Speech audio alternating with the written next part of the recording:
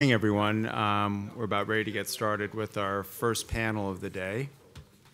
Um, this panel is uh, entitled Perspectives on Housing Risk, um, and we're very, very fortunate to have three distinguished um, uh, panelists uh, from the academic world with us today. Um, I'll briefly introduce them. The bios give a lot more detail than I will, but uh, let me mention at the beginning, um, we're also pleased that all three have connections to AEI. Morris is an adjunct scholar, and as you heard yesterday, is doing work with Ed and me on a variety of projects. Um, Susan and Stan are both members of the Academic Council for our Center on Housing Risk, and we really appreciate their participation in that way. So um, the three members of our panel are, are Morris. Uh, to, to begin, um, Morris was uh, very uh, humble yesterday in talking about um, his own credentials. Um, he's uh, not only uh, been an economist at, at the Fed um, and a professor uh, at the University of Wisconsin, he's now um, building up a new real estate center at Rutgers University and uh, knowing Morris and how entrepreneurial it is, I, I, think you'll be hearing about this center much more in coming years. Um, Stan is um, professor of finance and director of the Center for Real Estate Finance Research at NYU. Um, is a prolific author, um, and I know we'll be talking today about a variety of topics, including um, the future for the GSEs.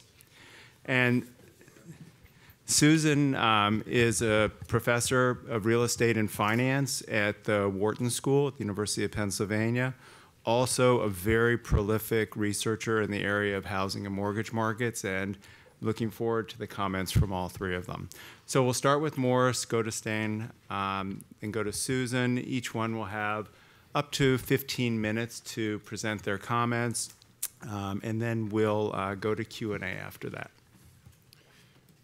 Thanks. It's it's really great to be here. I just want to say um, this is the fourth one. I've been to three of these conferences, and I thought yesterday's set of presentations was excellent, and I learned a lot. And um, I don't say that frequently. Sometimes I say it politely, but I don't say it frequently.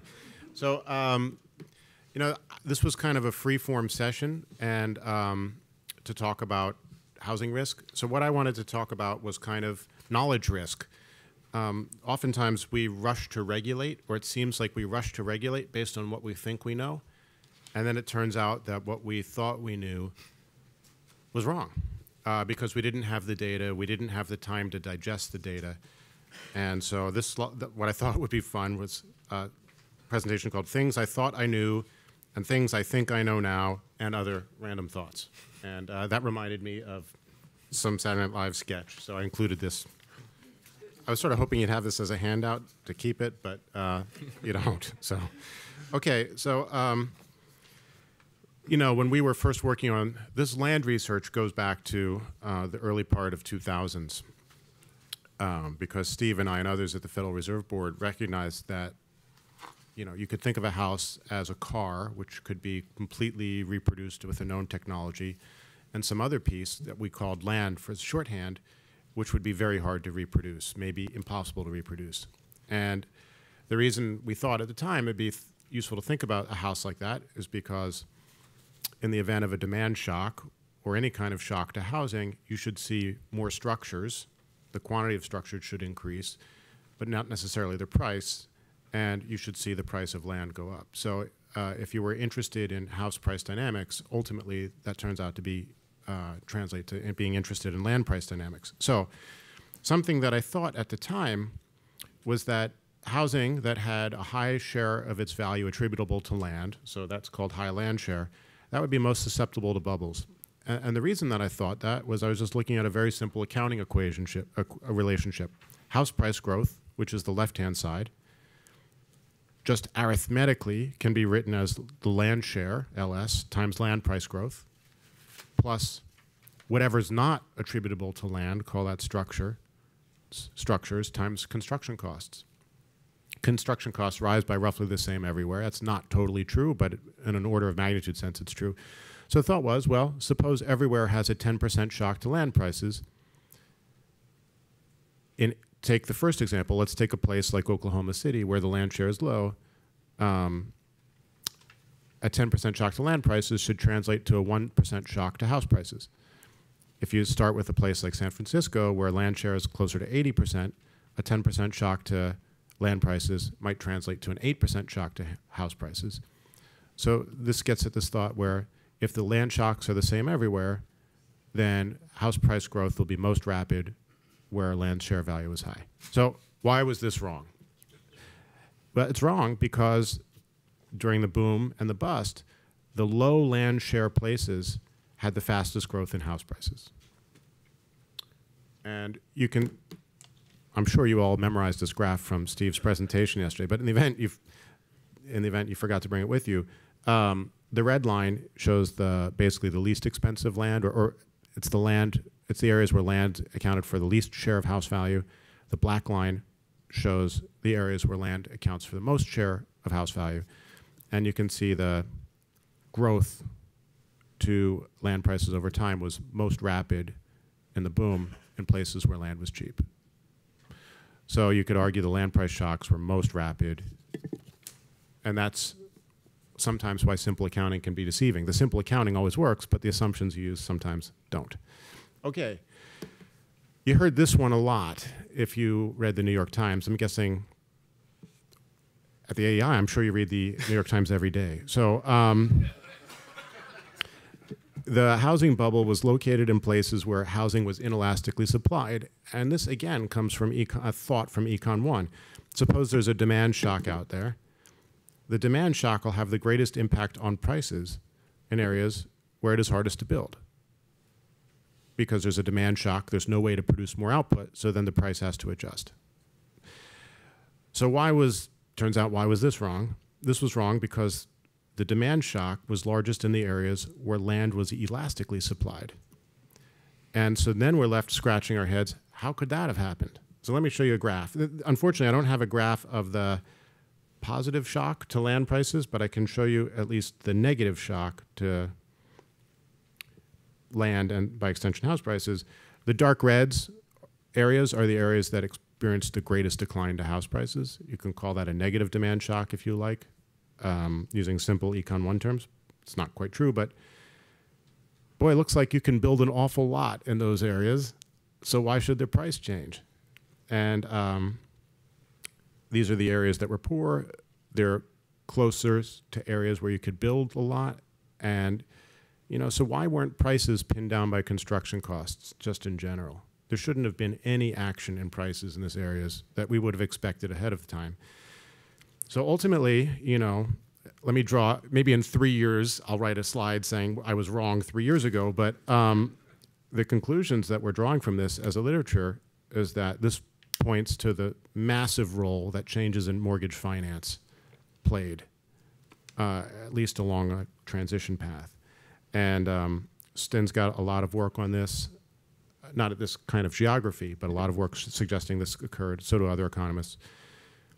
Th this suggests either government policy or some kind, something changed, deeply changed, that led to a demand shock in poor areas.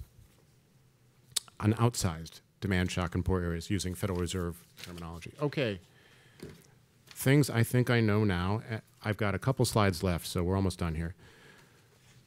Um, federal and state and local policies that promote affordability ultimately raise house prices. Why? Because there's a component of housing that's inelastically supplied, and that's we've called land for shorthand. Economists, every single economic model that you write down, say ultimately a goal for policymakers if you want to call it that, should be to lower house prices. The reason is that um, it's easier to afford a down payment with low prices. So many of our models, homeownership is a good thing. And if you need a down payment and house prices are high, it takes longer to save for a house.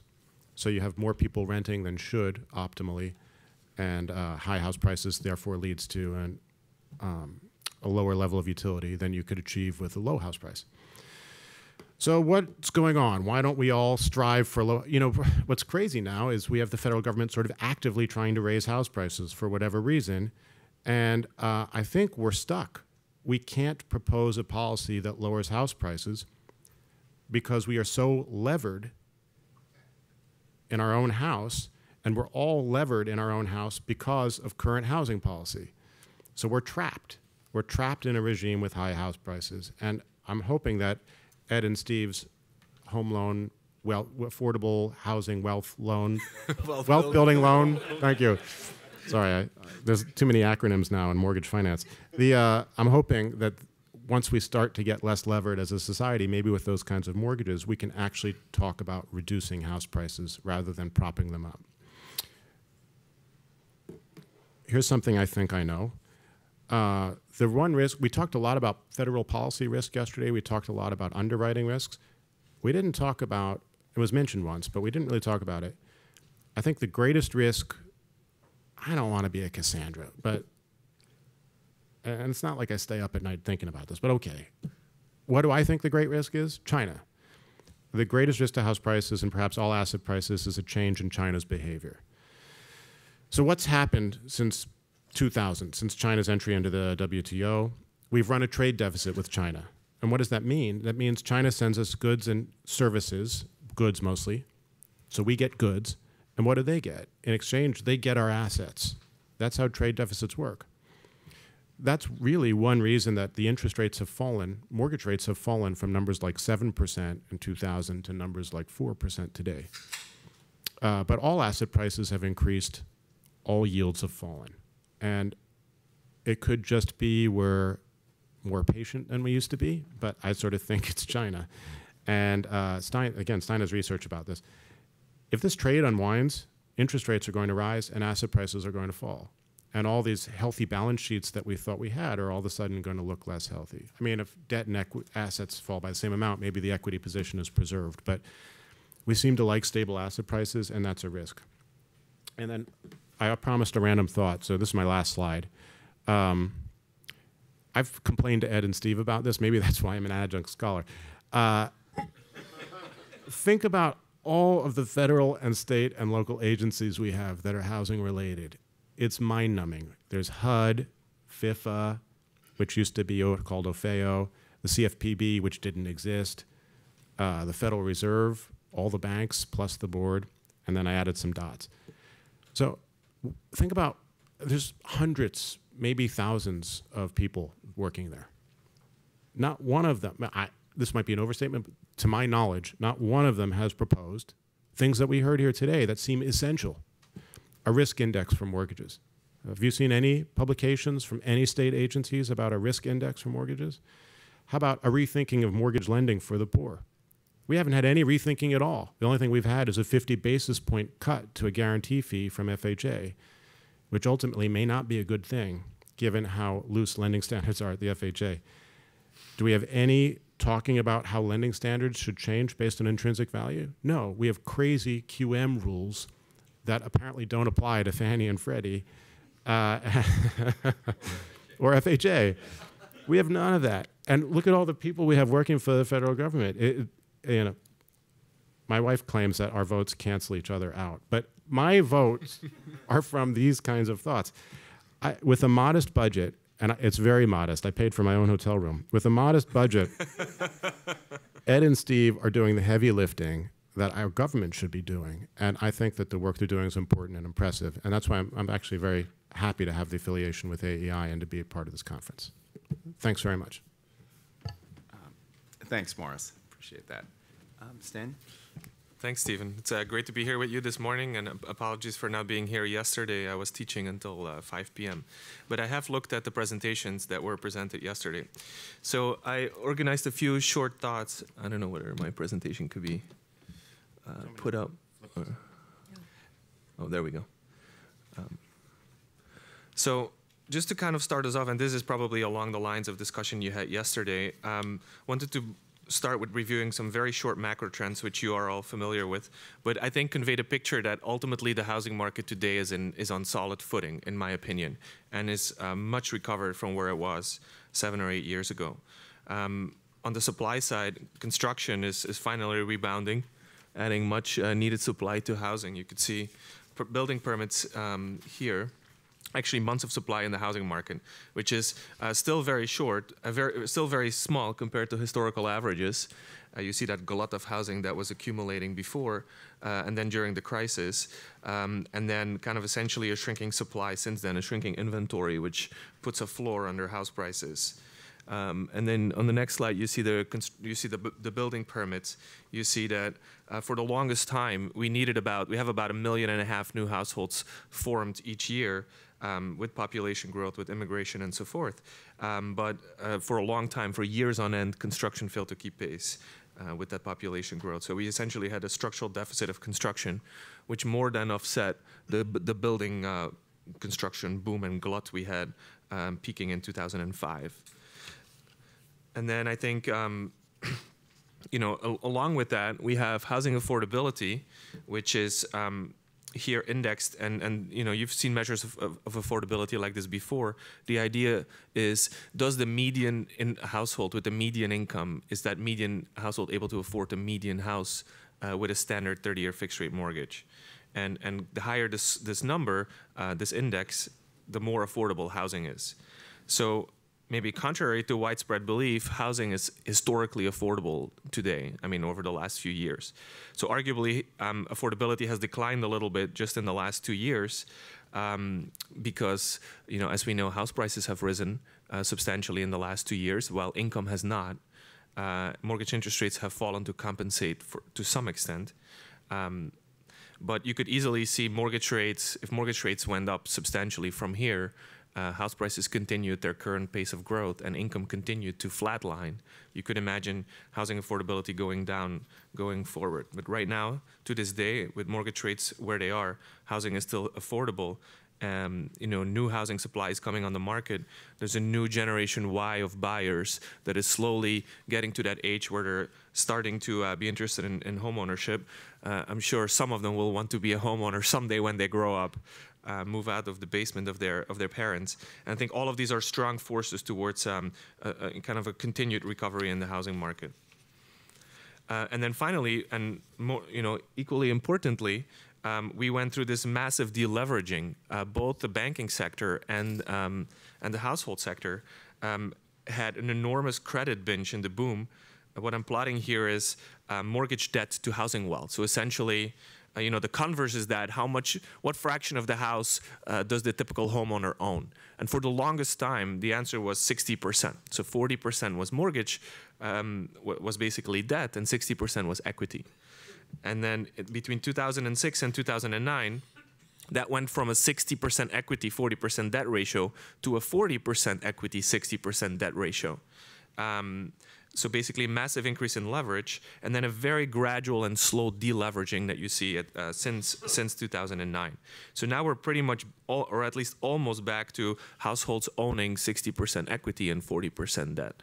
Um, pretty much, we're at 65, 30. Uh, we're at 45, 55 right now. So basically, that's um, again, that's uh, providing a lot of cushion for, at least in the aggregate, for the housing market, is putting households on more solid footing, and is essentially, you know, restoring, if you like, a lot of skin in the game in the, in, in the housing market. So. Kind of the last picture I have is on house prices, and uh, you can see the recovery in house prices. This is uh, price to rent ratios here uh, basically valuation ratios. You see, the, again, the enormous boom and, and bust, which you have seen before, and then the gradual recovery in house prices. I thought it was interesting to overlay on this commercial property price indices. And what you can see is that you know, they have very similar dynamics in the boom and the bust. Commercial real estate peaks a little bit later, it peaks a little bit higher, and it pretty much falls to the similar level as uh, house prices. But then you see this enormous divergence in the last uh, three, four years where commercial property is on fire, at least relative to house prices. So, what's that? That is not multifamily. That's all commercial property, office, retail, including including multifamily. Yes, um, multifamily in fact looks, if anything, more more extreme than this because it's been one of the better performing sectors within commercial property. So, you know, it, at least relative to commercial property, the housing market is not particularly frothy. Of course, you could conclude the opposite that commercial property valuations are ridiculous today, um, which coming from New York City, where office buildings are trading for less than 3% cap rates, is kind of a reasonable opinion. Um, um, but nevertheless, I think, long story short, I think um, the, the housing market, in my view, is on is on solid footing today. So there's been a lot of debate about uh, lending standards, and and and um, the American Enterprise Institute, alongside with other um, policy institutions um, like the Urban Institute, have been putting out all kinds of indices of lending standards. And I agree with Morris that this is very important work. Uh, we need to have good measures of, of credit risk, just how tight are lending standards. What I wanted to do is to just kind of shed a couple, a little bit of light on that debate, uh, kind of drawing on my own research. Um, because a lot of these measures are conflicting. According to some measures, there's actually the, you know, the credit risk box has opened up substantially. According to other measures, credit is still very, very tight. Um, so there's often conflicting messages that we hear, and I think getting to the bottom of this is important. So why is it important? Well, because constraints, credit constraints, do two things to households, right? So on the one hand, if you relax somebody's constraint, that's a good thing if I can borrow more against my housing wealth, against my home equity, that's a good thing because I might get a shock. I might get, I might lose my job. I might get another income type shock. Um, you know, I can get a medical shock, right? That, you know, in this country, if you break a leg, that can essentially bankrupt you. If I can, if I can borrow against my house in those states of the world, that's a wonderful thing. That relaxes my constraint. That improves my ability to smooth my consumption over time. So we often forget about that. I think that is very important, a very important benefit of relaxing constraints. Now, on the other hand, we have a big cost of relaxing constraints, which is essentially a negative externality from too much household debt uh, and therefore default you know, which is these these losses accrue to somebody. They accrue typically to the financial sector, which is the levered financial sector. That's a crucial sector in our economy because it makes loans to small businesses, to, to corporations, and so forth. And those are ultimately the create the creators of, of jobs in the economy. So having too much excessive household debt is a is a terrible thing from that perspective. It induces financial fragility. So there's clearly a balancing act that we need to have between you know giving people that cushion to borrow against and at the same time not jeopardizing our, our our financial um, our financial system. So I think things like the wealth-building home loan that was discussed yesterday uh, are, are, are, great because they give more home equity with the homeowners, which kind of increases that first layer of defense and makes ultimately the financial sector less less vulnerable. Um, so it hurts, but, but, of course, you know, I mean, I think actually one of the great things about the wealth-building home loan is it's also trying to not make credit too tight in the sense that it's available to a lot of people because there there's essentially uh, no down payment early on. So, you know, I write here it hurts on A, but it helps with B, but it doesn't hurt too much on A. I think is the uh, is what I really want to say. Um, FHA and, GSE, and the GSEs, as Morris just mentioned, have recently relaxed constraints um, and, and, and, insurance premium and so forth uh, in an effort to, to expand mortgage credit that obviously helps on A and therefore cannot be prima facie evidence of a bad thing, but of course it hurts on B. It, it really makes, um, makes uh, you know, FHA, for example, more vulnerable and ultimately uh, the, the financial mortgage, uh, the, the mortgage financial system. So what I wanted to talk about um, in my last few minutes is about um, the GSEs um, because ultimately that's at the core of these type of, of these type of questions, right? So this is based on a new research paper that um, I've worked on over the last few months, um, where we basically ask a counterfactual question: What would happen in a world without GSEs? So what if we were to phase out the GSEs? And opinions differ a lot on this question. Some people say, well, nothing much would happen. The CBO. Other people say, well, it would be a wonderful thing. Other people say it would be a terrible thing. Um, so what's what do we find? So what we find is that um, so the way we think about the GSEs is they're offering mortgage credit insurance, mortgage default insurance to the financial sector at a subsidized rate. So what does the financial sector do when you offer them subsidized default insurance? They buy it. They buy a lot of it, right? Normally when you offer something that's too cheap, people want it, people buy it. As a result, though, the problem is for, for banks, now a lot of their assets are guaranteed their their asset profile, their asset risk profile is now a lot less risky because now they have this protection, this wrap from the government. But banks are levered institutions. They want a high ROE. They want a high return and high risk portfolio. So they respond by increasing their leverage, by making riskier mortgages, and by growing the size of their balance sheet in an effort to create to, to have a higher risk return profile. So you have a moral hazard that leads to more financial fragility. In response to the subsidies, banks are levering up and they're going wild. that's what I'm describing what's happening inside the model here. Okay, so this increases financial fragility and, and, and hurts welfare ultimately. And in, and I think kind of the bigger picture here is that, and I think this is a point that um, that Ed has made as well, is that in this ecosystem where the, the FHA and the GSEs are entrenched and they're exempt from all kinds of regulation and so forth, it's very hard for the private sector to materialize. Some people are are are mystified why private label securitization hasn't returned. I don't think it's a puzzle. There's they, there's no fighting chance for the private sector to to thrive in this in this ecosystem. Um, so just a little bit more detail on what's happening in the model. So one of the interesting findings here is that when you phase out the GSEs in the model, it's actually good for everybody, which uh, came as a bit, little bit of a surprise to us. So it's good for borrowers. That's maybe the most surprising thing. You would think for borrowers, when, when you phase out the GSEs, house prices will fall, and in fact, they do fall in the model. House prices would fall by about 6%.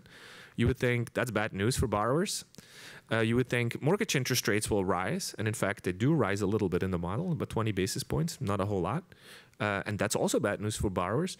But the good news is we won't have this financial fragility in the system anymore. And so banks will be better capitalized. They'll be better able to help consumers smooth their consumption over time because they'll be they'll be more solid. Bank the banking sector will better help consumers, borrowers smooth smooth uh, across states of the world, and that's a good thing. Remember my thing about um, you know relaxing constraints is a good thing for consumption smoothing. Well, that's happening in this model um, as well. So um, savers, of course, are also going to be better off because one of the things that happens in an economy that's safer is that interest rates go up. That's usually a good sign for interest rates to go up. When the real interest rate goes up, it means that the economy as a whole is there's less precautionary savings people have to do because the world is not so, such a scary place. When you when you don't have to save uh, again uh, to hedge against risk, then interest rates go up. When interest rates go up, that's a good thing for savers, right? So savers benefit, and then ultimately banks benefit. And the fact that banks benefit again is, you know, if the banking industry wants us to believe that what will happen is that they actually, the banking industry, to my great surprise, is a great fan of the GSEs, a great fan, maybe their biggest fan, even more than the than the house than the consumer advocates. Um, so it's like this unholy alliance of consumer advocates and the banking system for preserving the GSEs, and it's kind of and it, and it's it's misguided. And the reason it's misguided is because their logic is that ultimately this is good for business, these GSEs, and ultimately it's going to help their ROE. In fact, um, and so they, their argument is always, well, you know, otherwise we would have to hold a lot more equity if, if we had to bear all that credit risk ourselves. Well, guess what? It turns out that that's just false. You know, their ROE would actually not necessarily fall. They would have more equity, but they'd be better off for it. They make more money doing it because they would be earning higher spreads on on, on, on their um, on their um, mortgage uh, lending versus their cost of deposits. So you know you kind of need a model to think through all of these things, which is what we're trying to provide in this paper. Um, as an aside, if you had renters, uh, this is something that uh, Morris um, has mentioned as well. If you subsidize something, then things it becomes expensive. So house prices are too high in in in, the, in this world. Price to rent ratios are too high. So if you were to phase out the GSEs, yes, prices would fall, but that would be good news for potential buyers. It would be good news for first-time home buyers right? So that's an effect we don't even have in the model, which would further uh, tend to amplify the positive effects of phasing out the GSEs. So the last thing I, we do in the paper is we evaluate this Johnson-Crapo proposal. I don't know uh, how many of you are familiar with it, probably a, a fair number, but it's essentially uh, wants the private sector to bear the bulk of the losses in the in mortgage credit losses, and then in a really catastrophic event, uh, when losses are gigantic, more than 10 percent, uh, then the government would come to would, would step in. So we evaluate this proposal in the context of our model. We find it to be a good proposal in the sense that uh, it generates about the same welfare benefits of a full phase out. So before I was discussing a full phase out, uh, this is an alternative to a full phase out and it generates the same welfare benefits. Uh, again, the intuition is that it's not bad for the government to provide a little bit of a floor under the banking system in really, really, really adverse states of the world. If those states are adverse enough, then moral hazard is not an issue anymore because the banking sector bears 99% of the losses anyways. So we're talking about that 1% um, probability of a catastrophic uh, crash that would wipe out the banking system. Um, so that's that's um, that turns out to be a good thing. Now there's other reasons to be skeptical about this, which is it kind of recreates something that looks a lot like Fannie and Freddie, private companies with shareholders' equity as a first line of defense and the government as a catastrophic insurer. Sounds kind of familiar, right? So. Um, so I think you know there's again reality and the model. Uh, we have to we have to try to square them away. At the very least, it would require a very reliable bank resolution regime. Uh, otherwise, we get the same type of too systemic to fail uh, entities in the banking sector that used to be uh, Fannie and Freddie. So to conclude, um, I think with housing markets on solid footing, now is the perfect time for housing finance reform. Unfortunately, things in Washington D.C. are stuck.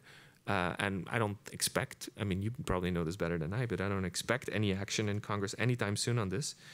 Um, I think the, way to go is to raise the cost of the government default insurance slowly but surely. Um, the GSEs have already started doing this. The G fee went from 20 basis points to 55 basis points. It probably needs to continue rising to at least 150 basis points for us to realistically crowd, crowd in the private sector. And by the way, a lot of people would argue that's my last point, that the GSEs provide this great liquidity benefit through the TBA market and so forth. You don't, you don't need to get rid of that market in order to get rid of the subsidy to default insurance, right? So it could be as simple as, you know, change the name of the GSEs, make it a government entity which is very small, nimble footprint, and have this credit risk transfer that is currently taking place through the STACR and the CAS deals, have that be 100% of the of the of the portfolio. Okay, so at this point, essentially, you have implemented uh, a catastrophic risk insurance, um, which is essentially the same as, as, as what the Johnson-Crapo um, Act envisions. I'll stop there, there, and then maybe later we could talk about China. Great, thanks, Den. Uh, Susan? Yes, well, thank you very much for inviting me here and for convening this fourth uh, annual uh, uh, symposium on housing risk. Uh, how do we get to this? Just keep, keep, keep clicking, Going. keep clicking forward. Yep, Yep. you got it. Good. Um, I think I'll start with just making some comments, uh, brief comments on uh, the two presenters uh, prior to me. I think I fall somewhere in between uh, the two on prognostication of pessimism versus optimism. I do agree with Jin that the housing market is today on solid footing. Uh, but I do agree with Morris that there are real risks uh, ahead. Uh, and I agree with Morris that um, asset prices, housing and uh, real estate asset prices are high, that cap rates, price to rent ratios are high. Uh, not so much other assets, uh, which in fact have uh, fallen in prices with the decline, with the slowing growth in China.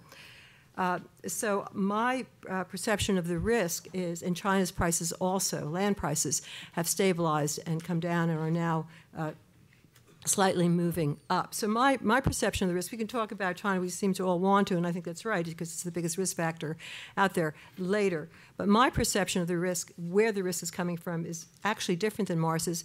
And it is, from my perspective, coming from a potential secular stagnation, slow growth, capital coming from developing countries into the U.S.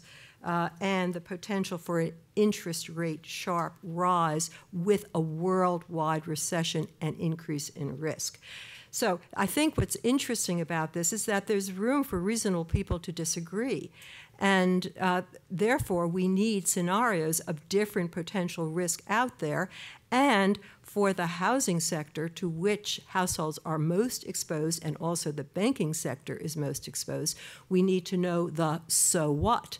And what we don't have, but we're working on it, and many of the people in this room are working, and AEI has taken a prominent position on this, is risk indicators, a risk scorecard, if you would, for the housing finance sector. I think we all agree on the importance of that.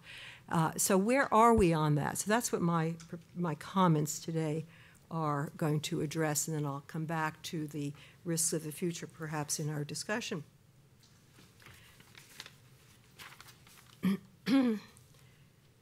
uh, so this is uh, an early morning session. It's a, a new day, and um, my perspective, given yesterday's proceedings, which uh, unfortunately I could not be at either, but I also looked and was able to follow, uh, really extraordinary work is being done. So I am rather optimistic, actually, on the potential for uh, more insight and ongoing information being provided about this critical sector for the U.S. and global economy.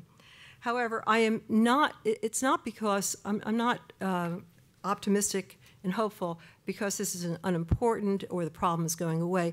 Quite the contrary. The problem of the fragility, potential fragility of housing finance sector is global and it's across nations and over history, but, but more than that, it has gotten far worse over time.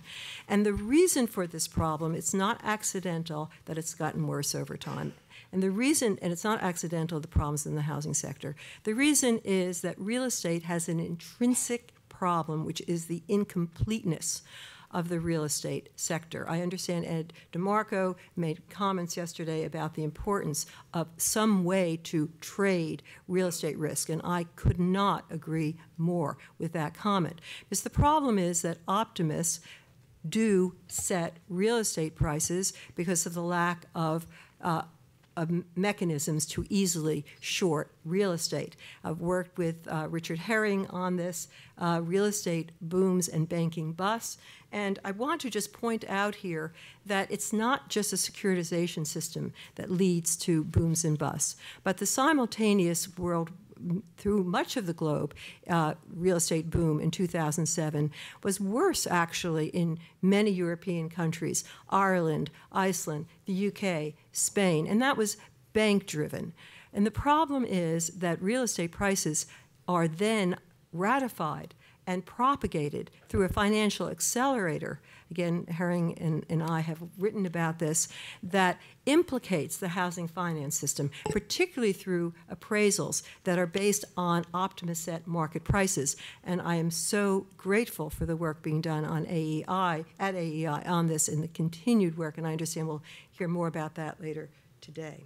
So credit bubbles propagate asset bubbles and do so in this critical sector and for both the finance sector banking sector, bringing it to its knees, and for the household sector, leading to over pledging of collateral, which means that the real sector is implicated because after the crisis, you can't borrow, and therefore the real economy, real purchases are impacted. And instead of having credit smoothing, as Stin mentioned, instead of having credit smoothing because of the availability of housing finance, you in fact have endogenous uh, uh, cycles. So, um, how do we deal with this? Uh, what's the solution? And I am going to uh, actually skip ahead to this one and come back to the previous slide. Uh, we are we are brought to our knees because of the lack of information. We can, and many people did, in fact, I guess I'll go back for a moment, did note this price to rent huge uh, expansion in the ratio of price to rent, which I show uh, in one of these graphs, one of these lines. But what they, what people did not know, what was unknown, was the increase in mortgage, risky mortgage product, and the increase in overall debt. So what did we not know? We didn't know the uh, mortgage terms, we didn't know mortgage rates, we didn't know uh, the characteristics of the mortgages, uh, we didn't know counterparty risk. Uh, and particularly, if you looked at loan, this is what this uh, graph on the right shows, if you looked at loan to value ratios, and many people were tracking this, the Fed was tracking this uh, in this period, uh, it looked actually rather benign. It looked flat. But if you looked at combined loan to value ratios, which data was not available, that is, if you added second liens to first liens, then you would have seen a tremendous run up. The problem is that the second lien data is not available at the time. This is after the fact. And this is second liens at origination, by the way, was not available at the time. Uh, again, the leverage, then, the over leverage, is the key to potential default risk, which is again why, uh, as others have said, the uh, wealth building home loan mortgage is so important because this overpledging is going to lead to anti-smoothing in terms of consumption uh, going forward as opposed to the um, benefits of access to financing. So, in a paper that has just come out with my colleague Adam Levitin uh, in uh, Vanderbilt Law Review, we talk about why we cannot track second liens and uh, uh, why, in fact, first lien holders in housing and real estate, unlike any other asset, have no say on second liens, and that's uh, in in, in the law, actually, which would have to be changed to make a difference on this. So this, uh, of course, then the last uh, in, in intrinsic problem is the lack of ability to short sell. So we didn't know all of this, but the good news is that we are learning more, which I'll come back to in a moment. But if we had, so what, what's, what we didn't know did in fact hurt us. If we had known what the characteristics of mortgages were, how risky, and uh, the increase in the CLTV, we would have been able to track the price to rent ratio. This is a paper that I did with uh, Andrei Pavlov. Uh, which points to the um, very Im impressive predictive ability of uh, the mortgage product mix uh, uh, ratio to overall lending, how it predicts the um, price to rent ratio. So if we had known the information, arguably there we could have done more. And in fact, the key piece of information, a key piece of information that we would have had to know and that was shrouded, was not just the supply, the mortgage supply, but the price at which it was being uh, supplied. So the price of risk uh, in the run up to the crisis actually decreased. So the price of uh, mortgage backed securities, both in the commercial sector and on the residential sector, uh, we have uh, shown this in work, uh, myself with Adam Levitin, for both sectors. Uh, and also for mortgage backed securities. The price relative to uh, AAA uh, credit, the price relative to treasuries declined. The interest rate compressed, so the risk premium for credit decreased. So, um, in a work that I've done with Andrei Pavlov, this was coming out of the Asian financial crisis. We were working on this as we were getting into the subprime crisis. We, uh, the, the paper uh, uh, was written, it was being written at that point, we look back at 40, this is just a few of them, uh, 40 uh, peak to trough crises, and we looked at the compression of the credit risk premium prior to the uh, peak and its correlation to price rise increases relative to rents.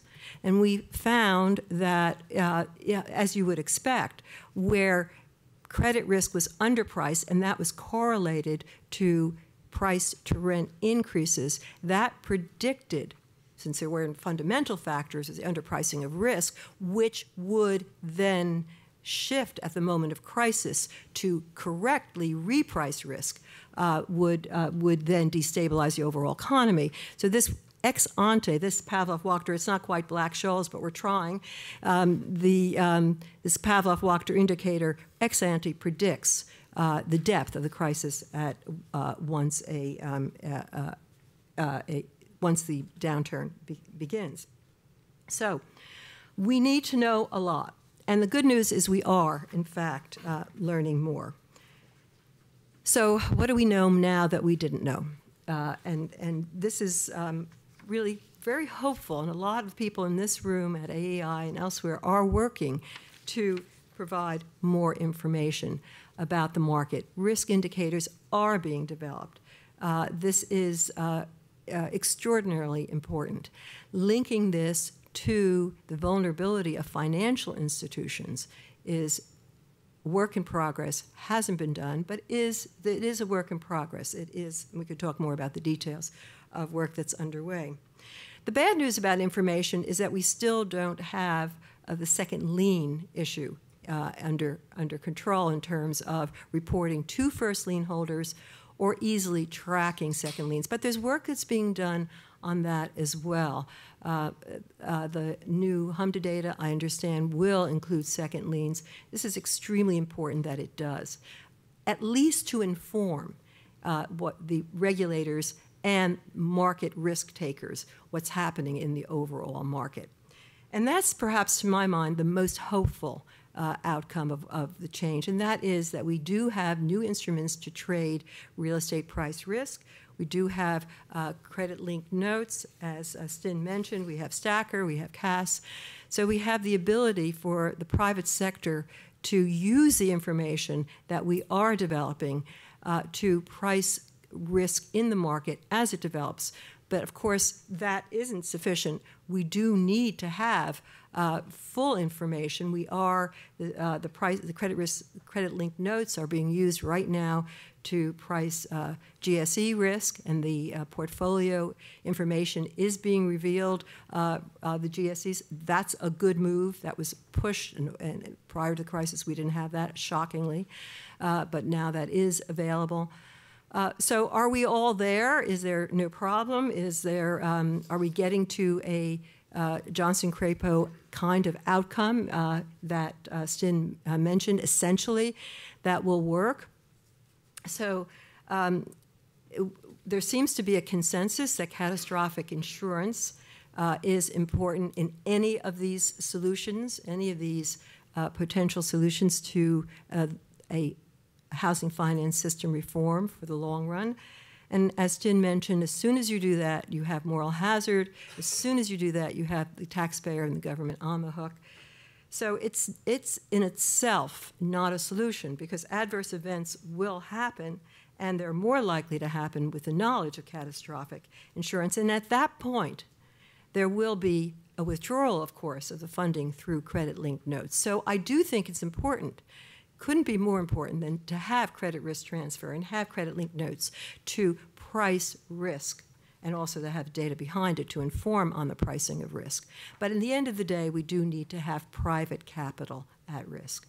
So we need to have capitalization for institutions for the long run. And here I note the work uh, that was discussed here by uh, Ted Durant yesterday uh, and the countercyclical capital for mortgage insurance, uh, which I think is extraordinarily important, but not, of course, just for the private mortgage insurance sector. Thank you very much. Uh, thank you, Susan. So um, I had uh, one comment on Morris's presentation, then a question for Sten and um, Susan. And then I'll give the three panelists a chance to comment on each other's presentations if they would like to, and then we'll open up for Q&A. So one of the points that Morris made on his final slide, which I completely agree with, is that it is surprising that none of the housing agencies, um, including the Fed, I think it's most surprising for the Fed, uh, have really come out with measures of housing and mortgage risk, particularly for the Fed. Um, so I just wanted to indicate that we actually did invite several Fed economists to come and speak today, and they wanted to come to talk specifically about mortgage risk measurement at the Fed. But unfortunately, because of the Fed's bizarre blackout rules surrounding FOMC meetings, which not only precede the meeting but continue throughout the entire week of the meeting, they couldn't come. So next year, uh, we have a date for this conference that is outside of the Fed's blackout period for October. And I'm confident they will be here and we'll have a more robust discussion of what's actually happening, at least at the Fed, in terms of the measurement of the risk. So I know that they're aware of the mortgage risk index. In fact, they do their own mortgage risk index that they present to the board that's very similar to our methodology. In fact, they do it using proprietary data on loan applications, so they, they actually have information that predates ours that they use internally. Whether it has any effect on the policy discussions or decisions, that's a different story. Um, then a question for um, Sten.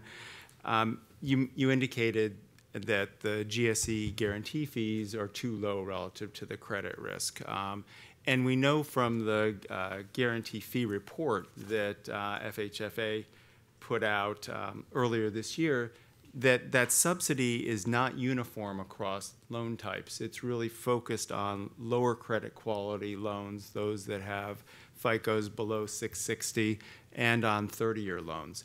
Um, unfortunately, the report shows bars that indicate directionally what um, this subsidy is, but there are no numbers on the axis. So I was wondering in your work whether you had gotten down to that level of granularity to try to estimate the subsidies. So um, yeah, the short answer is no. But what we do have, in the sense that um, we have no heterogeneity across borrowers in our model. However, we can calculate the average subsidy And what we find is that, so uh, maybe not surprisingly, but I guess we didn't understand this when we first started this project. Um, the extent of the subsidy depends on the on the world you live in. If you live in a world where the actual G fee is 20 basis points, then that's a very fragile world where there will be a lot of mortgage defaults and a lot of mortgage foreclosures, and therefore the actuarially fair G fee will be much higher. So in that world, it turns out the actuarially fair G fee is 75 basis points. So the subsidy is 55 basis points. Mm-hmm. Okay, so that's a pretty precise number for what the extent of the subsidy is, and I think it's massive.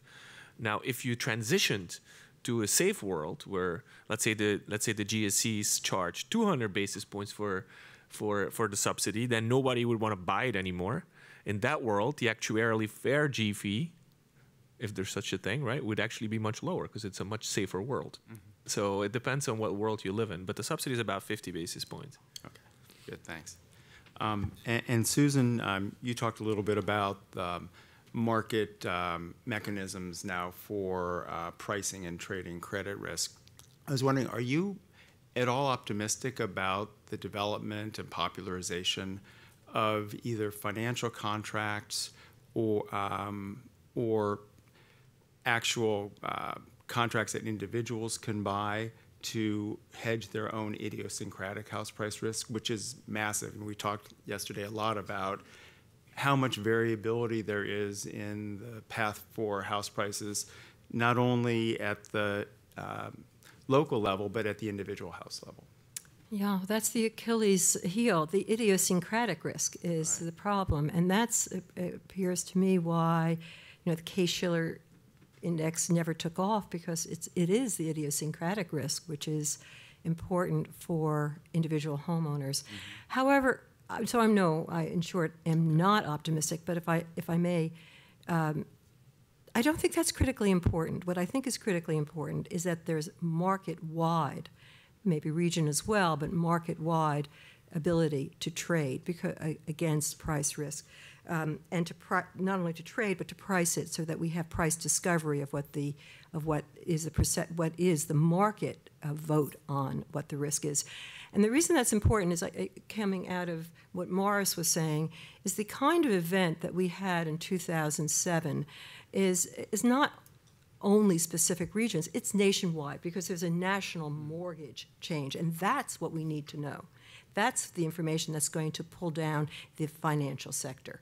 And for individual homeowners, going back to work that's done out of Wharton Todd Sinai and others, actually owning is a hedge against renting. So that's another reason why the Case-Shiller uh, doesn't take off because you actually, when you own, you already engaging in buying insurance. You're hedging against rent increases by being on both sides of your renting to yourself. So there may not be a great, as long as you're in there for the long run, there may not be a great demand from the individual homeowners. What we need to do is protect the individual homeowners against the huge volatility that occurs when price becomes out of line with fundamentals. Great. Okay, thank you very much. Um, Any comments and thoughts that the panel would like to offer at this point? Sure. I wanted to ask Susan whether she thought that uh, ABX or CMBX would not be, they've been around since 2006.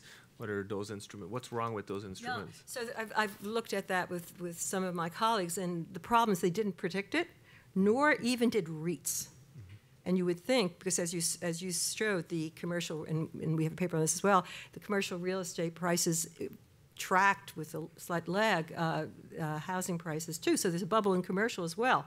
And when REITs were in fact brought, the second generation of REITs were brought into, into play in the 1990s after the crisis of, we thought at the time was a big crisis of 1990, and the new REITs would solve the problem. We would have liquid real estate and we'd be able to price it. And in fact, I think the REITs have been extremely helpful both in regional pricing and also in bringing capital back out from Wall Street, which is why the commercial market has recovered so much faster. Very important.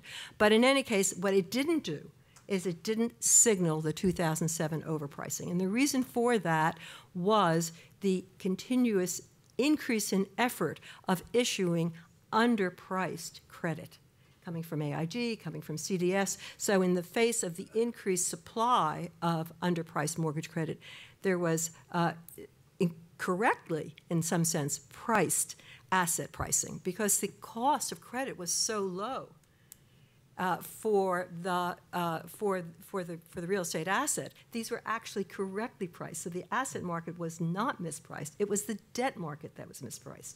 So we need a combination of debt market instruments, which is why I like the credit linked notes because they're not just the asset side. They're, the, they're reflecting default risk.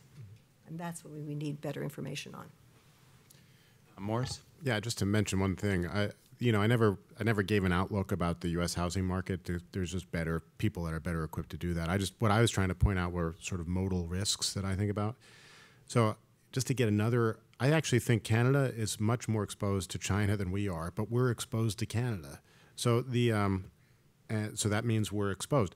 The um, I guess we're going to see a presentation later about cap rates or implied cap rates in the housing sector in Vancouver and Toronto.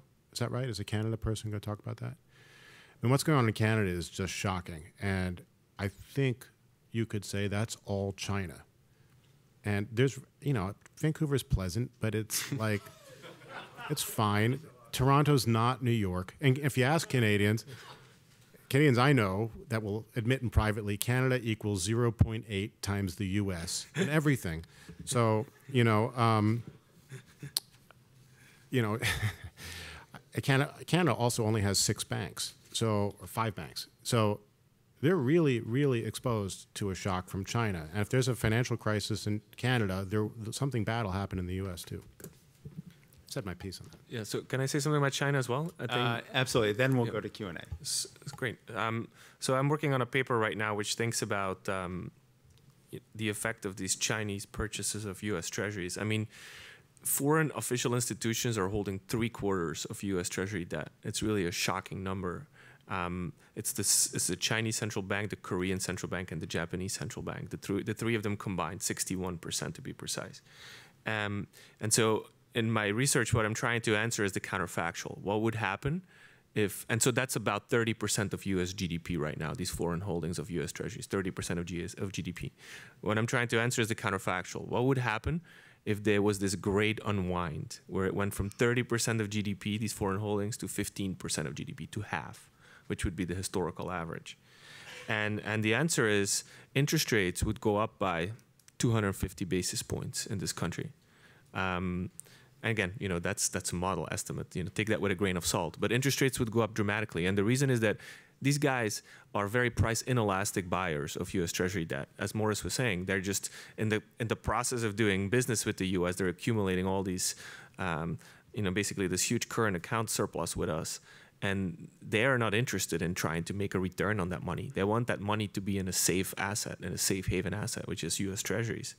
And so they basically want to buy US treasuries regardless of the interest rate that we're paying them, right? Which is why interest rates have been so low. I mean, we've, we've, we've had the reverse of this. We had from 15% to 30% foreign holdings that has put enormous downward pressure on the real interest rate in this country. Enormous.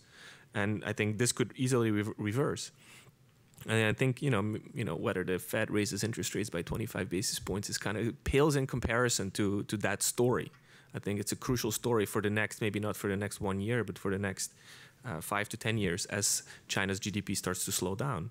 In the in the in the course of business, they're not going to be reinvesting a lot of that money in treasuries anymore. And so, you know, somebody else is going to have to hold these treasuries. You know, you as agents, with, which don't have such price inelastic demand for these treasuries, and interest rates will have to rise.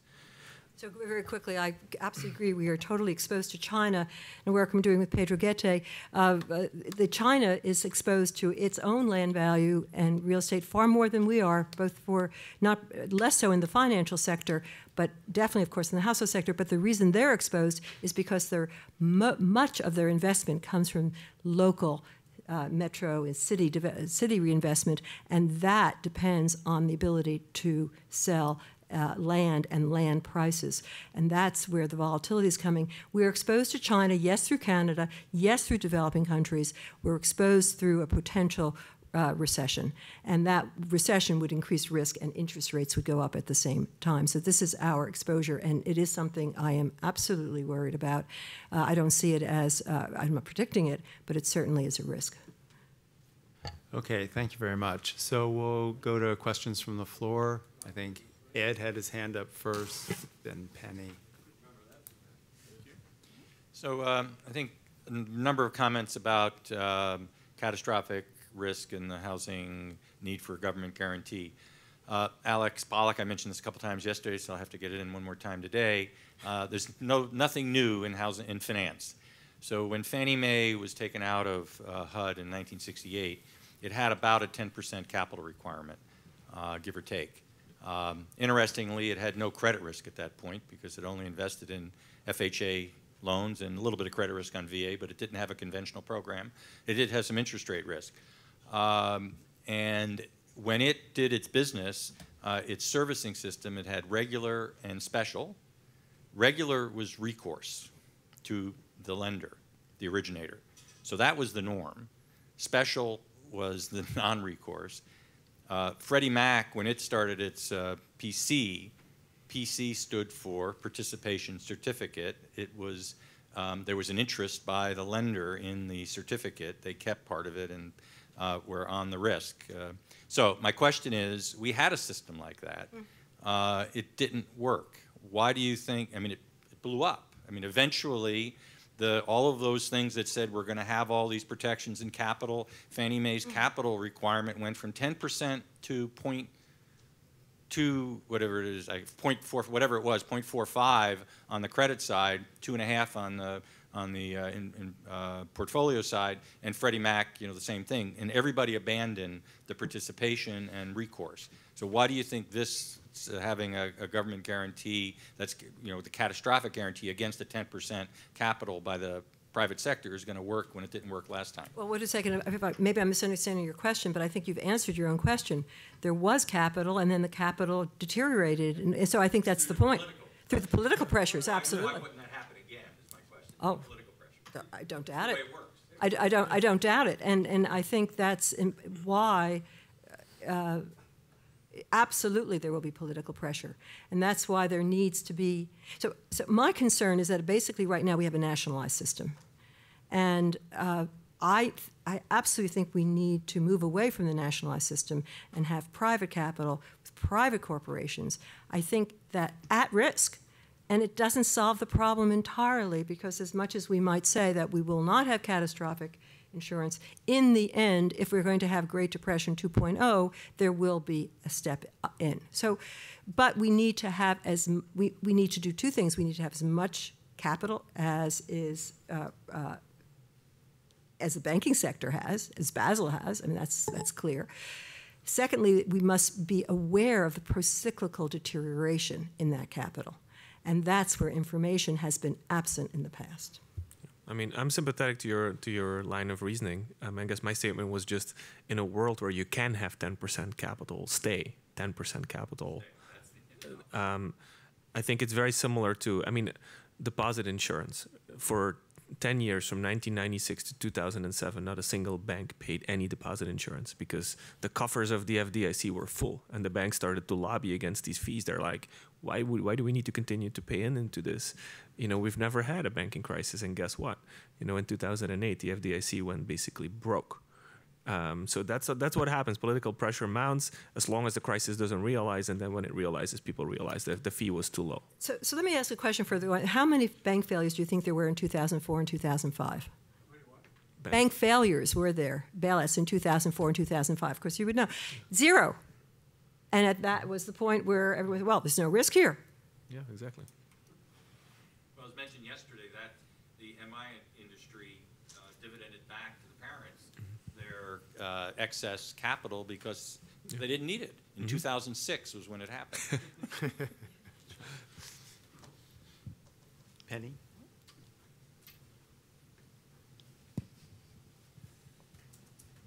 Hi, thank you. Um, my question is around uh, what do you think about the impacts to private capital entering the market of everything that's been going on in the mortgage industry today around risk that has nothing to do with default risk, interest rate risk, credit risk, but has to do with compliance risk.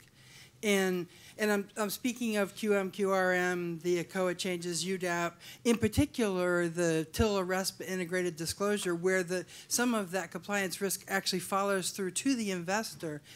Do you think any of that is having the chilling effect on private capital entering versus some of the other risk you're talking about? I'll speak to this a little bit. Uh, I'm on the board of directors of two publicly traded companies, and uh, we talk about Sarbanes-Oxley all the time and compliance all the time. And um, my understanding is that you know you can't just be a mortgage servicer; you have to be approved by Fannie and Freddie, and and that mortgage servicers can sometimes pay big fees from the CFPB for things they didn't do or did. They thought they were following the law. They were following the law but but CFPB fined them anyway. Um, ultimately I think compliance risks driving up it's forcing consolidation and it's driving up prices neither of which I think are particularly good And I, I would add, it's probably driving a lot of the activity towards the shadow banking system. I think that's one of the other big trends today is that the, the, the formal regulated banking system is shrinking relative to the rest of the financial system. So now we're going to lose a grip on, you know, to the extent that regulation has positive benefits. Yeah, yeah, exactly, exactly. No, exactly. That's exactly right. Yes.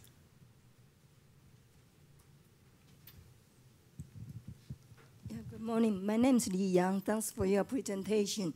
I think when we talk about economic analysis, we talk about supply and demand. We talk about the price of housing is depend on who want to buy it. But the problem is the data itself or accounting and all the government implementation of the law are all really not reliable and uh, lack of competency, uh, also arbitrary and irrational. So I just wonder if we go this direction. Let's say, for instance, the housing is based on the in one way it's lobbied by developer and or developers team, which including the lobbyists and lawyers. They lobby the town or the cities to supply the grants or funding, and then they don't implement the real law. They protect the consumers or homeowners. So, is there any study that would say we have to really focus on the rational behavior? And let's say the consumer they will be protected, and government is really represent the people rather than the other around. So we are analyze the data all in a very artificial manner. I'll take a small stab at that one. It's tough. Uh, you know, there's uh, the economists at the Federal Reserve were outstanding, uh, and the Federal Reserve Board itself. It, actually pained me a little bit to watch the Republican debate last night um, when the question about the Federal Reserve came up. Having worked naturally leaning towards the Republican Party and then seeing the attack at the Fed where I used to work, I, that sort of pained me. I wish that would stop because um, the people at the Federal Reserve have uh, really nothing but the public's interest in mind. That's the economist there. I can't speak to every single person, but everyone that I worked with, that was true. But I will, I will share one funny uh, anecdote with you, uh, which I hope Steve doesn't mind that I share. The it used to be that the dumber economists were put on the house price forecast. Uh,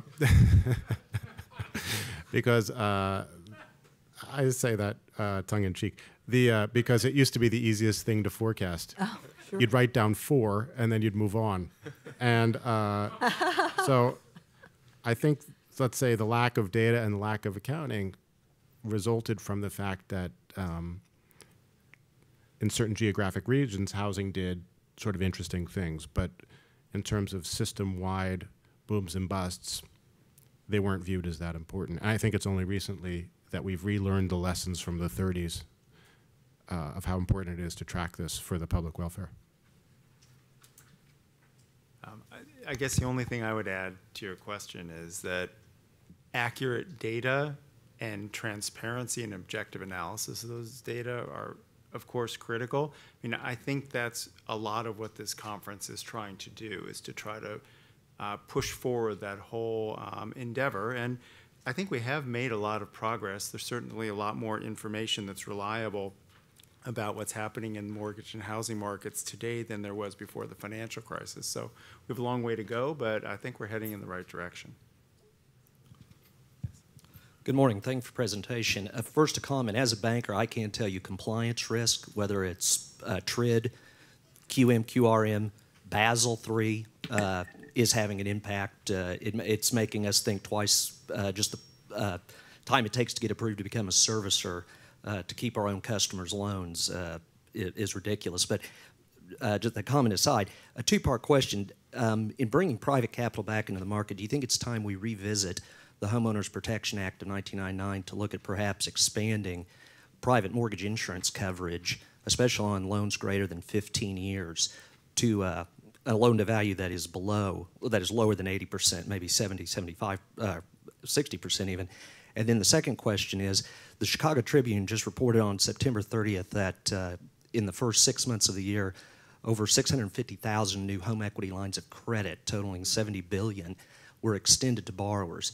Um, as yesterday, as we heard from uh, Director DeMarco and that about really asymmetrical information in the marketplace, what outside of HMDA, what better ways are there uh, to go ahead and try to gather that extra information, such as on second liens and that, so that we have a better idea of the leveraging of the uh, U.S. household? Could it be call reports, per, perhaps, that are done quarterly?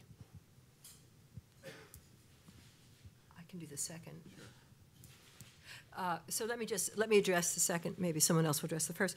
Uh, the uh, HMDA data will not be able to do this uh, until January 20, uh, 2016. It's even later than that, actually. 18 is my understanding. Uh, and but but there's another data set, which is the National Mortgage Database, that is um, uh, I believe actually uh, a prototype is in place right now. And that data will also be, it's a, a sample of 1 in 20 of all mortgages, and they too, using private databases which are currently available, uh, will be putting together uh, uh, an index including first and second liens. So um, it's not yet publicly available. It's a prototype, but my understanding is that there will be at some point a publicly available national mortgage database. Uh, that's probably a few years down the line. Uh, in the meantime, we can. Uh, uh the data, FHFA is working on, on these data preps. Someone else in the room knows more about where that is. Um, Susan, can I ask you a question about the second lien data that you used in your study? Yes. Where did that come from? Uh, that came from Intex, which is a private data source, uh, and that data um, uh, was um, supplied to uh, Andy Davidson's firm, mm-hmm. and they paid for it, of course. Uh, very expensive data, uh, but Andy Davidson's firm is in the business, so, that, so it made sense for them to purchase the data and and collect it uh, but it's not publicly available. So we we used it uh, for our research paper. Working with that firm, we were we did get access to it, but there's also a lag, uh, a substantial lag, and it was very expensive. Okay. Um, and, and, by the way, I mean the data are available right now, if, but it's expensive, and it, there are all sorts of um, uh, uh, gaps in the data. The matches that you put together are only two thirds correct, so there are all sorts of problems right. with putting it together. Um, yeah, thank you very much. So one comment is um, that I would make about the work we're doing here on the National Mortgage Risk Index. Um, right now, it is limited to first liens and home purchase loans, but we have projects uh, that we'll be pursuing shortly to expand that coverage, and that would include second liens as well. Where will, may I ask where will you get the second lien data? Well, I mean, our initial source is going to be CoreLogic. Yep, that's so.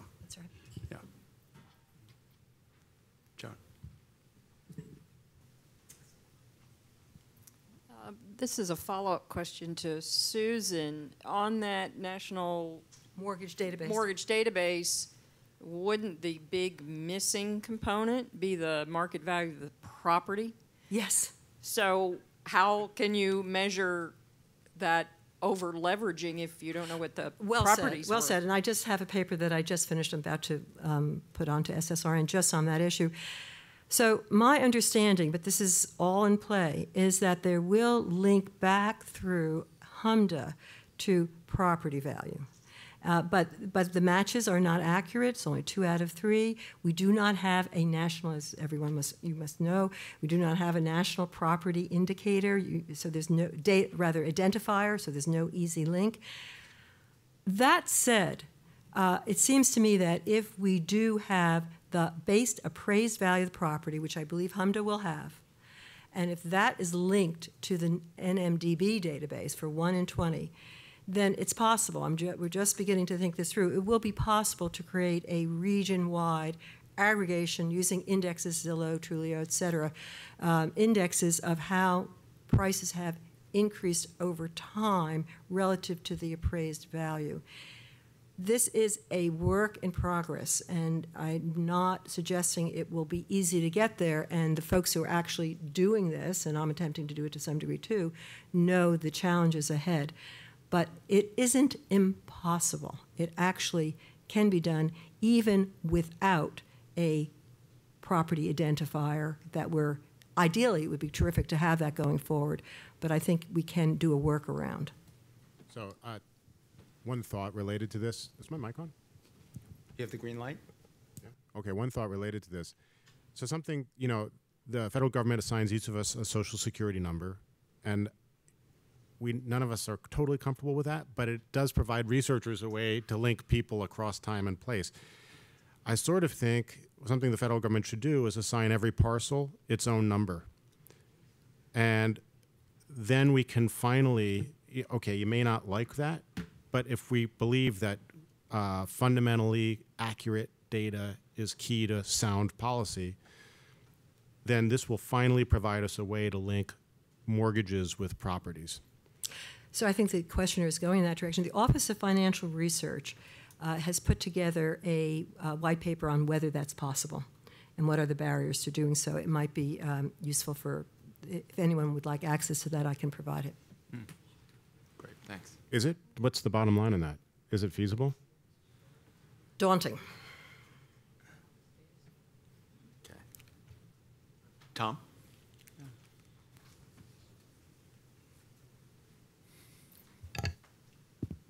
Uh, Thank you and good morning. My question is for Stijn, and it has to do with your conclusion that housing is very affordable. And uh, in, in your presentation, you cite the NAR's index, affordability index. Is the methodology in, then, in that index solid enough to draw that conclusion? And aren't they treating Lincoln, Nebraska, and Los Angeles as an example, or Seattle, uh, with the same weighting in that index?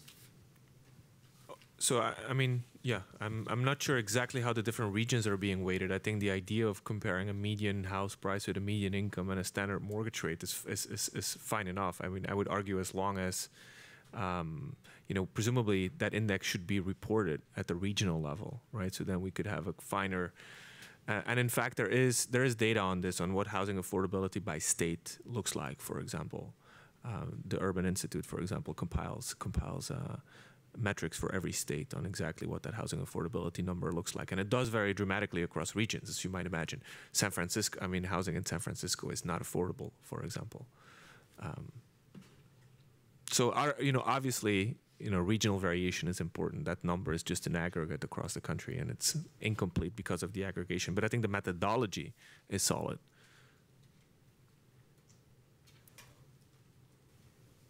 So, sort of following up on, on that, Stijn, uh, I think you said it, uh, the reduction in premium by FHA was obviously helps affordability. I think you, No, I didn't say it. Well, I didn't say that. It's as it relaxes constraints. It relaxes borrowing constraints. you said it, well, you, I thought I wrote it down, obviously helps on affordability. No, no, I said it helps on relaxing constraints. Okay. Um, it, whether it helps on affordability, I, I very much agree, is an open question because, of Okay. course, it pushes up prices. It for, pushes up prices. and- and Okay, those, that was, that was the uh, point, okay. Yeah. Um, Yes, Ed? Good morning. I'm Ed DeMarco at the Milken Institute. Morris and Susan, this has been a terrific conversation. I'd like to turn back to um, the cat risk and, and get a little bit more sort of reaction or thought from you about whether um, there's an economic as opposed to a policy, uh, political reason to have catastrophic risk provided by the uh, by the government in mortgage. So, um, so Stijn, in your at the end of your presentation, you had uh, you made mention of the Crapo Johnson framework, which basically sort of sets out a 10 percent um, uh, credit market, right? So 10% loss is, is goes to a credit investor, but the wrap around the remaining 90 essentially creates a, you know, a pure rates market.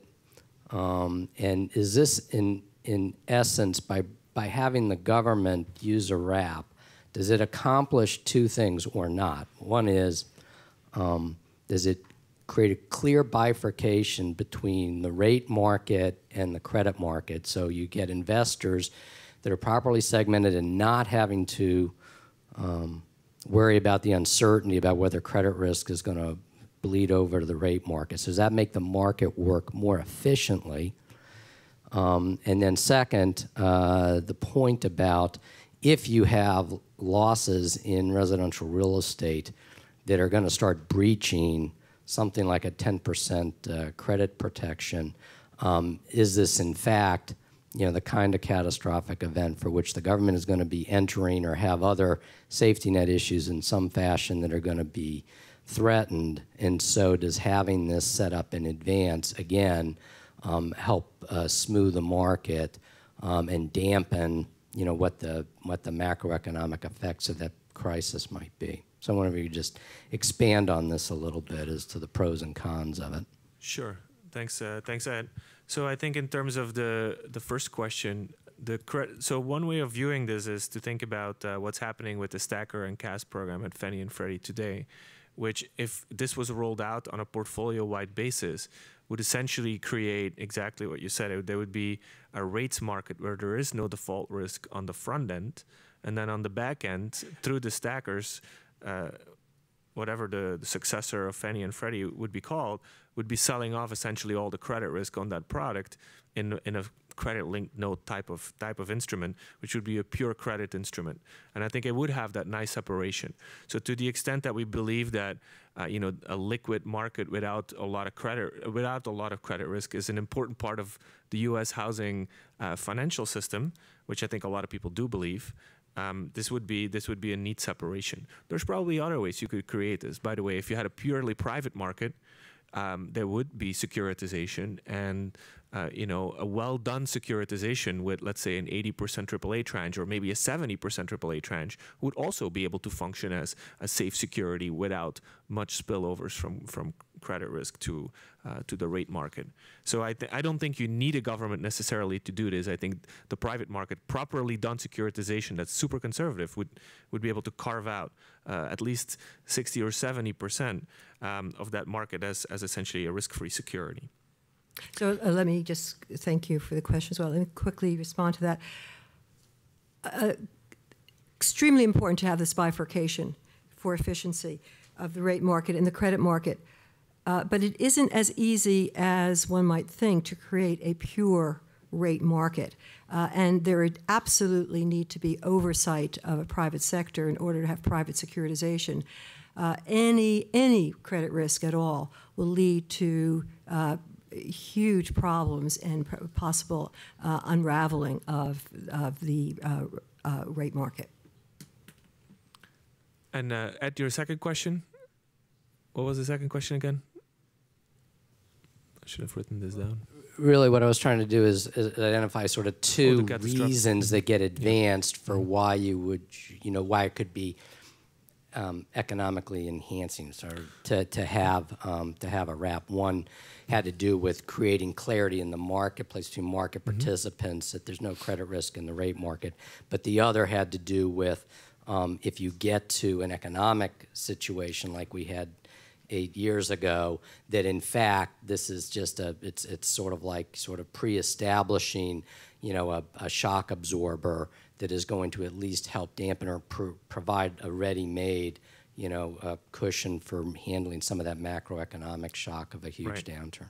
Right. So that's, I mean, in fact, that's what's happening in, in my model. Uh, the, the, the reason catastrophic insurance is valuable in the model is because it puts a floor under the, under the shock that the banking sector needs to absorb. And if it's a really bad state of the world, it provides a cushion for the banking sector, allows it to continue functioning, uh, making loans to the rest of the economy. So that clearly, that's the advantage of that catastrophic risk insurance. Now, I should emphasize that even in a private market, the banking sector will set itself up with enough capital to also have that own shock absorber. So the, the banking sector will save, and again, in the model, the banking sector will save to, so that it can make loans in very bad states of the world as well. So the difference between a government mandated catastrophic risk insurance and private sector behavior in the model is really not all that different. The private sector does a reasonably good job saving for that catastrophic state of the world. Now, so now there's like two reactions you could have. You could say, well, I don't really trust the banking sector to do that anyways, because we know that there's lots of conflicts of interest. Bank, the, the shareholders of the banks are not the managers of the bank, and so forth and so forth. So I think that's one reasonable view, especially in light of what transpired. Another reasonable view is what you articulated, which is, look, I mean, at the end of the day, um, the government is going to have to bail out the banking sector one way or another, be it through deposit insurance, be it through too big to fail guarantees, we might as well charge for some of this upfront in the form of a small uh, catastrophic guarantee fee. And, and, more than just the charging, it needs to have information.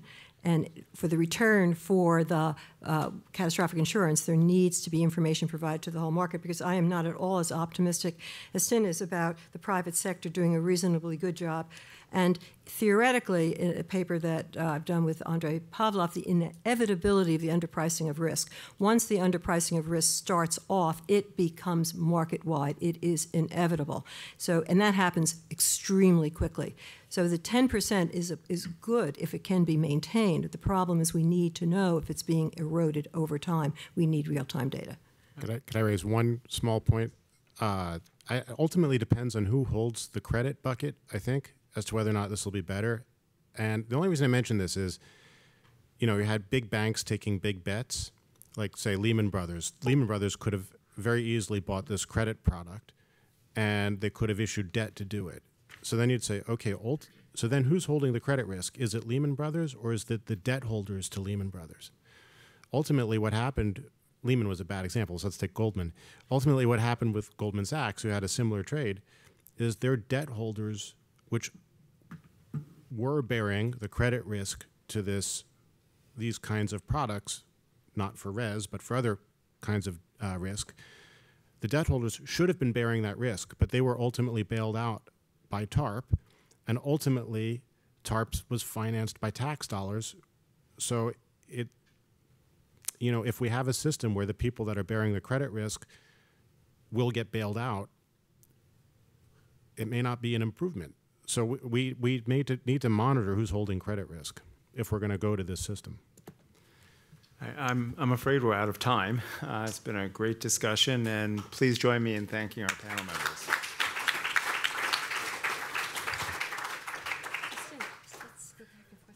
Yeah, sounds good. Let's do that. Perfect. Thank you, Susan. Good to see you more. Thanks a lot. Yeah, great to see you. fun. Uh, on another one.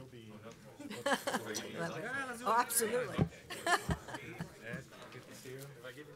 No, thank you.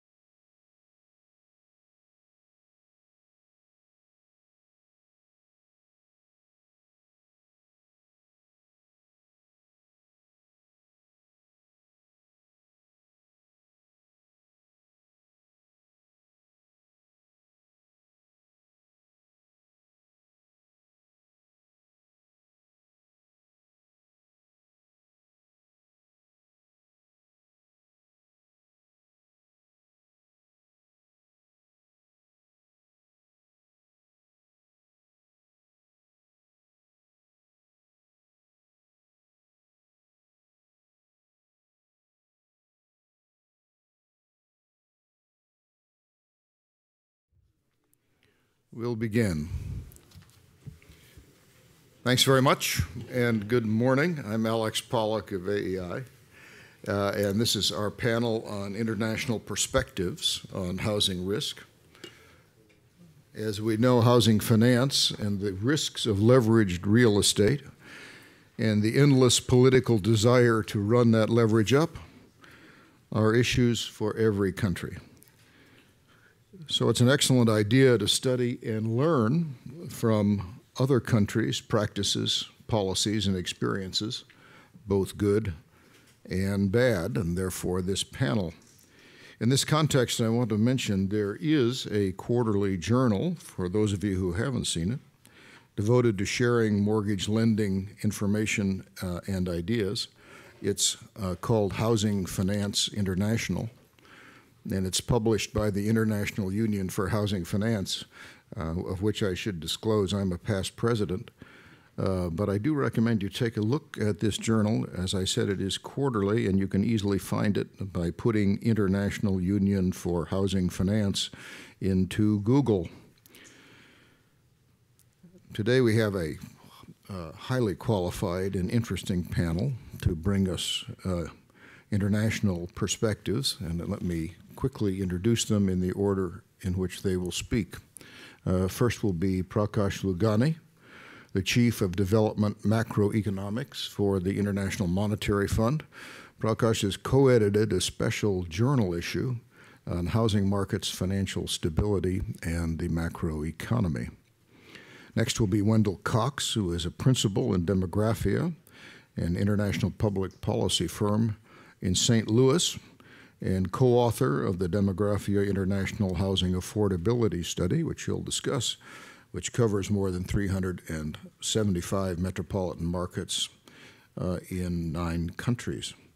Our third panelist will be Andreas Kunert, who is a senior analyst at VDP Research, a subsidiary of the Association of German Pfandbrief Banks, uh, Pfandbriefe, of course, being the mortgage bonds or the covered bonds we have often discussed. Uh, Andreas focuses on collateral risk management, including measurement of price change in real estate markets and related changes in real estate market risk. Uh, each panelist will speak from 12 to 15 minutes. Uh, then we'll give them a chance to react to each other's comments or to clarify points uh, or to think up new ones uh, if you want. Uh, and after that, we'll open the floor to uh, audience questions and we'll adjourn promptly at 11 o'clock. And Prakash, you have the floor. Thanks very much. Um, thanks to uh, Ed and Steve for uh, inviting me to participate uh, in this conference. To my knowledge, the first time the IMF has done so, or we've had IMF speakers before. Uh, Okay. Now, I had an IMF speaker when we compared the Canadian and U.S. housing finance systems okay. a couple of years ago. But anyway, you're most welcome. Okay, thank you. And you uh, have a broader you have, a, broader a broader, uh, perspective. Uh, agenda, yeah. so, um, you know, I'm sure most of you uh, know about the IMF, uh, but uh, just to start things out, because you know we are a government agency paid for with your uh, taxpayer dollars uh, and the taxpayer dollars of uh, some 180 governments around the world. Um, our main job is to monitor uh, economic and financial developments in these member countries um, and to do a good enough job that uh, they don't go into crises, which sometimes they do, and when they do, we, we make loans to them.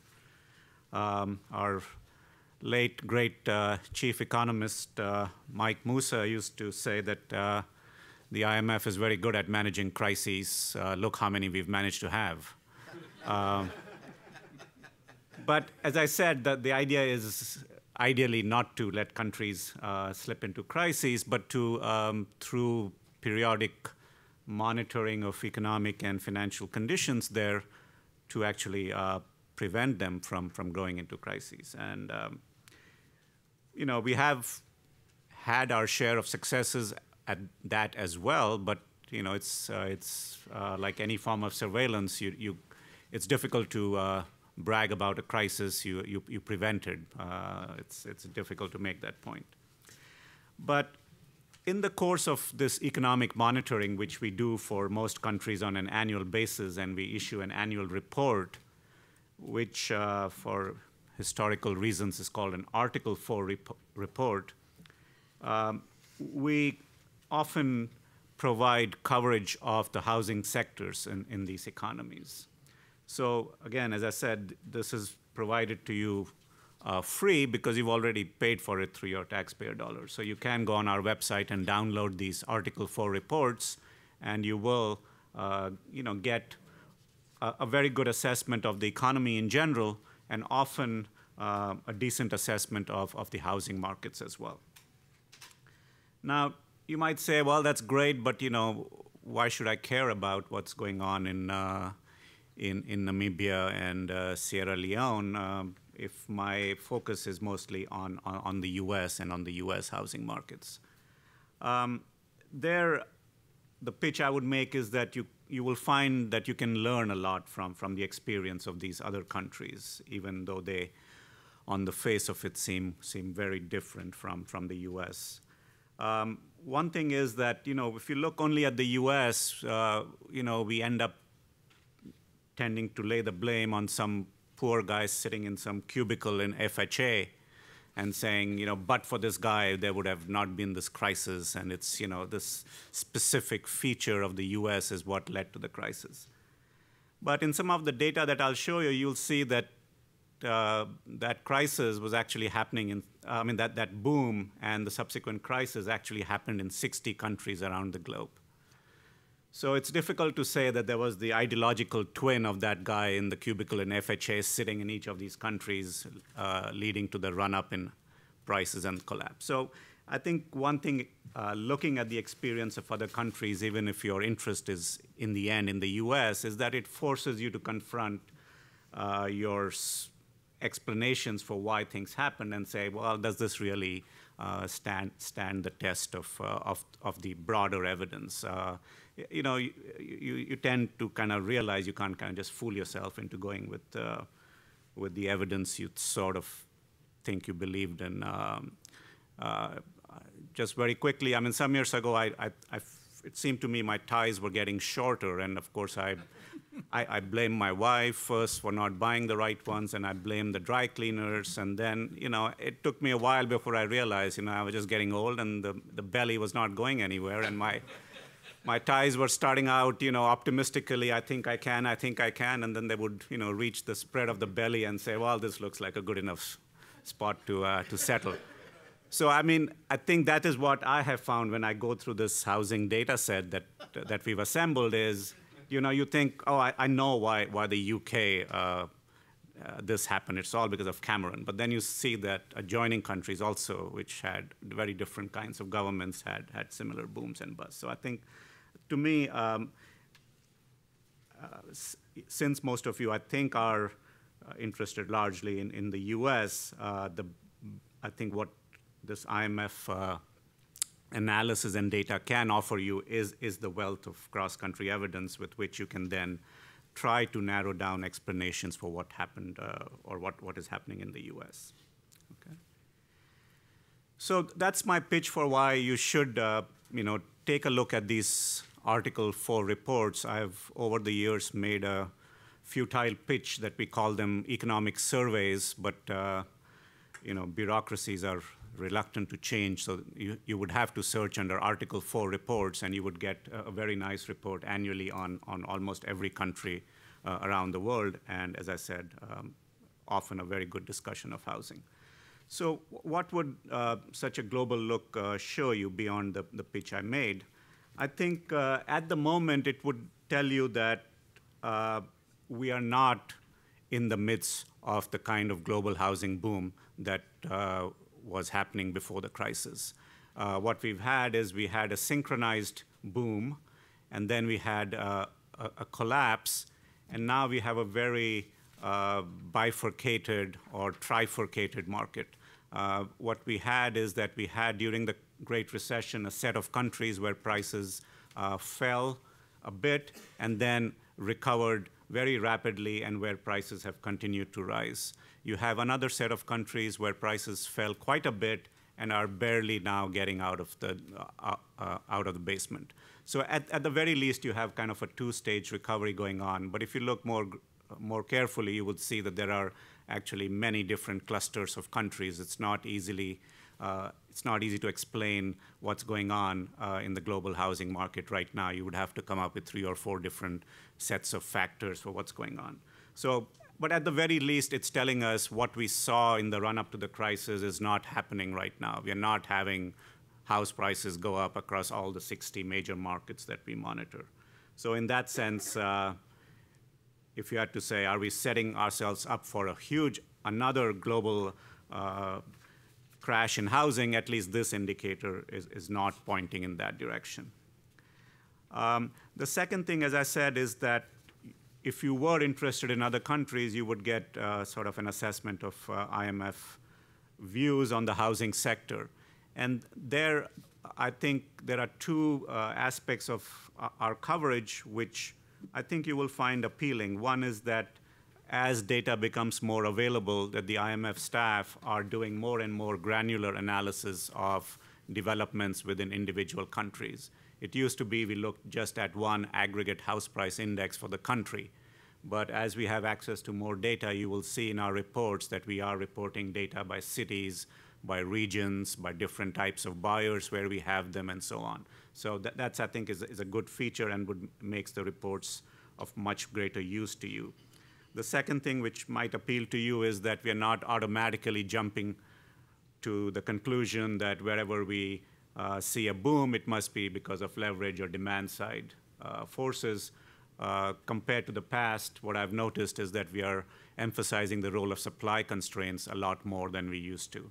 So we are taking, I think, a much more balanced look of why house prices do rise in certain countries and within those countries in certain regions or, or, or certain markets. Okay? And the third thing I would say that um, you will get out of this is that, uh, you know, in this conference and indeed at the IMF, our main approach is to kind of think about housing through the prism of is it a risk to financial stability?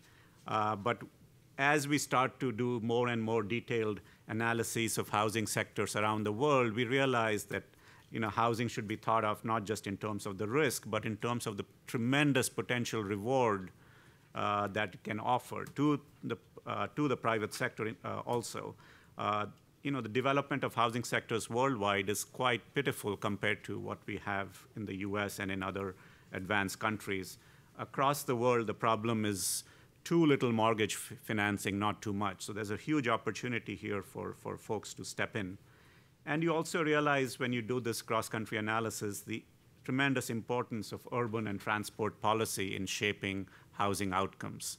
Um, so, I mean, you see that as countries are urbanizing, uh, the role that their governments are playing in these policies um, are um, are critically important in shaping how their cities are, are, are going. So Ed thought I forgot the PowerPoint. I did not. I just have too many slides to go through them uh, one by one. So I, I, thought I would give you the broad picture and then just use the PowerPoint to highlight particular things. So I just concluded by saying when you look globally, you're, you have to, you realize that it's not just about risk but rewards. And uh, here are some slides which I will not go into detail about, you know, why housing matters uh, to people across the world. Um, what are the social benefits from access to housing? This is all in your slide deck. You can look it up later. You see what tremendous opportunities there are for the private as well as public sectors in providing uh, these housing needs, which you know, would really increase social welfare of millions of people across the world. And you see, as I was just saying, the tremendous role of urban policies because these countries are very rapidly urbanizing. Many of these countries are urbanizing faster than the US did uh, at a comparable stage of development. Latin America, for instance, is one of the fastest urbanizing regions of the world. And so urban policy plays a, huge role.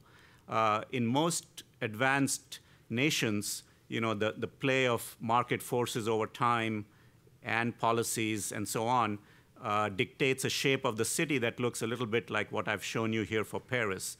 That is, the densest parts of the cities are closest to the city center, and as you go away from the city center, the density falls. But you have several cases uh, of cities where governments have, have tried to shape the nature of the city rather than leaving it to market forces.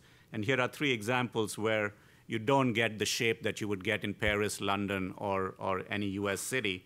You get that the densest, uh, that the ur urban centers are basically depopulated and all the density is actually farther away from. Uh, so this is an example of where I think planning is not really the way to go in terms of deciding how, how these uh, cities should shape up, and, and this is a huge uh, factor. Um, as I said, when you look around the world, you realize that the problem is not one of too much mortgage debt, but too little. Uh, most nations don't have uh, well-developed mortgage markets, and when you look, and, look into why that is the case, uh, the standard suspects jump out at you. Um, countries do not have uh, enough legal rights or uh, credit information system or ease in re registering property to allow um, mortgage markets to develop. So there's a huge challenge there for these countries in, in, in generating these institutions that would uh, lead to the development of mortgage markets.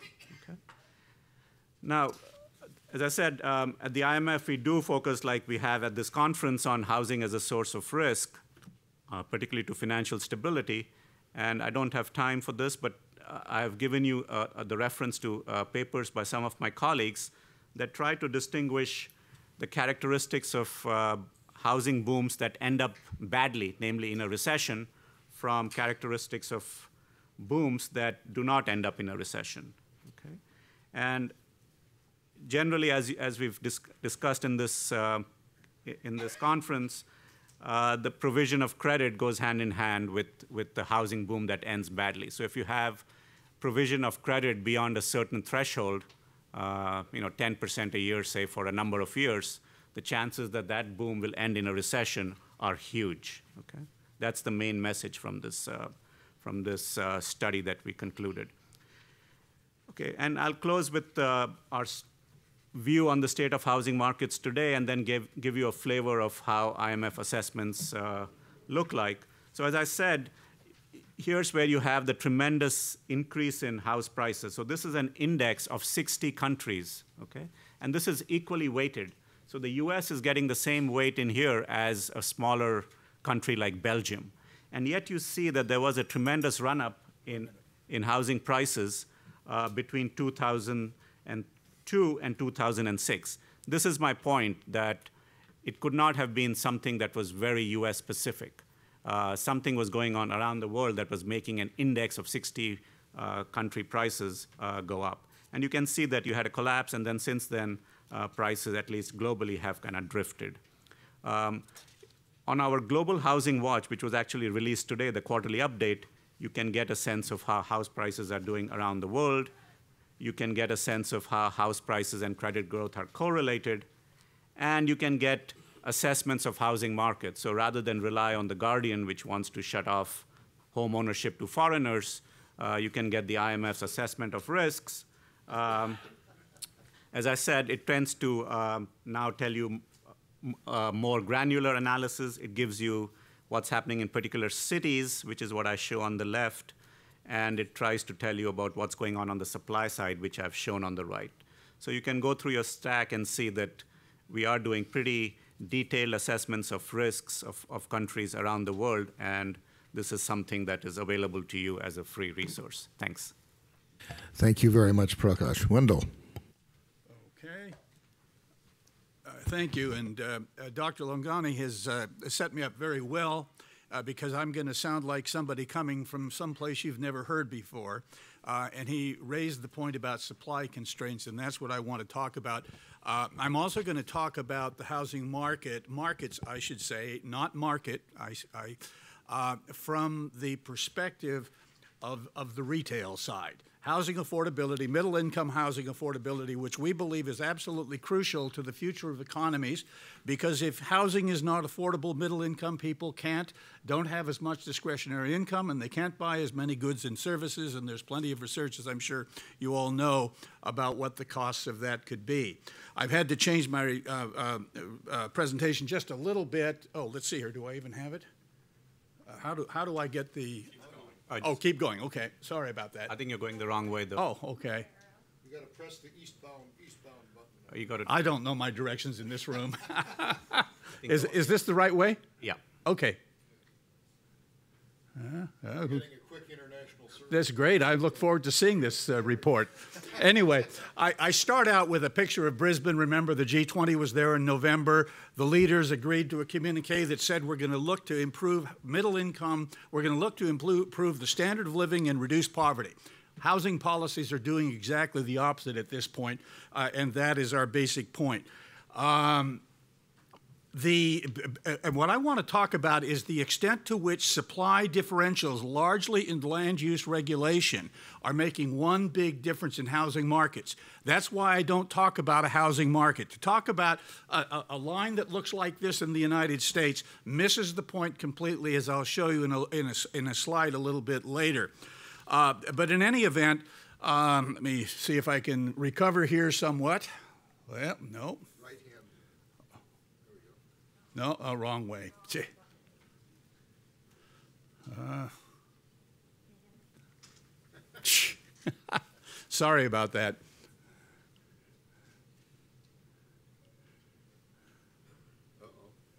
Ah, there, no, there was. I was there. I wonder what happened to it.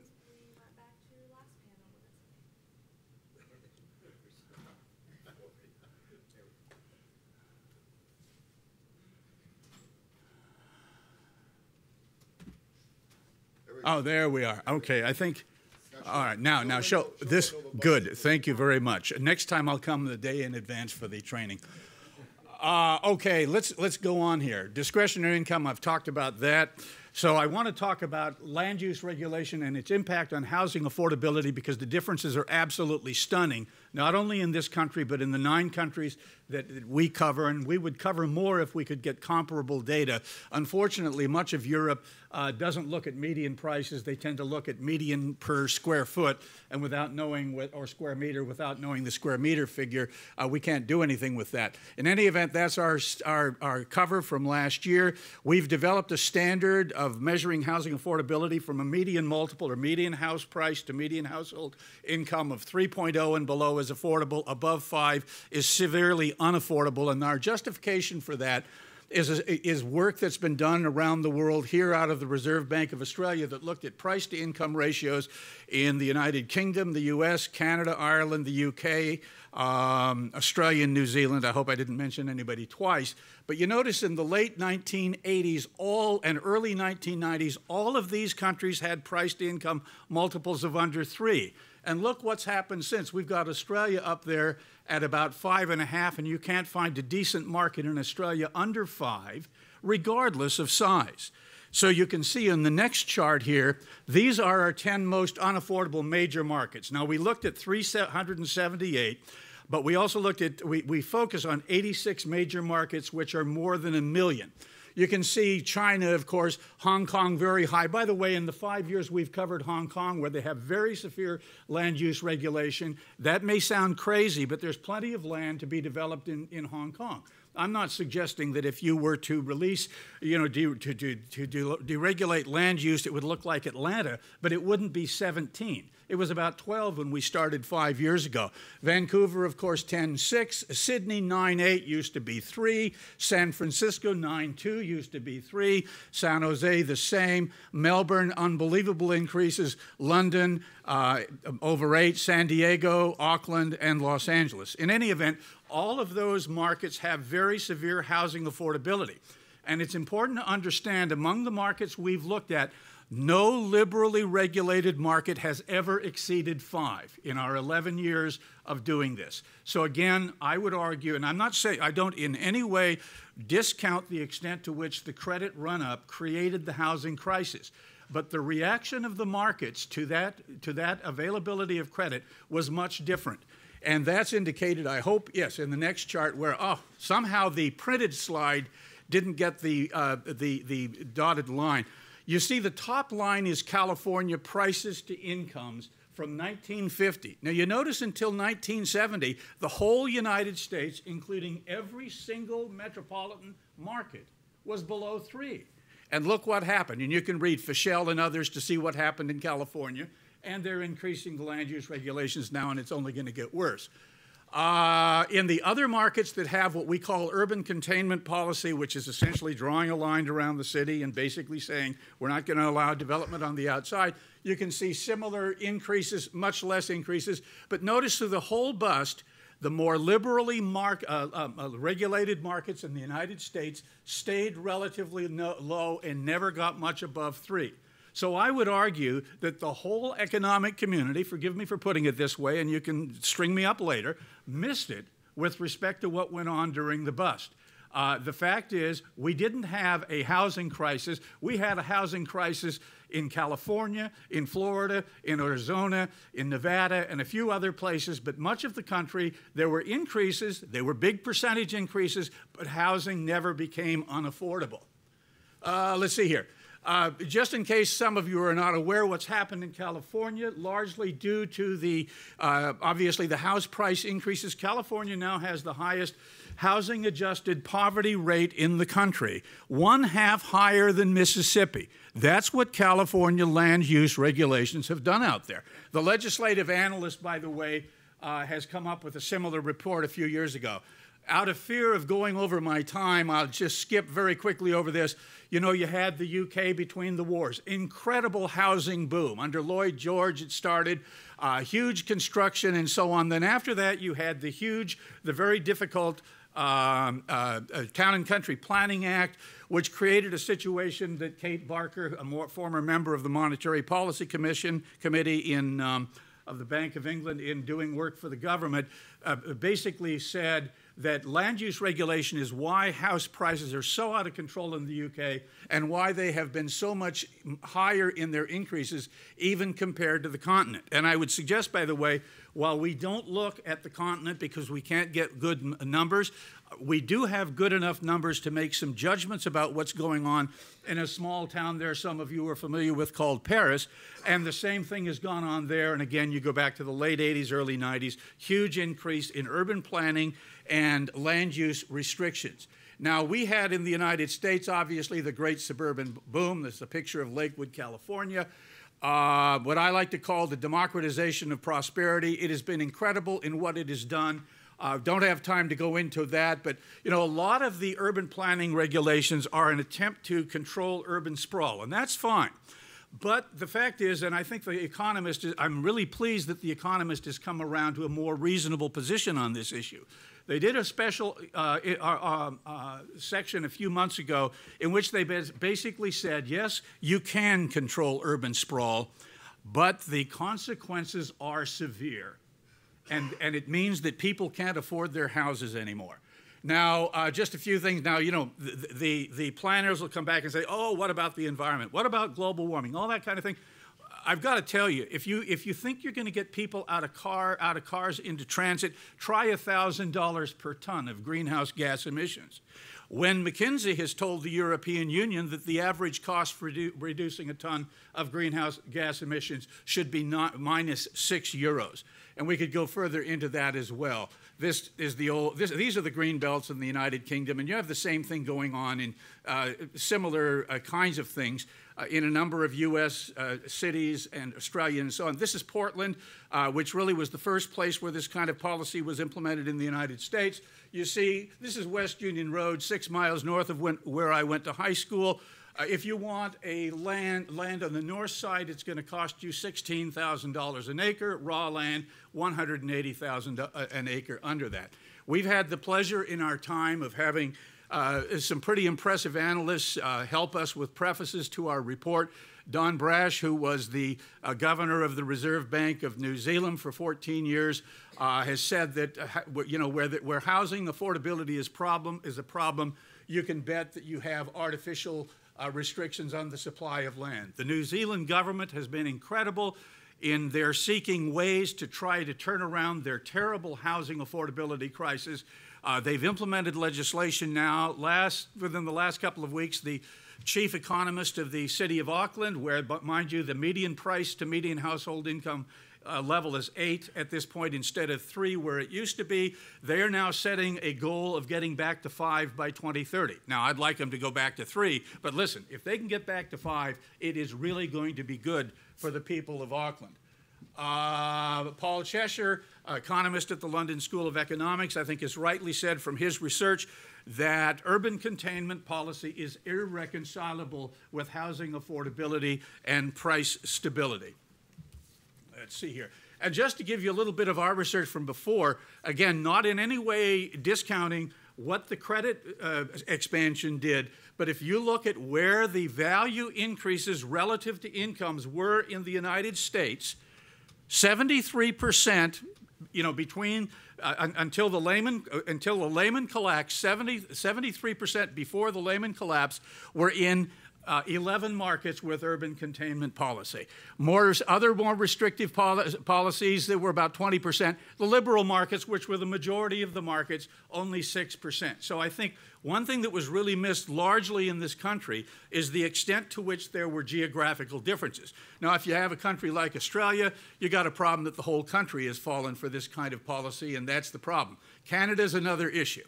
Um, let's see here. And by the way, we have had some progress.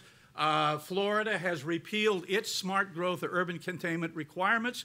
Uh, and we have not seen the kind of escalation of house pricing in recent years that has come back and returned to California, uh, Washington, and Oregon.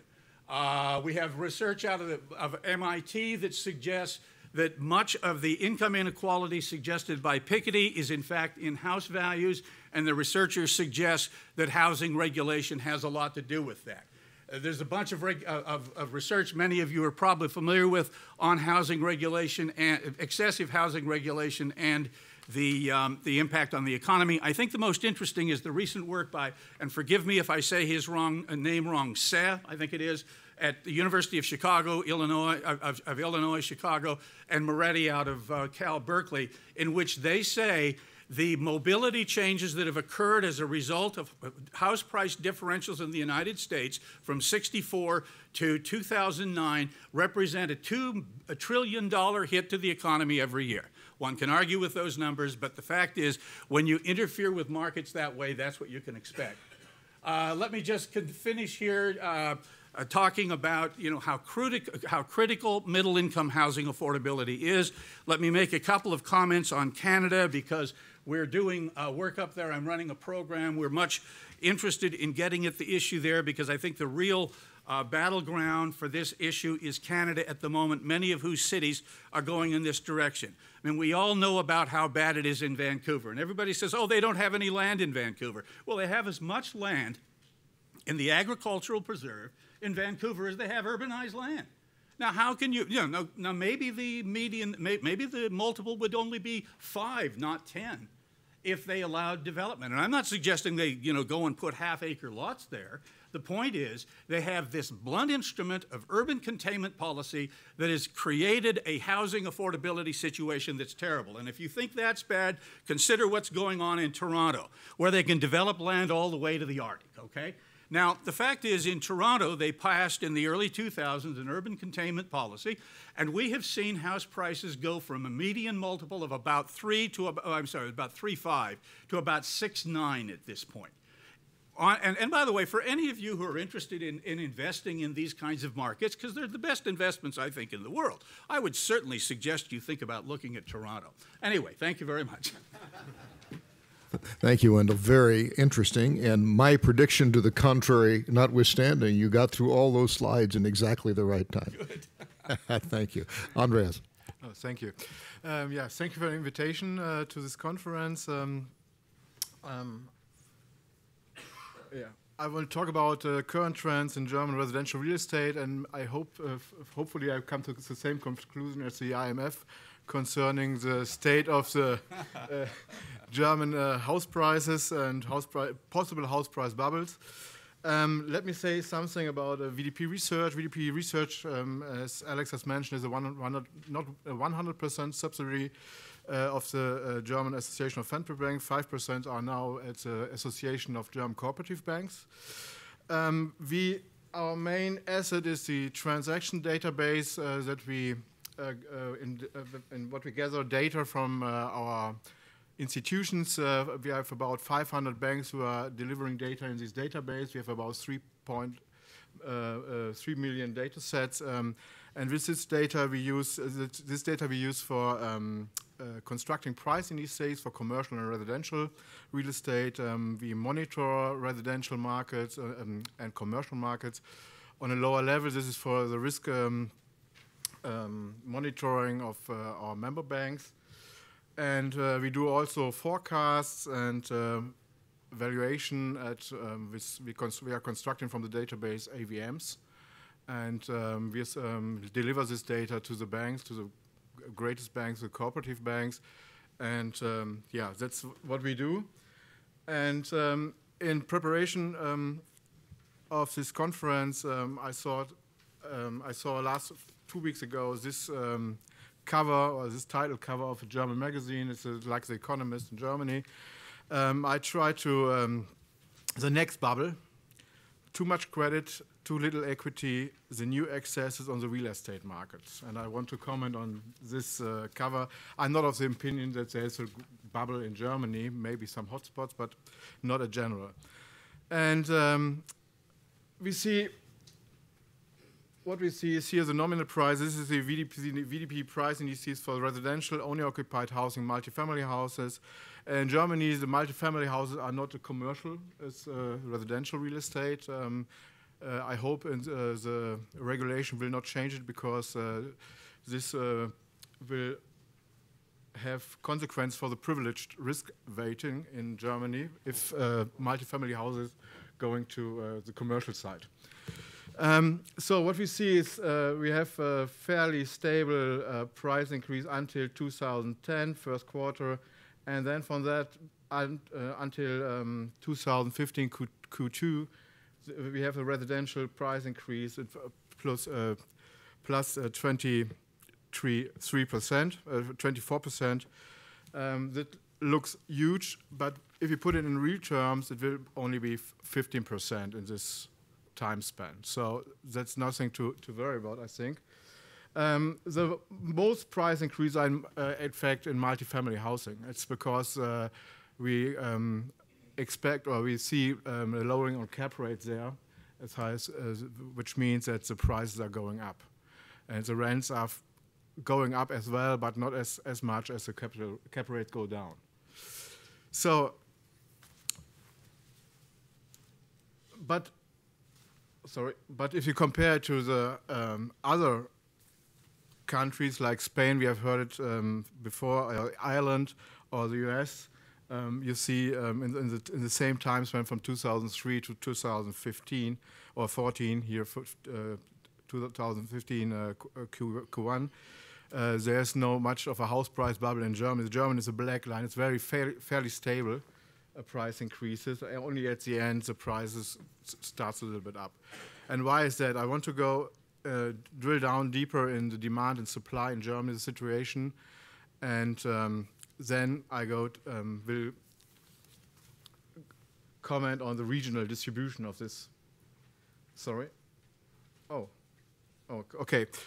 We that was a transaction. That is okay. That's. Uh, um, the economic conditions in Germany are quite stable. You see here in the, the real GDP growth, uh, it's the blue bars, and uh, compared to the um, GDP, real GDP growth in the euro area. And uh, you can see here that Germany has suffered from, uh, in 2009, uh, has a, a, recession, and uh, after that, um, a recovery. And we are quite outpace the uh, European growth uh, in Germany. So uh, they are very stable compared to the. If you, if you look at uh, the 2012 and 2013, there was a recession in Europe, but in Germany we have positive growth rates, real growth rates. And the other thing is German labor market conditions. Uh, you see on the on the right hand um, figure, the blue line on the left-hand scale is the unemployment rate in, in Germany from 2003 to 2014, and the uh, left is the um, development of the labor force. You see, in 2005 there was several uh, laws um, from the Schroeder administration who um, have impact on the on the uh, labor market and uh, to uh, uh, open it up. And so the in the aftermath of that, the the unemployment uh, rate fallen dramatically. It's for fast half of the, the state of 2005. So what that means is that we have stable incomes, have increasing, increasing incomes in Germany, and uh, quite stable economy. Um, that is all good for the demand of housing. And um, oh, sorry about that. um, I don't know why that's. Is, and you have it in your slides. Uh, that's the population growth. That's one of the interesting uh, slides that I have in my st stack. Um, as all of de uh, the developed countries, uh, Germany has an age problem and a shrinking uh, natural um, uh, population rate. So, um, but what what happens here is that uh, in the last, starting with the European debt crisis, we have an inflow from migration all over Europe, and this is um, something what um, uh, was surprising um, for the German um, forecasters of population, because in, in, the population forecast in 2009, um, compared to the population actual in 2000, uh, the, the, the, forecast in 2009 for 2013 and the actual population in 2014, uh, is, there's a forecast error of 1.7 million people. So, uh, and you can can uh, imagine that these forecasts are used for construction and everything. So, it's come as a surprise in Germany that we have so many people. And, um, and if you see the next forecast in this come out, it uh, came out in 2015. It's quite uh, young. Uh, you see the the uh, forecast for the German population in the next two years or the next 10 years. It will go up and it's because of migration. And not um, and so there's a, also a de demand aspect of that. Um, and um, I hope this one can also. This a, an actual problem in Germany. Is this? Uh, you see the spike there. I hope you. That's the first time asylum applicants. um, this is estimate. It was, I think, two, uh, three three weeks ago. It was about eight hundred thousand this year. This is the all-time high. That's that. Um, in spite of the uh, uh, aftermath of the reunification, where or with the, with the Yugoslavian wars and so on, we have about 400,000. So this is 800,000 is the absolute top level. And the new estimates I've read yesterday uh, about 1.5 million this year. Every day we have about 10,000 new applicants in Germany. That's a real pr problem. And this has also implications on housing, I think, uh, because yeah. most of them go to, go to the metropolises. Yeah. So, having said that, oh, sorry about, sorry about, um, uh, that's the construction activity in Germany. Um, I try, okay, but you have the slides. Um, the construction activity, um, we have we have a bubble. We had a bubble in Germany. It was in the um, aftermath, in the uh, aftermath of the unification boom in Germany. Uh, it was in, in the uh, early 90s, and uh, it changed in the 95, 96. And after that, um, the construction activity goes dramatically down compared to these figures. And with this construction activity, the whole construction industry goes down or went down. Um, now, if you see at the at the uh, the, the construction activity in new uh, complete dwellings, in new multi-family houses, and new single-family houses, on uh, started to grow, but on a low level, and um, especially the multi-family houses because uh, we, we see later the dramatic increase in demand is in the metropolises. So if we have this uh, re-urbanization re trend in Germany, I think.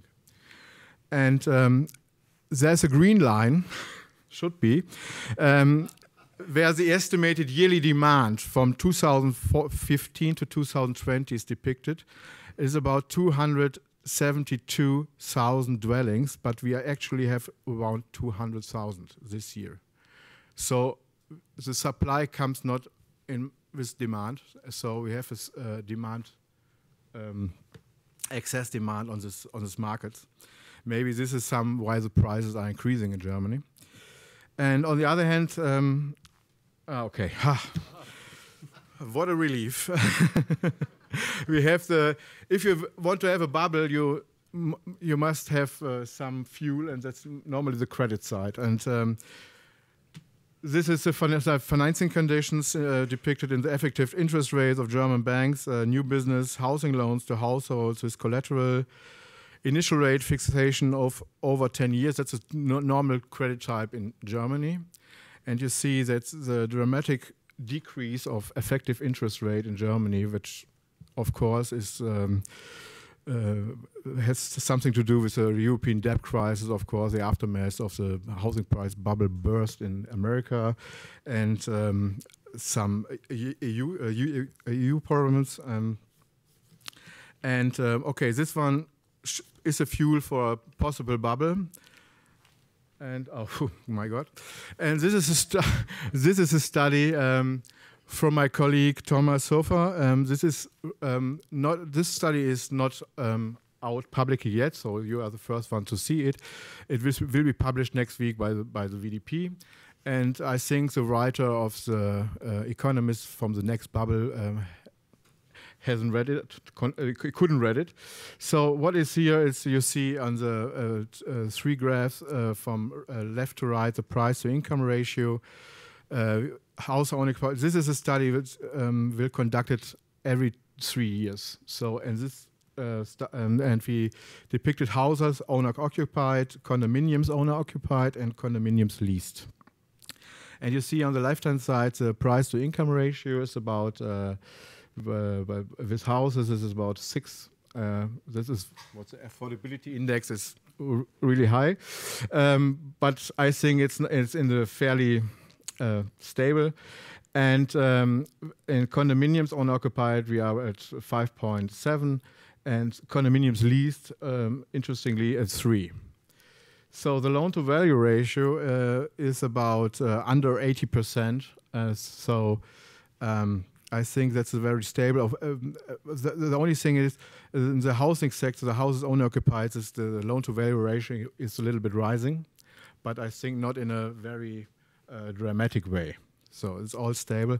And uh, on the right hand side, that is, I think, the positive uh, picture is that the debt to service to income ratio is shrinking or decreasing.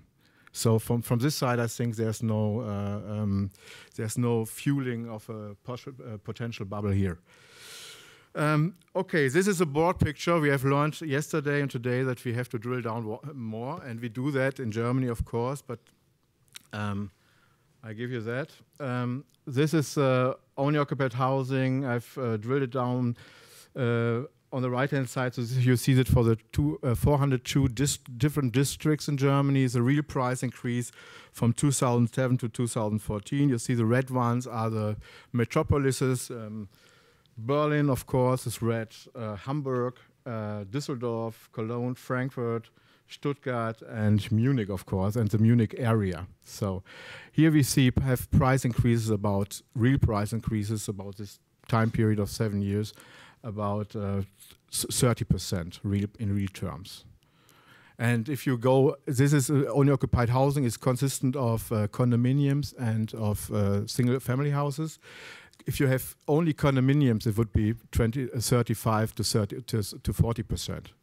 This is a weighted index. So um, yeah, but here is it. Uh, what it, what happens is um, that um, you can see that the nominal price increase on the left hand side. What happened here is that uh, alone Berlin alone has the last four years, I think, about one percent of population growth per year. So there's a lot of demand in these cities, and it's the same with Munich, the same with uh, Hamburg, uh, Düsseldorf, Frankfurt you see we have a, a, a overwhelming de demand. We have low vacancy rates, so there is no no supply there. Uh, strong uh, st uh, um, strong land use regulations. So yeah. Um, so Okay, yeah, I come to my one minute. Also, it's enough, I think. Um, so to sum up, um, the key factors for the current price increase are historic low interest rates, improves the affordability of housing. Uh, we have in Germany persistently stable employment income perspectives uh, that stabilize housing demand.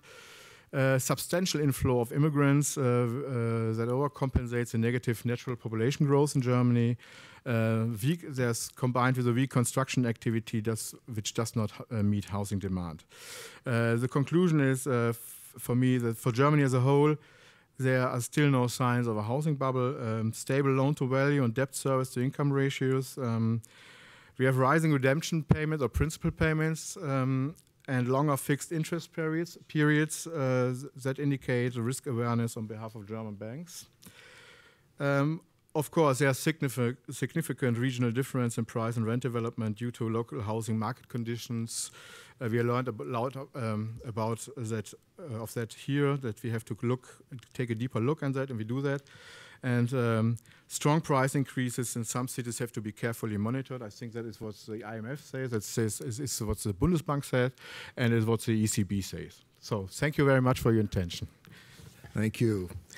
Um, Prakash gave us the IMF assessment of risk for Germany, which is in the package, which I just turned to here. It agrees with you, Andreas, that although German house prices are rising, there are no signs of overheating, it says. But Wendell, it goes on to say, the strength of markets, by which it means rising prices, um, in the center of the largest cities where supply restrictions are the tightest, po points to an important role of housing supply factors.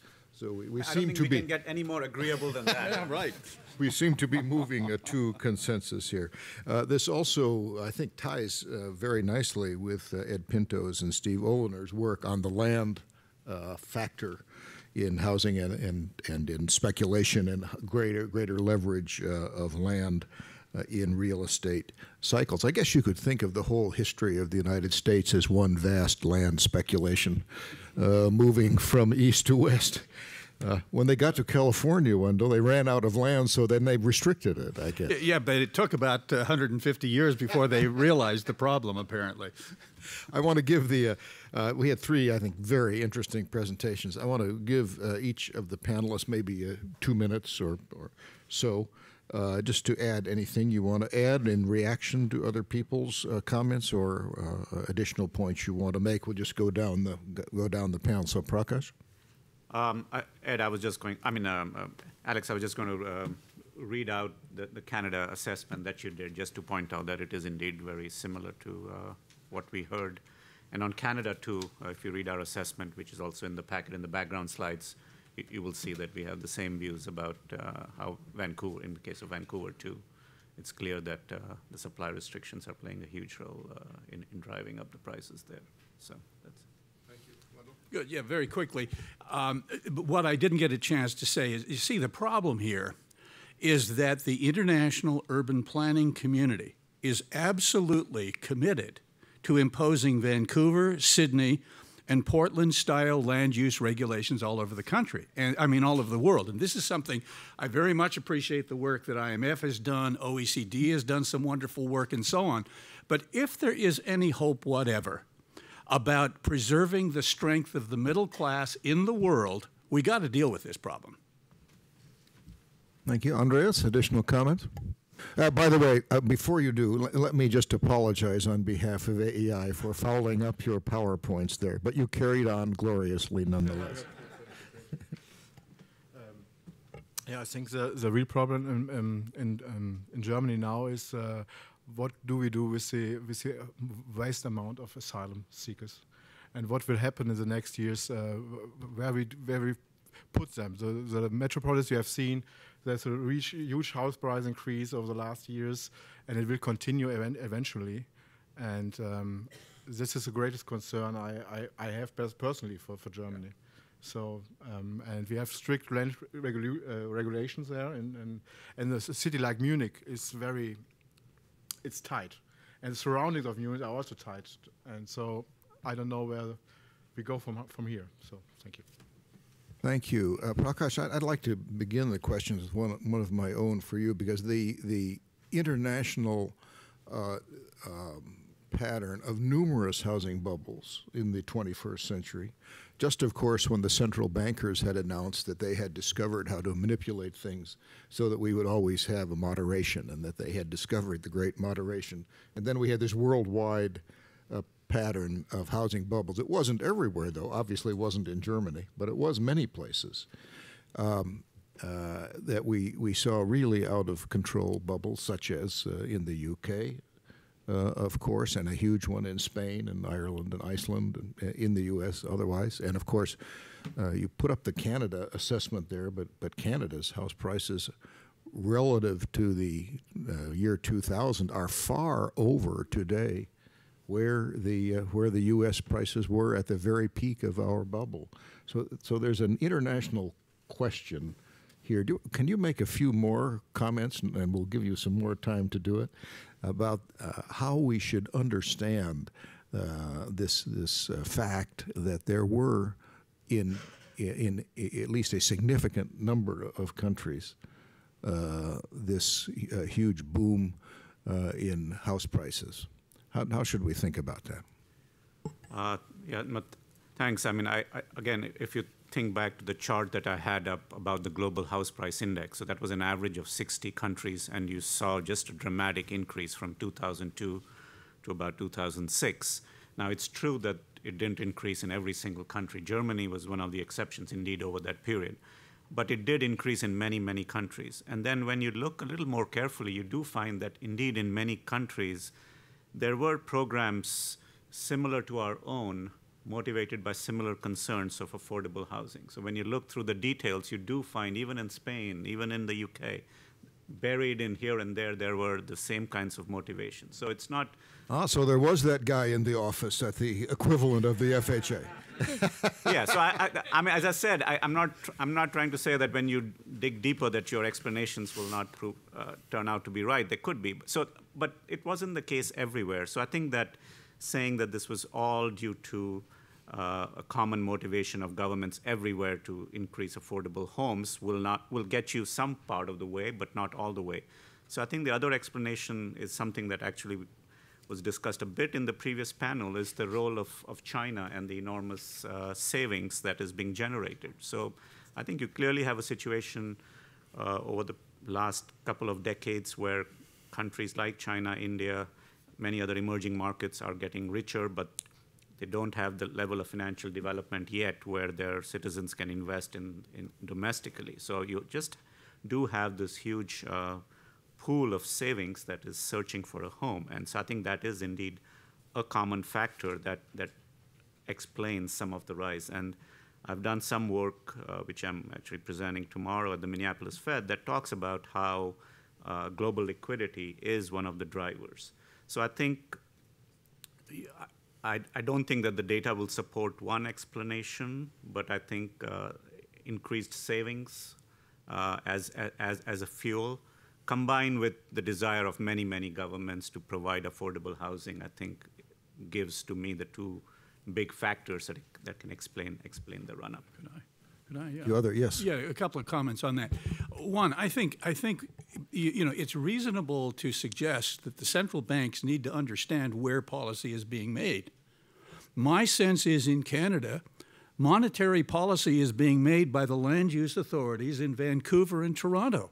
And this is a big deal. Same thing if you go back and look at the run up of the prices in the last decade in Australia, which of course didn't have the big bust that we had, uh, and New Zealand, where the central banks did all sorts of things to try to cool the market, and nothing worked. Why? Because they had overwhelming supply problems that, that forced, uh, at least I believe, forced the prices up. And, and secondly, with respect to China, no question. I mean, let's face it, Beijing is driving a lot of the price uh, uh, dynamics, especially of the U.S. and Canadian West Coast. At the same time, are Chinese investors driving up the price of housing in Dallas or Houston or Atlanta? Now, it's not just that Dallas and Houston or Atlanta aren't as nice to a lot of people as are Seattle and Vancouver. But in Seattle and Vancouver, you have house price. You you have the restrictions that force the prices up and make them attractive. And I and so I think that's another thing to keep in mind. Uh, We can blame foreign investment, and I don't. But uh, across Canada, what you get is this, this thing is all the Chinese, or you know, some places it's all the Russians. The fact is, if the supply regulations allowed the building of houses, the problem would be less than it is with the supply regulations. Thank you. Uh, uh, yes, go ahead. And then, Andreas, just to warn you, I want to come and we're going to get to you to ask why Germany was an exception Yeah, to I- the just- to the just- many bubbles in in a minute. Go ahead, Prakash. No, just to clarify, I mean, I- it's not. I, I mean, I don't want to come across as, as, as blaming the Chinese if I did. I mean, yeah. Uh, what I'm saying is there is a pool of savings, and indeed, what you can think of is that that's that's the source of funds that's coming in. Where it lands is indeed guided by supply regulations and and myriad other things. So, yeah. I think we can say, while, I, while you're still thinking, Andreas, uh, uh, I think we can say, in general, of course, there are bubbles in other things, not only housing. Housing are the most dramatic ones and maybe the most damaging ones. Uh, but you can have bubbles in uh, commodities. We had we had giant oil price bubbles. You have bubbles in the stock market and so on, and there very often are uh, associated huge foreign inflows, in, in which reinforce uh, the dynamic of the bubble. Now, Andreas, so why is why was Germany an exception uh, to the to the uh, housing uh, bubble pattern? I have uh, two points. Um, the aftermath of the German reunification. Uh, Can you? sorry, sorry. Um, uh, in the aftermath of the uh, bust from the German uh, German re- uh, reunification boom, uh, I think they they changed the standard for for um, mortgage lending value in Germany. So we have uh, changed the whole system of uh, get a market value, not a market value. Uh, if you uh, want to um, um, issue a Pfandbrief or a covered bond, then you uh, needed a mortgage lending value. In, in German, Beleihungswert. Hmm? Um, we have a whole act about that, um, and uh, this is uh, a sustainable value. So, in theory, it should be uh, what you call intrinsic value. I think it's uh, the same theoretical, more f- found um, uh, um, term. It is um, a stable value over the um, um, over the whole loan period. So it should be a value of about 30 or 20 years, how long the loan uh, will be in action. So this is a stabilizing element, I think. Um, how to get this sustainable value is other question. it's very different uh, or very difficult to to the theoretical concept of a of a, a mortgage lending value, and uh, you have of, of course a housing cycle, and then you have to. Uh, I think you have to um, um, extract a trend, something like a trend of that. But it's not a mortgage lending. Where the mortgage lending, uh, in, in, in fact, in Germany is uh, a value at risk value. I think of the of the of the of the market value. So it's the lowest as you can get over the cycle. Um, the second thing is, I think we haven't spoken about the home ownership rates in different countries, and Germany has a very low home ownership rate. So we have about 45%. I think is your table, Prakash. Um, and compared to Spain, where my wife is from, is from 87%. So that is, uh, I think, this is a stabilize, also a stabilizing element because you have always the opportunity to rent. Need- not- You have to buy a house or you have to, to take a credit risk. And in Germany, it, uh, also there's a very uh, good rent market. So the, you can buy, uh, you can rent a, a, a condominium in the same uh, fit out or the same location as you can buy it. So you have the opportunity to to switch. Yes, and I, I think that's a- another stable stabilizing element in Germany. Thank you. Very interesting comments. Now, ladies and gentlemen, we're going to come to your questions. Uh, I see some hands already, and I'm, I'm going to start in the back and work around. Uh, first, we're going to go way to the back there because we don't want to ignore the people sitting in the back. And um, uh, may I remind you, when you get the microphone, tell us your name uh, and your affiliation, please, and then ask your question. If you feel compelled to preface your question with comments, the chair will remind you to come promptly to your question. Thanks. Yes, please. So I have a question for Wendell, but it's a comment slash question. Is that okay? As long as the comment is, is short and to the point. Okay. Um,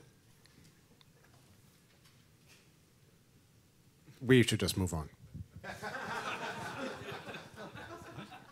Go ahead. Don't, don't, be, don't be intimidated by the chair. Go ahead. All right. Okay. So, Wendell, I, I, there are a lot of us back here. I, I guess the question for you is do you really, the question about supply constraints at the metro area, are you sure they're that important? And the reason that we ask, there's two reasons that we ask. The first is that the housing bubble, we know, occurred in places, in plenty of places where land was cheap and plentiful. And that's Phoenix and Vegas and San Bernardino and Riverside and Minneapolis, places like that. The second thing is that um, because of patterns of trade, it's not clear that relaxing supply restrictions would do anything. So if you just allowed people to build more units in San Francisco, people would move in. If, but prices would still be high. If you allowed more units in London, I think all of Europe would move to London now if it could. So people would move in, but the price of housing would still be high. So I I'm, would ask you to clarify your points on land use restrictions, given those observations. Very good and direct question, Wendell. Yeah, and let me give a direct answer. Oh, let me see here. Uh, our, our, Oh, is it green now? Can you hear? Okay, good. A very direct answer. The housing bubble principally was in the expensive markets, I'm sorry to say, not the less expensive markets. The places where house price, where multiples went to 5, 6, 7, 9, and 11 were Phoenix, by the way, which had much of the land in the suburban area owned by the government of the state of Arizona, which was auctioning it to supply the market, and you saw the price of land go up at the same rate that it went up over the last over the same period of time uh, in the research by Gyourko and others in Beijing. Same thing with respect to, to uh, Vegas. Everybody loves to look at Vegas and say, oh, look at all that land. How could that have happened? I'll tell you how it happened. The government, the U.S. government, owns most of the land. And again, in their auction program, the price of land per acre over six years went up almost the duplicate of Phoenix and Beijing. Okay? Now, if you look at where the bubble, where you got all these high multiples, everybody else stayed down around three. All these high multiples happened where there are very severe land use regulations. Now, if any of you don't believe that supply regulations have something to do with price, I urge you to look at the oil industry. Secondly, you have to think about uh, the the. Let's see here. There was another. Oh yeah. What, what would happen? First of all, I, I agree. There could be real problems in reduce in, in improving housing affordability if you were to go into San Francisco now and deregulate. Why? Because an awful lot of that land has been uh, been bought up and the fact is, those prices on the periphery are higher. When I talk about the problems in London, I am not talking about the GLA or the area within the green belt, which, by the way, ought to be developed. But I'm talking about the prices within the southeast area of England where there is plenty of land to development. There's plenty of land to develop in the San Francisco Bay Area. In fact, you know, if San Francisco were to sprawl, as it were, at the same population density as the New York urban area, it would be able to go well beyond Stockton, et cetera. There's no shortage of land. Yet, with California's house, uh, with California's land use regulations, which, as I indicated, are only going to get worse, we saw during the bubble price to income multiples in Modesto go to seven. They didn't even get to three in Dallas, Fort Worth, and Houston.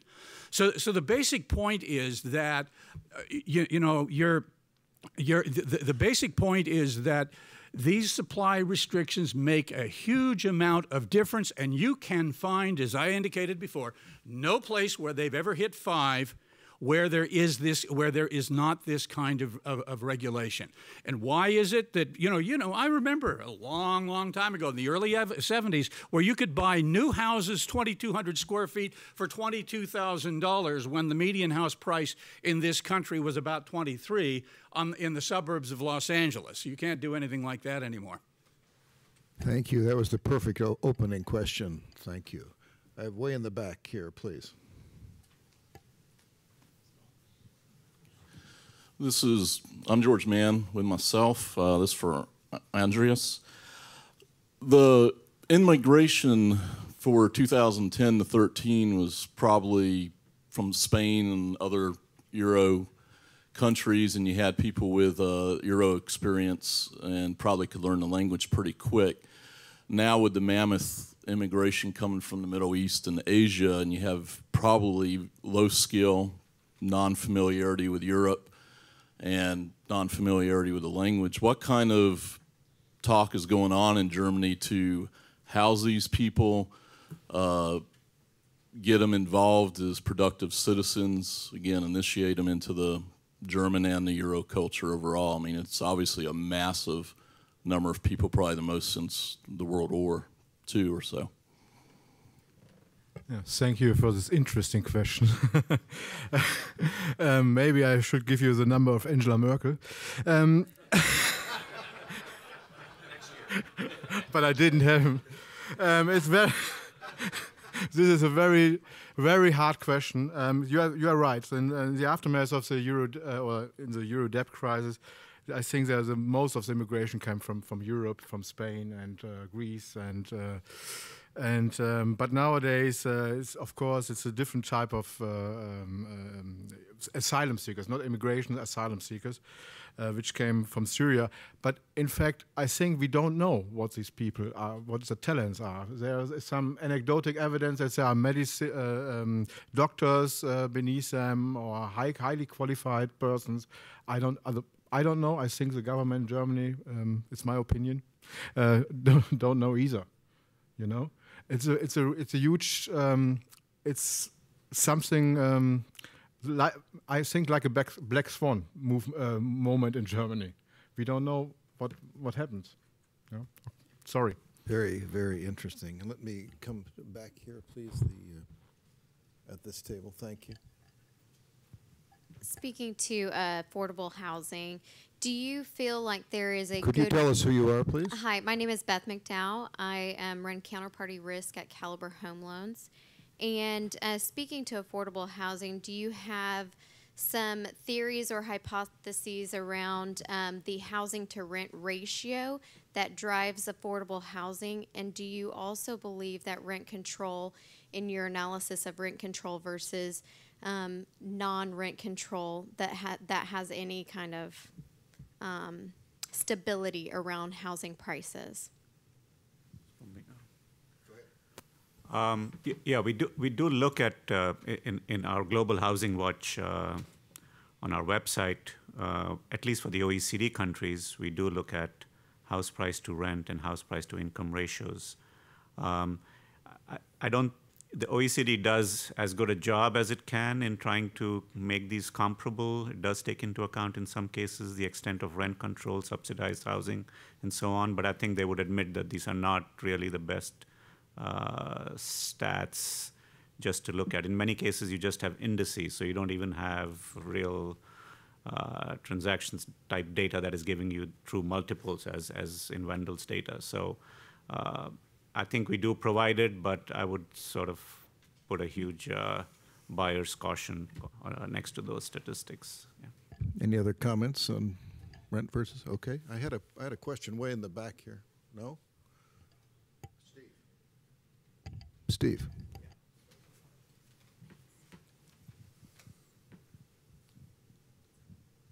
Thanks. Uh, Steve Oliner. This is a question for Wendell, quick one. Do you publish um, measures of land use restrictiveness by the metro area? I mean, you talked about the restrictions in qualitative ways, but you actually have quantitative indices, and if so, how are they constructed?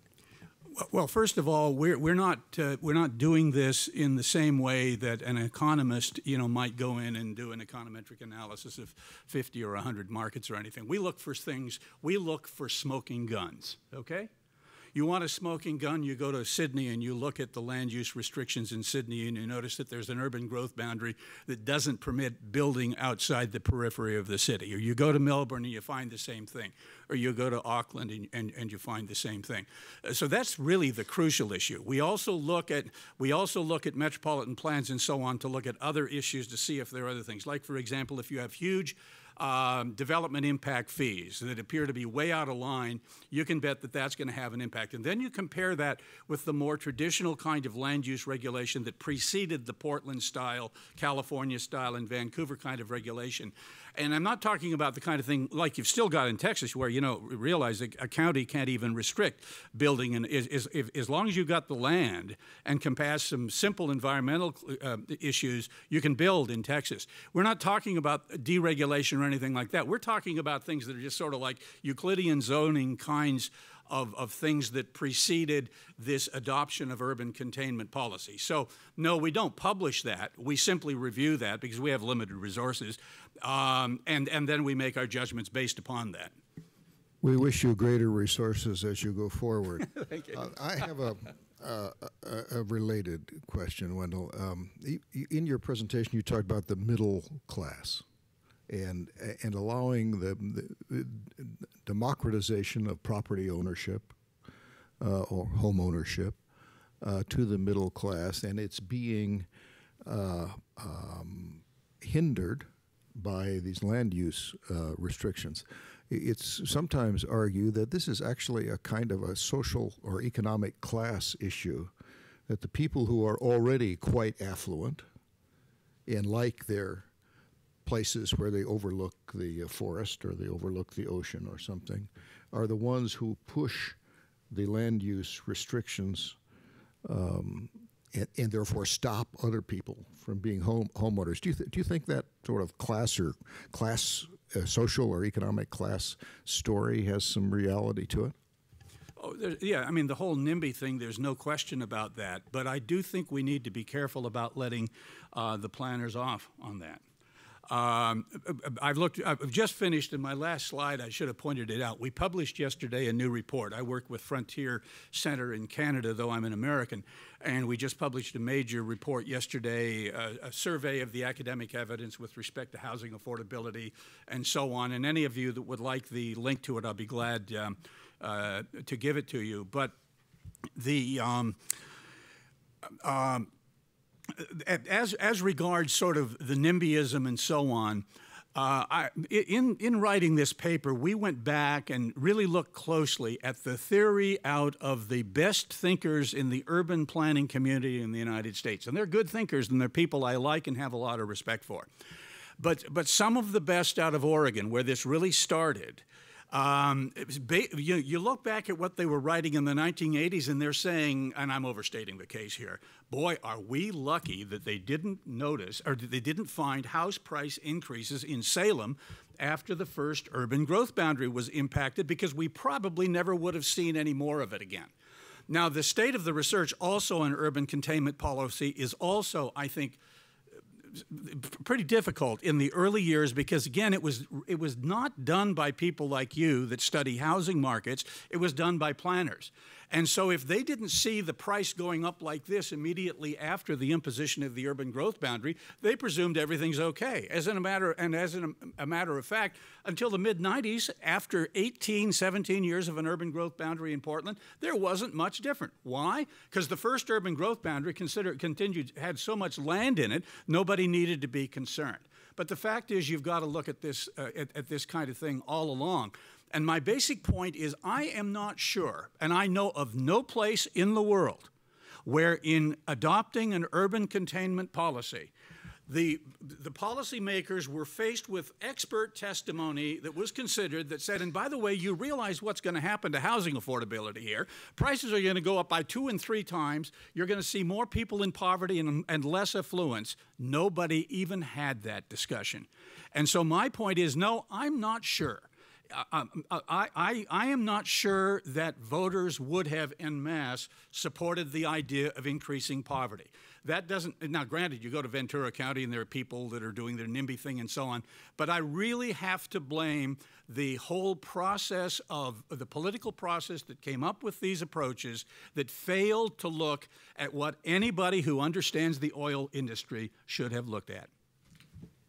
Okay, we're going we have time for one more question, and it's going to be Ed Pinto. because he has a special status in this conference. Okay. Uh, Andreas, uh, so I'm looking at uh, your chart, this chart here, uh, and in metropolises, it looks like a near 30% increase in the last five or six years nominally.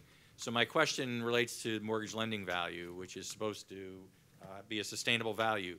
At, on the ground level, where people are actually doing mortgage lending values on single-family dwellings, are they actually finding a problem between market price, current market price, and sustainable value, and having to cut the value because of that? Thank you for the question. um, I'm yeah, of course they have uh, in in areas like Munich. Yeah. uh, yeah, of course. There's a, a, growing tension between the market side and the risk side, of course, because uh, they, uh, the market side says, okay, uh, the market value is like this, and the risk side has to say, okay, but sustainable value is you have to cut down the loan a little bit. Um, and so, yeah, there, there's a, the momentum where the market value lies way in, in several areas, the, in Berlin or Munich, where the market values are lying way ahead of the, of the mortgage lending value. Well, that uh, comes to a fundamental principle in all this, which is if you want to pay a high price with your own money, with your equity, that's one thing. If you want to pay a high price with the money that I'm lending you, that's that's something different. Are we going to a coffee break next? So, coffee break next. Let's appreciate this excellent panel. Thank you.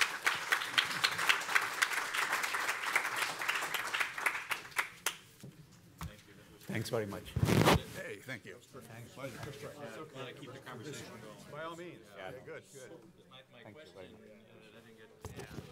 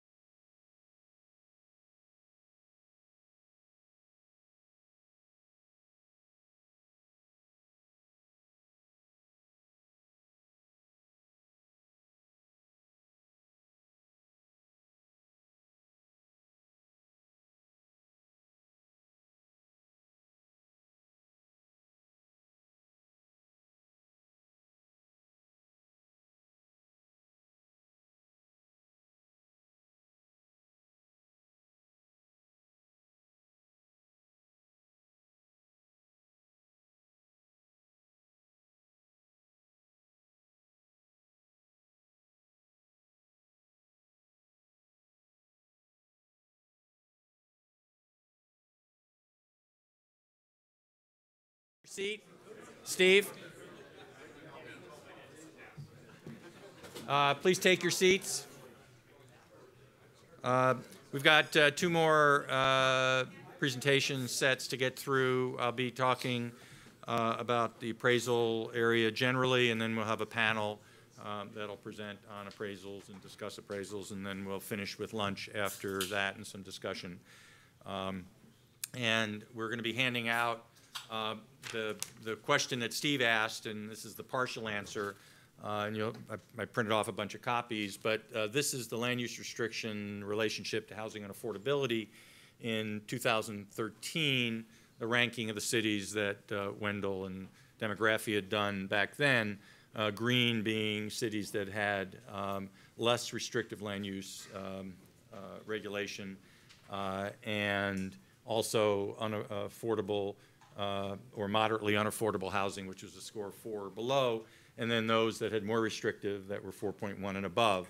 And uh, you can see um, that uh, there are uh, very few that had land use restrictions that are below four, and uh, there are very few above four that didn't that uh, were liberal. and so you can see what the ranking is as that is handed out. Um, again, uh, the, uh, uh, with homage to uh, Alex, and uh, there's nothing new in real estate fin in, real, in finance, much less real estate finance. this is the hearings on the 1934 National Housing Act when it was originally passed, and the purpose was to prevent, one of the purposes, to prevent speculative excesses in new mortgage investment and that was one of the explicit purposes. It was also to eliminate the necessity, apropos to the discussion about second mortgages, to eliminate the necessity for second mortgage financing, um, because that was viewed as a great evil back in the 30s after what had happened in the 20s and early 30s. So uh, we're still trying to make some of these things happen, but uh, things move very slowly. Uh, you should all have as a handout and the, the the bibliography of historically significant uh, valuation of mortgage risk documents. I have to uh, uh, acknowledge Susan Wachter's uh, role in this. I think two years ago, when uh, at conference number two, when I presented on the uh, evolution of valuation, she came up and said two things. Ed, A, it's a devolution, not evolution. and B, you really need to dig more into this because there's got to be more. At the time, I think I had found four or five books, uh, McMichael and May and a couple others. Um, and so I re, uh, uh, returned to the task, and that's when I found uh, about Ely and all of the people that came out of the Ely uh, influence. and so there's now nearly 100 books, documents, hearings, acts, you name it, underwriting guidelines, FHA, et cetera, um, almost exclusively from 1900. There's actually a little bit before 1900, but from 1900 uh, to roughly 1970. Um, uh, most of them uh, before 19, you know, the vast majority before 1960. And many of them were recently added, the ones in yellow highlight, and there's about 30 of them or more that were added, that I've added just in the last number of months. Uh, every time I start looking, I, I, keep finding more, and it keeps uh, uh, illuminating what our history was and how, again, there's nothing new in, in, uh, in finance. Um, so I'd like to um, start by talking about um, the appraisal of the future today, back to fundamentals. I'm going to go through this relatively quickly because I've done some of this at previous conferences. Um, the uh, beginning is uh, Those Who Ignore History. Uh, this is an excerpt from a, a paper by uh, uh, Richard Weiss back in uh, the late 80s, and Steve and I had the privilege of actually spending three hours at dinner with him about two months ago um, and talking about what he had written here and, and also talking about the National Home Ownership Strategy, which he had a hand in drafting at HUD in the 90s. Uh, and he pointed out in his paper uh, that in the 1920s, market price and market value were considered to be identical, and that appraisal was primarily a method of determining market value utilizing the current price. and that Ely, Babcock, Fisher, and others basically dissented from this. And then after the uh, uh, collapse of house prices and the interest in the 1934 Housing Act in stopping this uh, speculation uh, from entering in mortgage lending, um, they were the proponents of that view that you could actually try to stop that and um, that you would promote stable and affordable home ownership um, by arguing that the market prices and real estate values are actually distinct. And over the long term, appraisals must be free of the effects of the boom psychology, misinformation, and speculative cycles. And uh, Fisher went on to do research in 1951 um, that he published that found that the liberalization of credit terms during creates market pressure that easily becomes capitalized into higher prices when undertaking a seller's market. And he did some uh, uh, uh, testing of that with F, both FHA as one group and then with VA loans as another um, that we've now sort of replicated with our research uh, that Steve and I have done on the, uh, the drop in the FHA financing premium, which is the equivalent of a liberalization of credit terms. And so what happens is that that liberalization fuels uh, a seller's market. If the seller's market's already there, it, it, enhances it. If it has, if it's not there, it tends to create one uh, by increasing demand and the supply, uh, uh demand shock and pressure, and the supply is very slow to respond. Uh, and that creates a, and interrupts the normal feedback loop, uh, and, and, you get the kinds of regional booms and, and, national booms that my that we had. Uh, low-income owners are particularly harmed by this because as we've uh, demonstrated with our land research, what you're really doing is speculating in land. And that is the riskiest piece of the real estate uh, packet to speculate in is the land.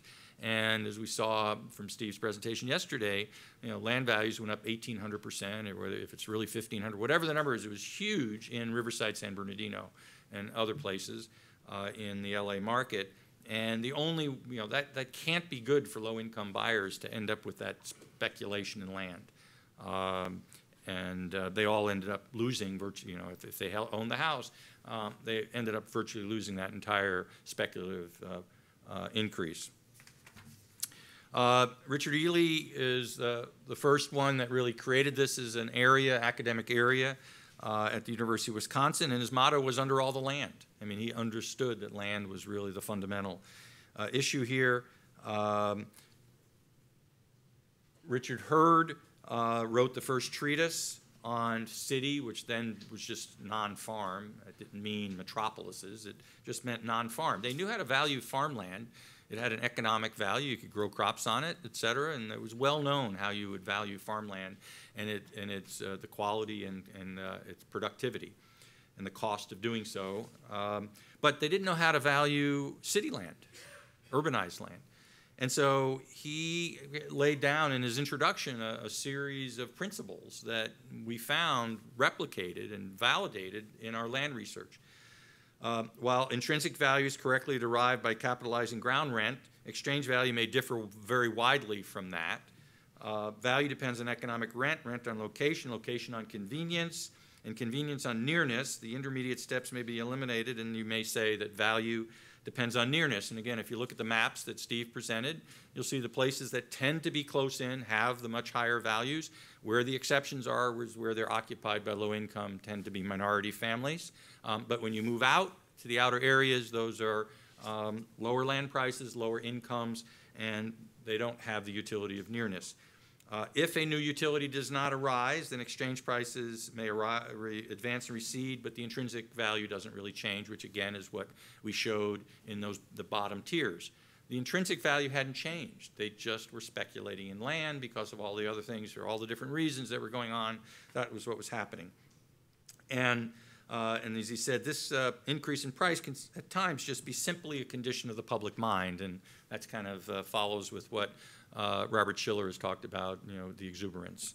Um, FHA incorporated this into their process uh, thanks to Ernest Fisher and Frederick Babcock, and they called it uh, the character value, and it was really talking about the difference between available market prices uh, and value, and that that would be evident in both boom and depression conditions, and you really only had um, the available market price representing the actual value in rare instances. It was when you had uh, stability, which we'll see in a moment. Uh, Fisher's research and liberalized credit term, I've already mentioned. He published it in 1951. You have more detail there. This uh, shows the uh, uh, stylistically how real estate markets are cyclical and constantly changing. It's very unusual, except Germany was one of the exceptions. And uh, Andreas explained in large measure why. Uh, but uh, in general, you don't have a stable point. Uh, that doesn't mean you don't have a theoretical equilibrium point, but you don't, you're not actually at equilibrium much of the time. And in this stylized chart, you, over whatever, you know, there's no uh, time period, but let's say it's 20 years. You're only uh, in equilibrium three times in 15 or 20 years. Um, the rest of the time, you're either exceeding it or undershooting it. And, and so that's an important, uh, uh, important thing to realize. Um, we've already seen the land speculation uh, work that, that Steve talked about yesterday. I think the easy way to think about it in my mind, it's taken me a while to sort of come to this sort of uh, example, a stylized example. If you take uh, where land was cheap in 2000 and you have a $20,000 uh, land share and an $80,000 structure share and you have a $100,000 house, your investment in land is $20,000. Investment in structure is 80. Uh, if the price doubles, you now have a $200,000 uh, market uh, price. Uh, and the house went up, and I'm going to keep the numbers simple, from 80 to 100. That's a 25% increase. But the land then is the residual, and as we call that's really the bundle of things called we call land uh, and utility. And that went from 20,000 to 100 land went up five times, even though the price of the property only doubled. And therefore, if you start with this cheap land, you are speculating largely in land. And it's really then the question about affordable home buyers. How do you possibly put low-income people in your, what you're largely doing if this is what the price cycle is, is having them speculate in land? It can't possibly make a reasonable public policy. If you then go to example two, where land was expensive, and you have a $200,000 house and uh, the land value is 50% or $100,000, uh, and then you end up uh, having the price go from 200 to 300. As Steve demonstrated, the, the more expensive places didn't go up quite as much in the same metro area. Um, and you now have a land share of 58%. They went from 50 to 58. Uh, they were not speculating nearly as much in land. Yes, the land still increased one, about, you know, 75% higher or 1.7 times what it started out at, uh, but it wasn't three times. And, um, and when the land share went back, in the first case, uh, their, the uh, $100,000 house went back, to the $200,000 house went back to $100,000. The land value evaporated uh, largely. And then in the case of the more expensive house, we found that the land value was much more stable because, as Hurd teaches us, it was much more based on an actual utility, original utility or a change in utility. Um, these are the DC charts from Steve presented uh, for LA yesterday. They show the same picture, and, and, the reason I present them is because most people don't realize DC was this boom bust market. They think of DC as being pretty flat. It recovered very quickly in certain areas, and as the map, uh, you know, one of the maps Steve showed yesterday, it was not an even recovery.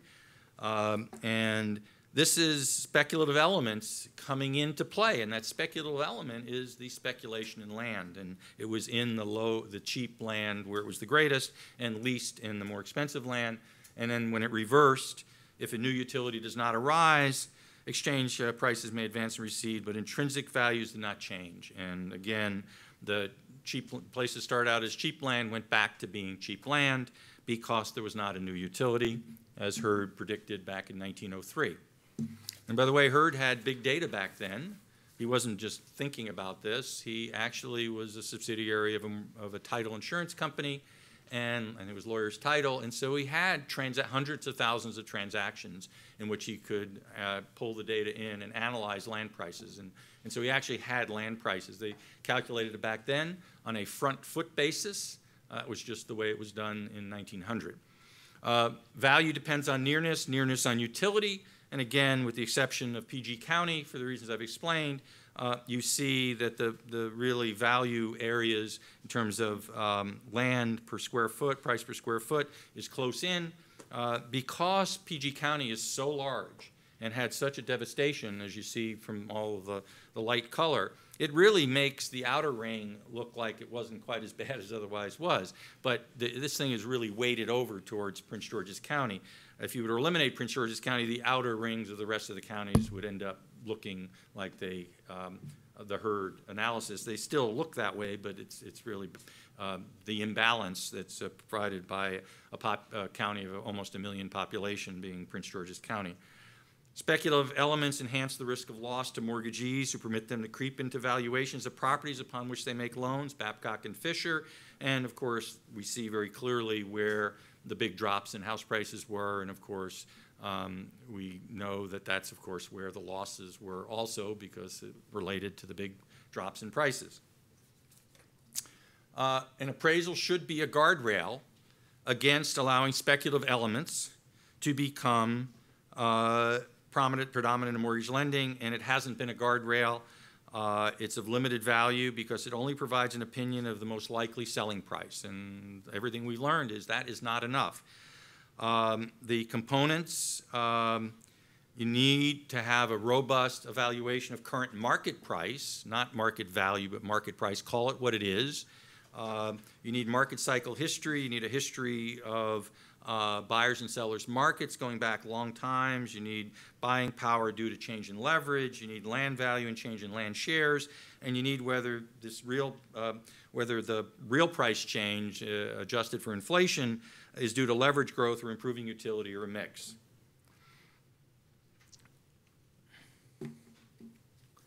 So with that, I'm going to turn uh, to um, the appraisal of the future that you should also have. It was a handout. And uh, I've already covered more or less the, the first page of this uh, in the slide that I just went through. So I'm going to quickly just go through uh, the summary mortgage lending value. And, and this is very much a work in progress. It was it's really the culmination, as I said yesterday, when we had the first conference, we had this concept of we need to get at the difference between market price and market value, call whatever you want, or market price and intrinsic value, and we didn't quite know how to get there. Um, we've done a lot of research, and, and, a lot of people have done a lot of research since, and this is sort of the state of the thinking that I have at, at this juncture. Uh, I decided to pick a, you know, a home I was very familiar with, um, and I've been asked by a couple of individuals, you know, you need to do another home that's in an area that maybe the, the, the intrinsic value is much lower or substantially lower than the current uh, uh, selling price. So I picked this house, I describe the improvements, I, I do things that aren't in the normal description, uh, you know, age, well maintained, roof replaced, chimney recently repaired, uh, the, for, the the furnace is over 40 years old but still working, likely near the end of its life. If you've got 20 or 30% down, that's no problem. But if you're doing a VA loan on that property, VA, if, if that, I don't know, it wouldn't be eligible, but if you were, VA would probably say to the, uh, require the appraiser to, to note that, and the VA lender would probably require the replacement of that uh, furnace. Why? Because the VA doesn't want this 100% zero down payment, 100% loan buyer having to replace the furnace in the first three years. Full stop. They don't want that to happen. Um, and uh, as I say, any functional obsolescence may be addressed by remodeling, which, given the site utility discussed below, would be cost effective. You, know, you can, you, you, it's very hard, given this location, to over uh, improve this particular location because of its utility and nearness. I then go through neighborhood and uh, market information, the boundaries, elements related to utility, including walk score from Zillow. The walk score is very low, the transit score is pretty low, but it's got a drop dead location in terms of auto commute to the major uh, employment centers, including you know, downtown DC. A little bit uh, more difficult to get to Tyson's Corner, but downtown DC is straight down Massachusetts Avenue, very easy. Uh, then uh, moving on to chart one, this gives some information on the number of jobs. That is fundamentally the beginning of any utility of a particular location. How many jobs are there? And what's the job growth? And uh, we'll have more on that uh, for the next year's conference uh, from Steve and myself, but this just gives you a, a, quick snapshot that says Fairfax County, which is a big competitor for Montgomery, has had five times the job growth since uh, 2001 as Montgomery County. And Steve had looked at uh, Chicago, and what Chicago had no job growth since when? Since 2000. That was Chicago Metro, right? Yeah.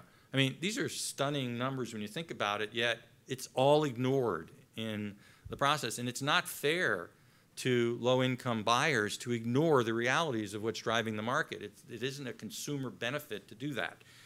Um, the next uh, single family attached housing trends for the neighborhood, competitive market area, areas of geography such as county.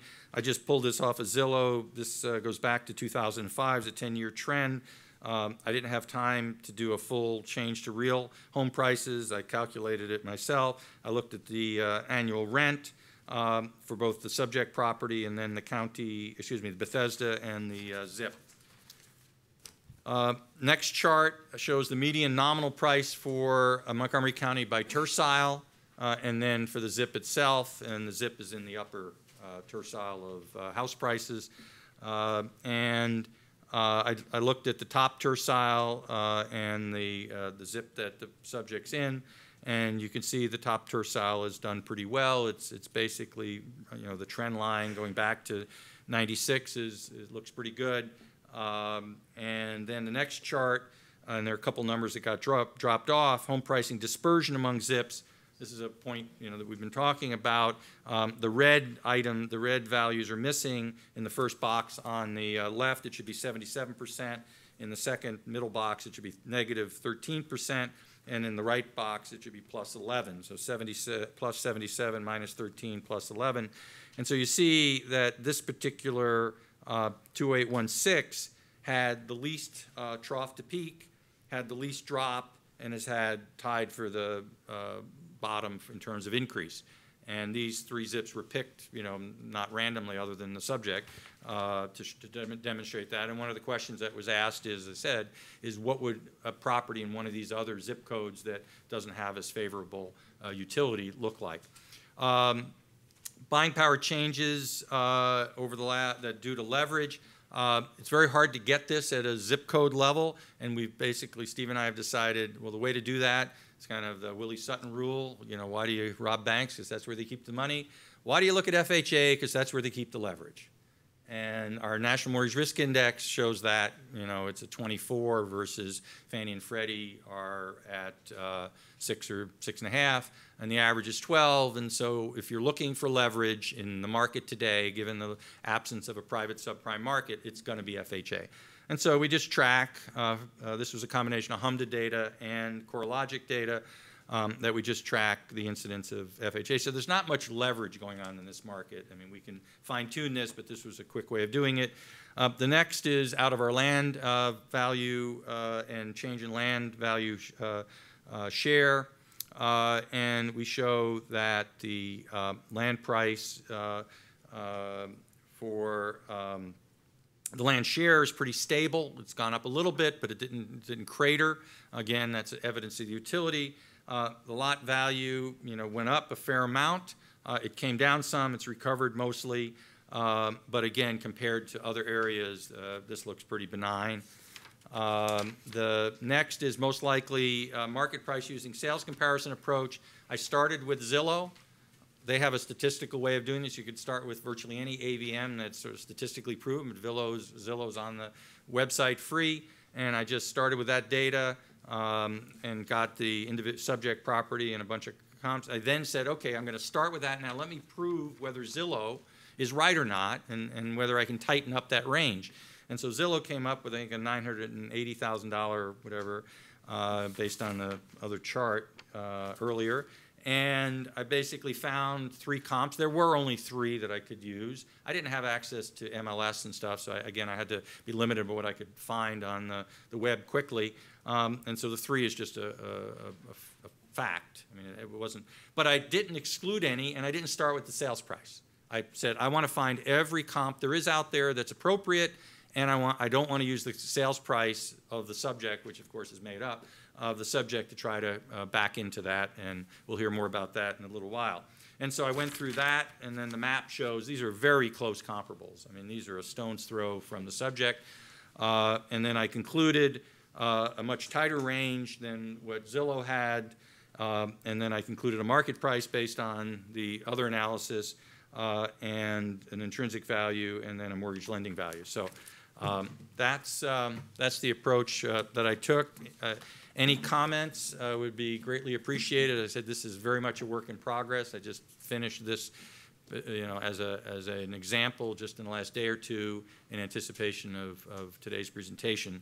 But it's really the culmination of, you know, three or four years of research into this, including attending the mortgage lending value course, uh, thanks to um, Andreas and Reiner uh, in Berlin a year and a half ago. Uh, I think we're out of time. What was the time schedule in my band? I think I, yeah. Okay. If anybody has any questions, uh, I'll be here. Thank you.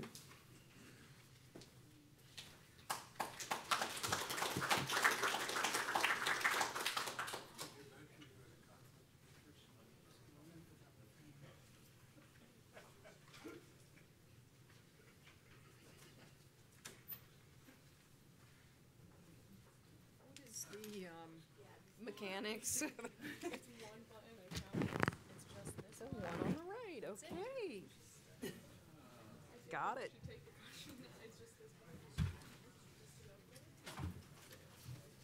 Where, and where are we pointing it? Here or? Okay. All right, how are you?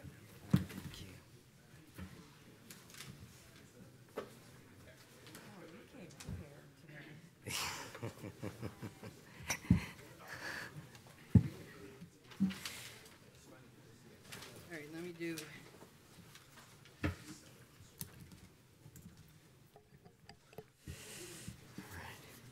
Is everybody ready? Cool.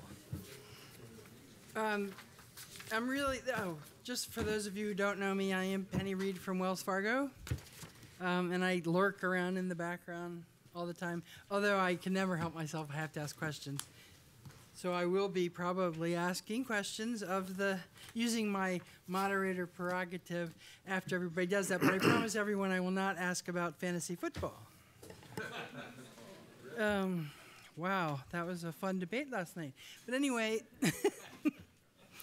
um, this next panel is a subject near and dear to my heart, and it uh, basically is talking about collateral valuation in uh, the state we're in today, and and as Ed pointed out, probably where we need to go in the future. I had um, rapidly over time, I guess not rapidly, but over time, come to the conclusion, same one Ed has and some others, that what we measure today to determine collateral risk is not where the collateral risk is. And we are measuring a lot of things, we're capturing a lot of data, but I don't necessarily think it's the right data and that it's not serving us from a risk management standpoint, it's not serving the consumers, and therefore, we need to change. So we have a very uh, distinguished panel here, and I'll uh, go ahead and uh, introduce them in the order they're going to speak, and just do a brief part of their bios. You'll have the full bios, and, and most of them are probably good without introduction, but you'll have their full bios in your sheet. Um, first will be Yanling Mayer, who's Director of Research at FNC and is responsible for the development and execution of housing research and analysis initiatives, as well as um, collateral focused data and analytics product development. So, looking at new things like that. After that, we have Joan. Joan Trice is the founder and CEO of Allterra Group, which is the parent company of uh, uh, or founder of a lot of the other things you may have heard of the Collateral Risk Network, who is one of the co-sponsors of this meeting, the Appraisal Buzz Valuation Expo, and Clearbox, which uh, is a company that attempts to um, shore up some of the shortcomings we have in our regulatory tracking system, licensing and, and tracking of appraisers. And then the final speaker will be Ed DeMarco, who, of course, everyone here now knows. Um, so I can go short on that one and go ahead and kick it off. Do you want to start? Sure. Thank you, Penny, for that nice introduction.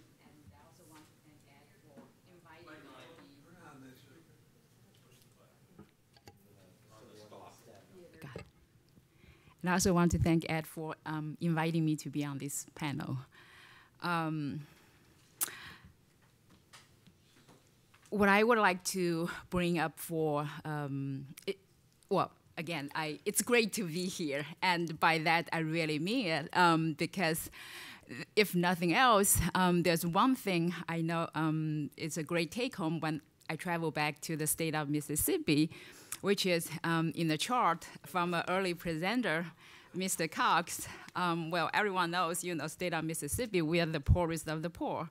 Um, but um, even though I haven't had a chance to look at the other reference points, but based on comparison relative to the state of California, we are not that far behind the, the one of the richest state in the country.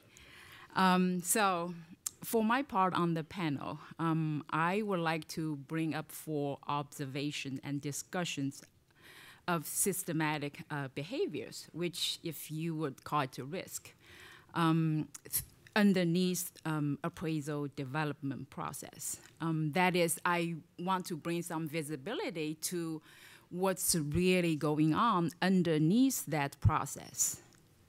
Um, so that we could gain a better understanding of um, appraisal valuation in its current form and substance, and particularly in light of some of the ongoing dialogues and efforts towards building a more independent and effective appraisal process for the housing finance system.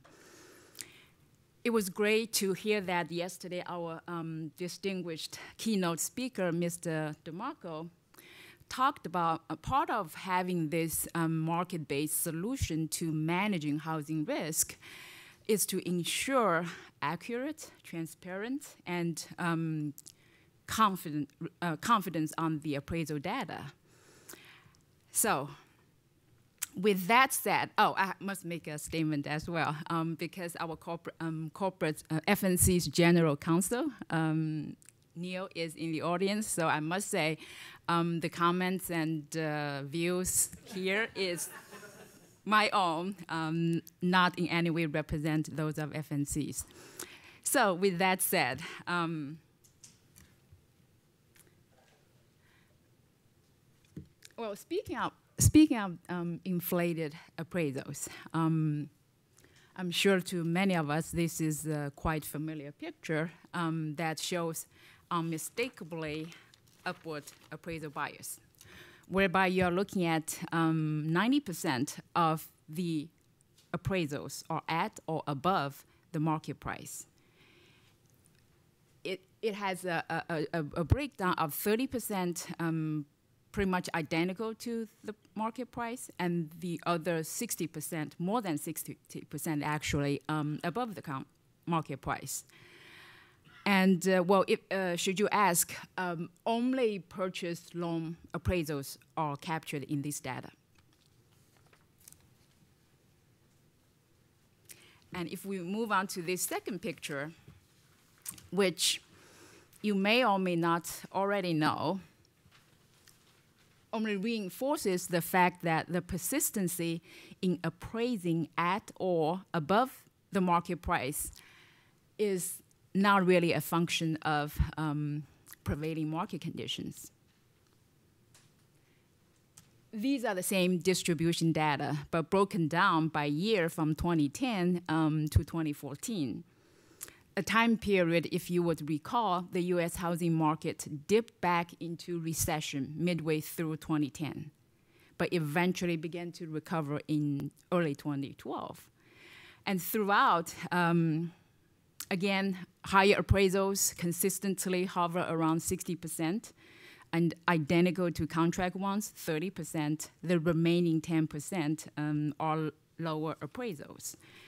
So, regardless of market conditions, um, we can pretty much trust that 9 in 10 appraisals are what we call good appraisals. Um, but um, well, I could be wrong, but I'm going to guess that you had likely been informed during the recession otherwise about the prevalence of the low appraisals. I knew I was. Um,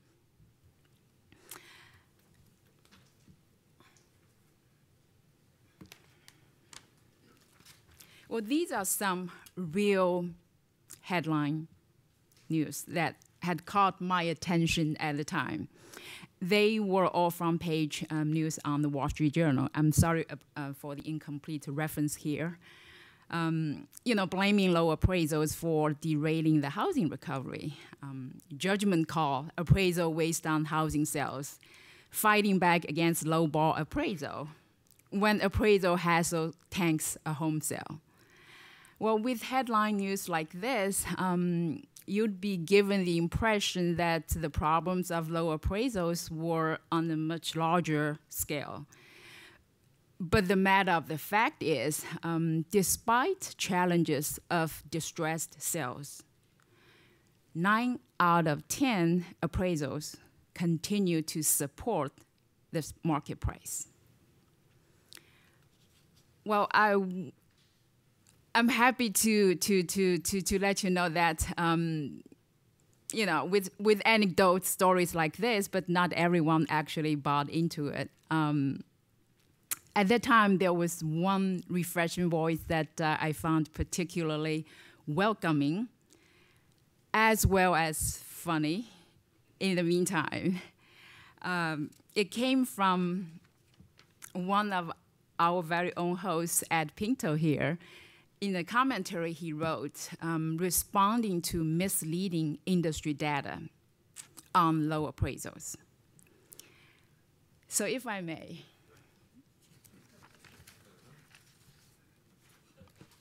what low appraisals? You got to be joking. Um, I thought it was quite funny.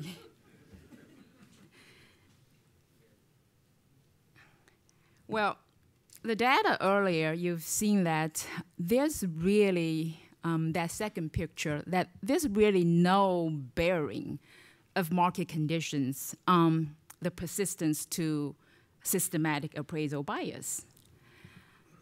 But what does seem to have a bearing on the bias is leverage. On this picture, um, the percentage of appraisals exceeding the market price by at least 1% is tabulated separately for loans with different leverage. It is obvious that there seems to be a positive correlation between leverage and um, the tendency to, uh, to appraise much higher at the market price.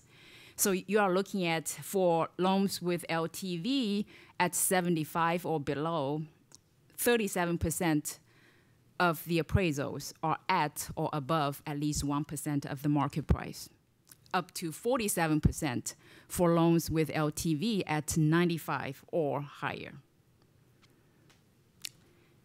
Well, to those of you who um, may believe that um, this systematic appraisal overvaluation is driven more fundamentally by institutional factors, which, um, as um, academics would refer to it as agency problem. Um, I'm sure this picture also seemed to make um, a bit sense to you.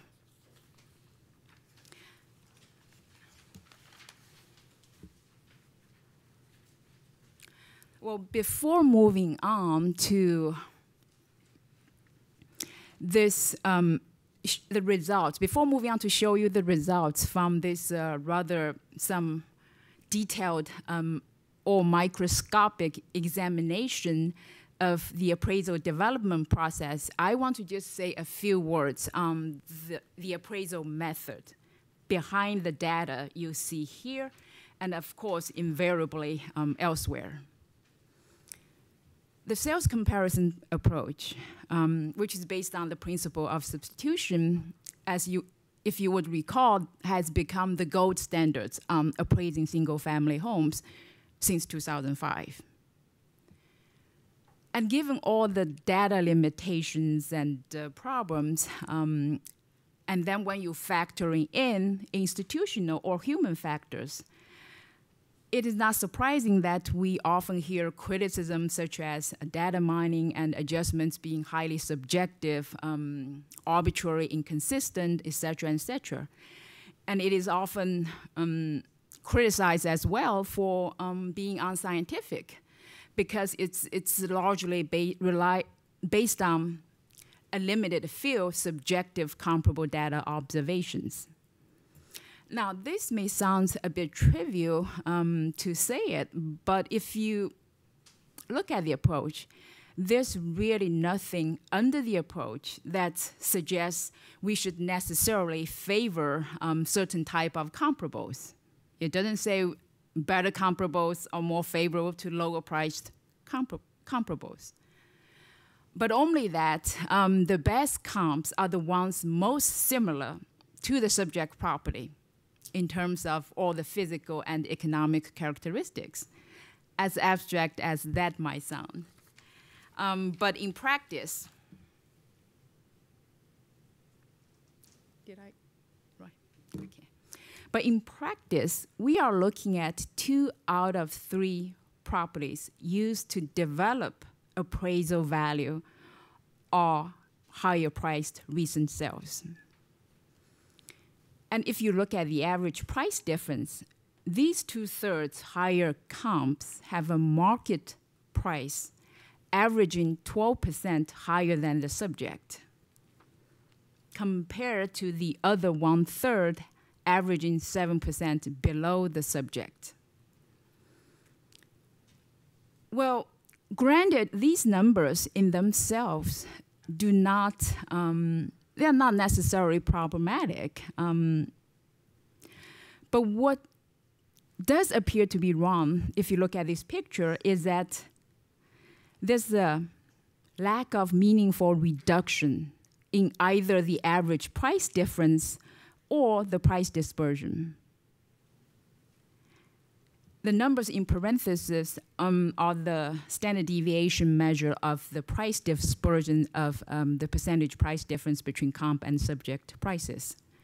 Now, this is quite surprising actually, because um, the intuition is well, as we adjust the comparable properties to enhance or reduce the at their attributes to reflect those of the subject property, we would expect the comp's price to become more comparatively aligned with the subject price. But the fact of there's a really no meaningful reduction in either of these two metrics, um, that says something. Um,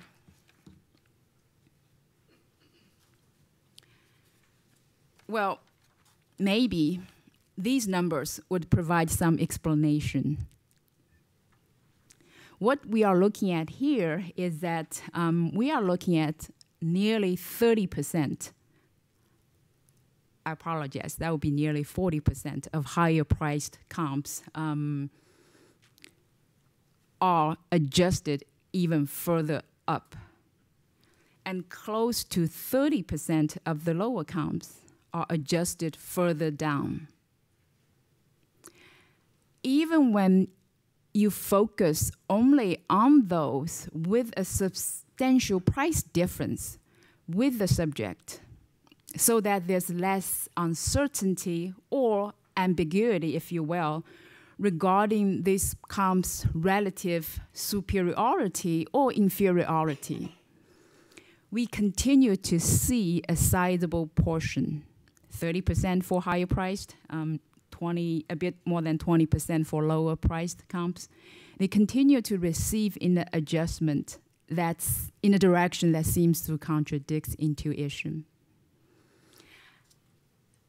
With this, we I think we we ought to ask the question: um, What caused it? Is it because of frequent use of um, properties that are not true comparable, or is it because of um, frequently false adjustments, or both?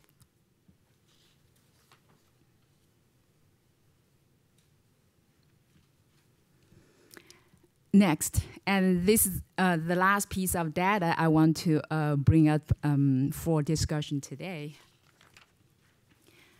These are the net adjustments, net price adjustment on the comparable properties and they are computed separately for lower and higher comps, which are further divided up based on the price difference with the subject property.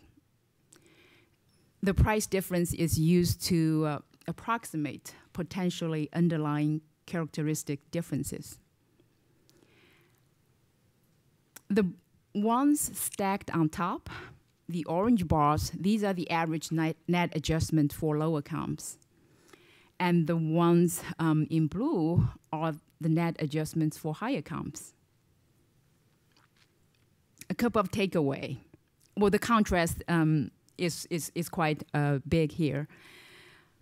If you compare to the average adjustment to the lower comps, what you see on higher comps is a pattern that the adjustments are uniformly much smaller across all price tiers.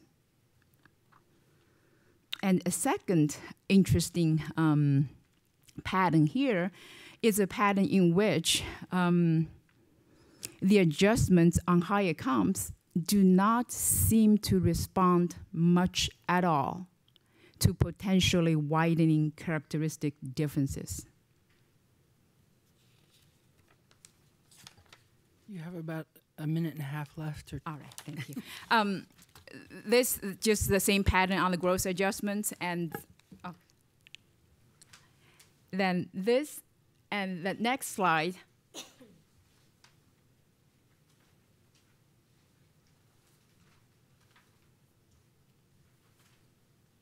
This, uh, these two slides are just a reproduction of the same net and gross adjustments data, but um, displayed on the continuous uh, comparable price spectrum, just a different view of this adjustment disparity. Um, these are uh, uh, the, the number of the findings we've uh, uh, talked about earlier, so I'm going to skip that with the time constraint. Um, well, in all fairness, um, the appraisal process is not perfect science um, and inevitably prone to error. And particularly when um, good comps are lacking, which would increase um, the probability of making bad choices on market data selection as well as uh, adjustments. And with all the data limitations and the problems, um, I would imagine we are all be more than willing to give the process quite um, considerable leeway. But, but before we find ourselves trying to explain everything away with data limitations, maybe we should also think about structural limitations.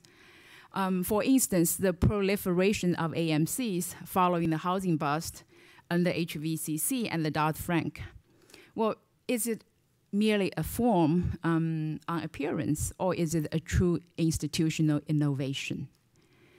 Um, the AMCs gained popularity and worked at the time. Um, it was necessary and it was probably a good thing. Um, but reflecting on it, um, it, it, also seems legitimate to ask the question that uh,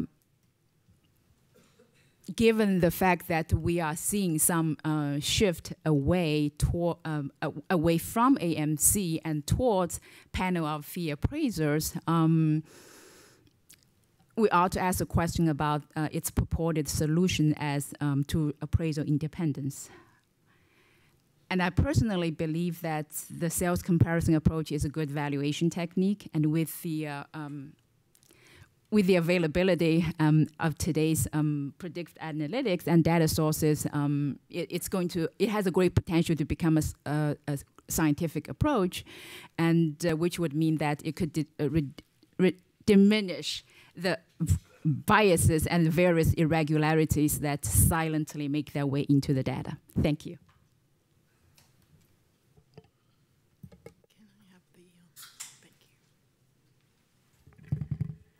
Thank you, Yanling. That um, segues nicely into what I'm going to talk about.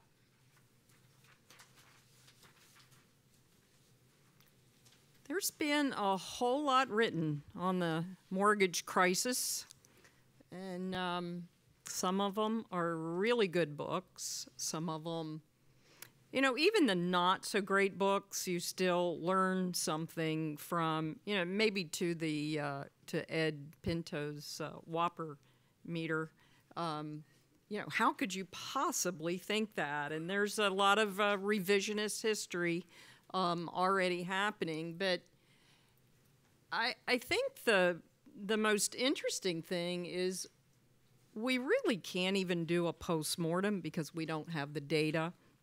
And I think that's uh, been a resounding theme throughout the the conference. Um, we have a lot of we have a lot of data, and and it's it's even a little frightening when we talk about big data, uh, because I think the quality of the data, and as Penny's point earlier, just even collecting the right data points uh, is just a critical place to start. Um, but in all of the books, uh, some of them do, but very few of them actually address uh, the the failures of the appraisal process. And so we're going to talk about a little bit about that, and hopefully, um, you know, you won't walk away just being horribly depressed. I, we were talking earlier about optimism versus pessimism. Um, in spite of all the horrible things I'm going to scare you with here in the beginning, hopefully we'll end the uh, discussion with possible solutions and then how do we actually um, make those happen. Uh, Ed Pinto uh, years ago pointed me to Josh Rosner's um, paper written in 2001. And I think it's just astounding because he absolutely nailed it. And he said, I mean, you, I don't know if you all can read it, but the, the appraisal and the appraised value of the home is arguably the most important element of the home loan origination process. Now, I'm an appraiser, so it's easy for me to say, no, duh. But we still are focused, and if you read a lot of the regula- regulations and, and a lot of the policy, it's credit, credit, credit. Well, these are collateralized loans. And so we really, you know, the one of the C's is collateral. So we really value is an important input. Again, he said changes to the appraisal process over the past decade have jeopardized the soundness of the process and skewed real estate prices. So, again, what we spoke about yesterday and a little bit today was the collateral valuation process is actually very important, not only to the investors, the macro level, but also down at the home buying level. We're putting uh, the riskiest borrowers in the riskiest properties and setting them up for failure when we overvalue properties. So having that value right is, is important. And then Alan Greenspan said, this is astounding. Even though some down payments are borrowed, it would take a large and historically most unusual fall in home prices to wipe out a significant part of home equity. No comment.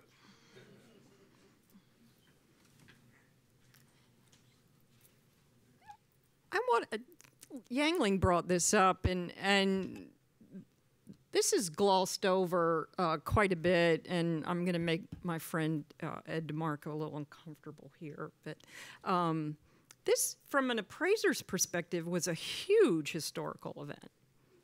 And I'm sure that there are a lot of people who didn't appreciate uh, the New York Attorney General's office's approach to how they handled a, the appraisal independence problem but it did get everybody's attention.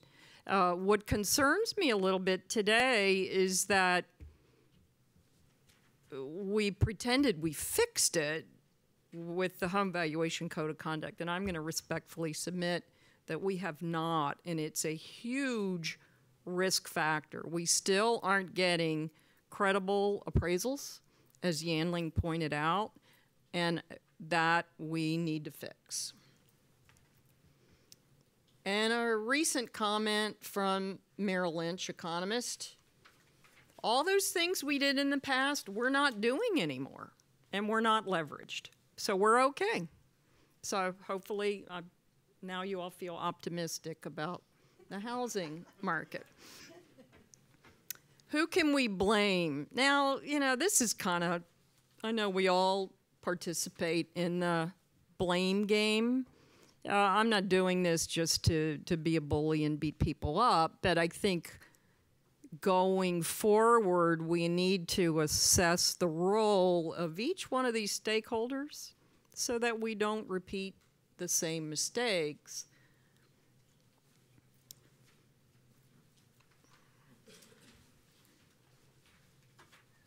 I submit that had the stakeholders all done their part, the bubble would at least have been moderated. Who deserves the most blame? Now, I, am speaking for, with my praiser hat on when I say this. I think Fannie and Freddie do. And, and I say that because they entirely control the appraisal process. Some might say, well, the subcommittee has some power or the appraisal foundation has some power.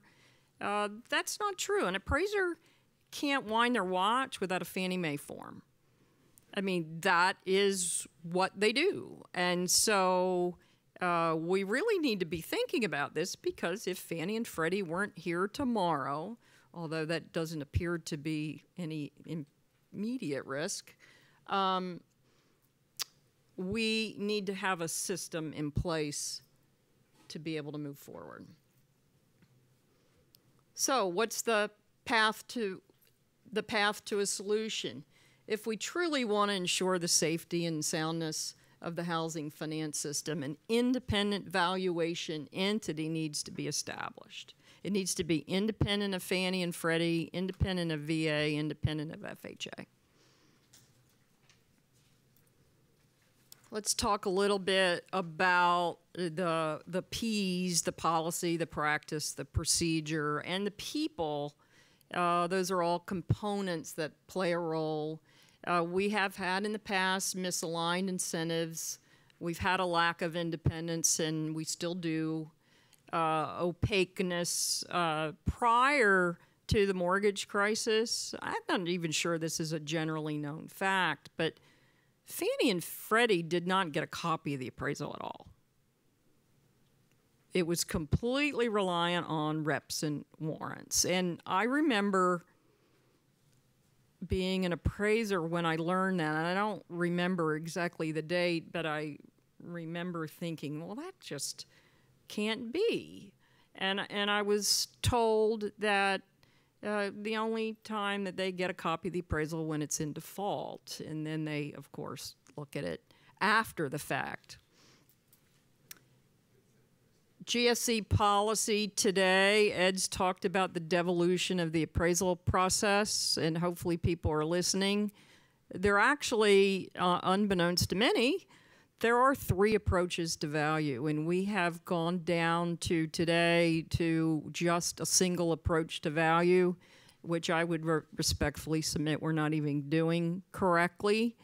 Uh, part of that is the form process, but if all you're asking appraisers for is to report a sale price, sale price and market value are not synonymous. And boy, do we really uh, fall into that trap because I, I sit in meetings with policymakers who think, well, the definition of market value is just what a buyer's willing to pay and a uh, seller's willing to sell.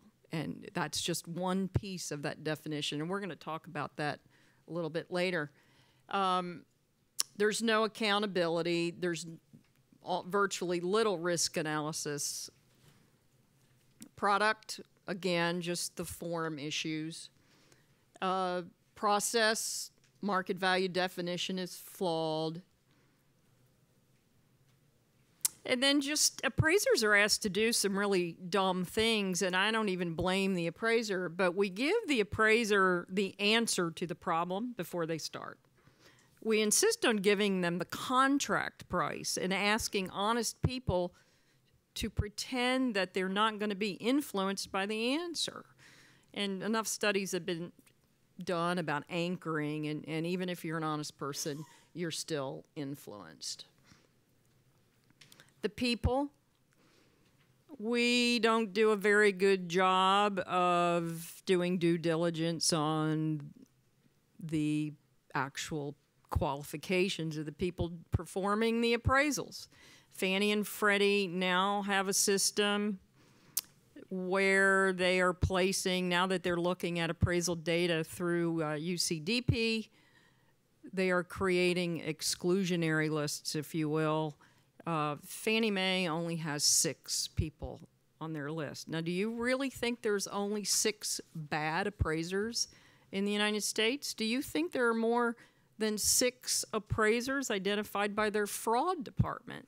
So the fraud department isn't even communicating to the, the front end of the system.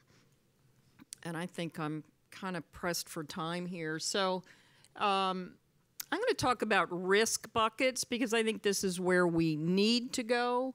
Um, so if you looked at just there's property risk, um, there's the age of the property, the components, uh, the conformity to the neighborhood. I mean, examples of that are is if you have a geodesic dome in a in a home, otherwise homogeneous neighborhood, there's nowhere today do we accommodate the fact that that property would be um, not a good property for a bank to have to, to take back the market conditions. Uh, again, appraisers aren't asked for these things, but some of these things you don't have to be sophisticated to report on these things. Some of these just can be pulled in through simple um, uh, uh, third-party databases. You know, unemployment rate. The appraiser doesn't need to know that, but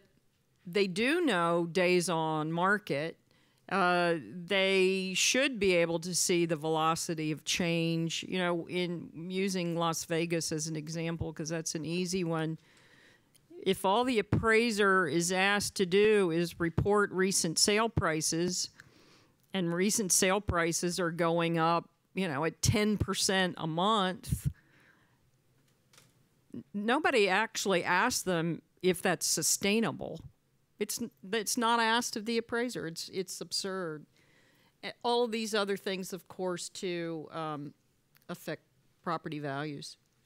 Environmental, there are always uh, external influences. Anybody who uh, uh, any lender in the audience who may have held some properties with uh, Chinese mold, uh, Chinese drywall or mold uh, would understand these things.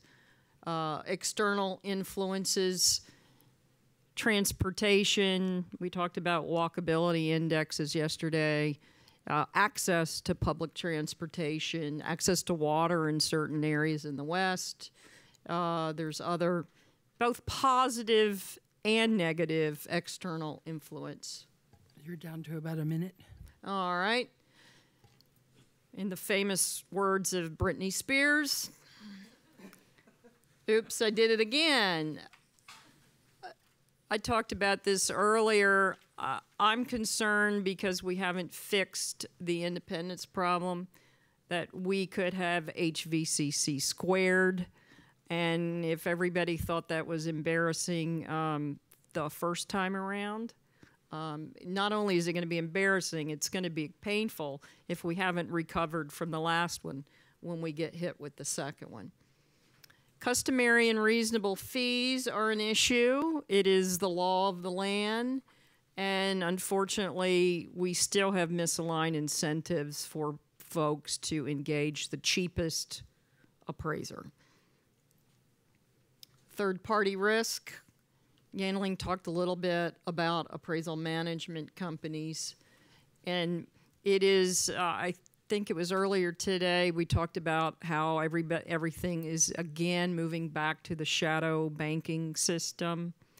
Uh, I would submit that this is where the appraisal independence problems are happening, that mortgage brokers are indeed influencing the, um, the appraisal process.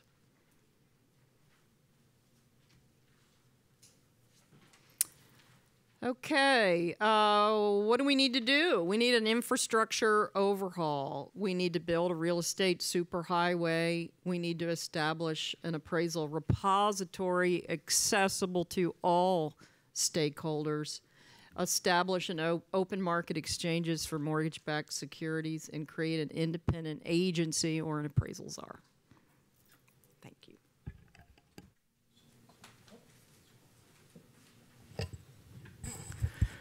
All right, thank you. I appreciate this opportunity to pinch hit on this panel. A pleasure to be here. Um, and sort of wrapping up uh, as we get near not just into the panel, but the conference gives me an opportunity to, um, you know, uh, reflect on uh, some of the uh, issues and points that have been made. Um, over the course of the past uh, day and a half. It also gives me a chance to extend on my own comments from yesterday. So let me uh, briefly tie together a few observations. Some of them have been covered before. A couple things that, uh, interestingly enough, I'm, I'm, I do not recall having been been talked about. Um, so this panel is about really the you know the, the content of the appraisal and what's going on in the appraisal.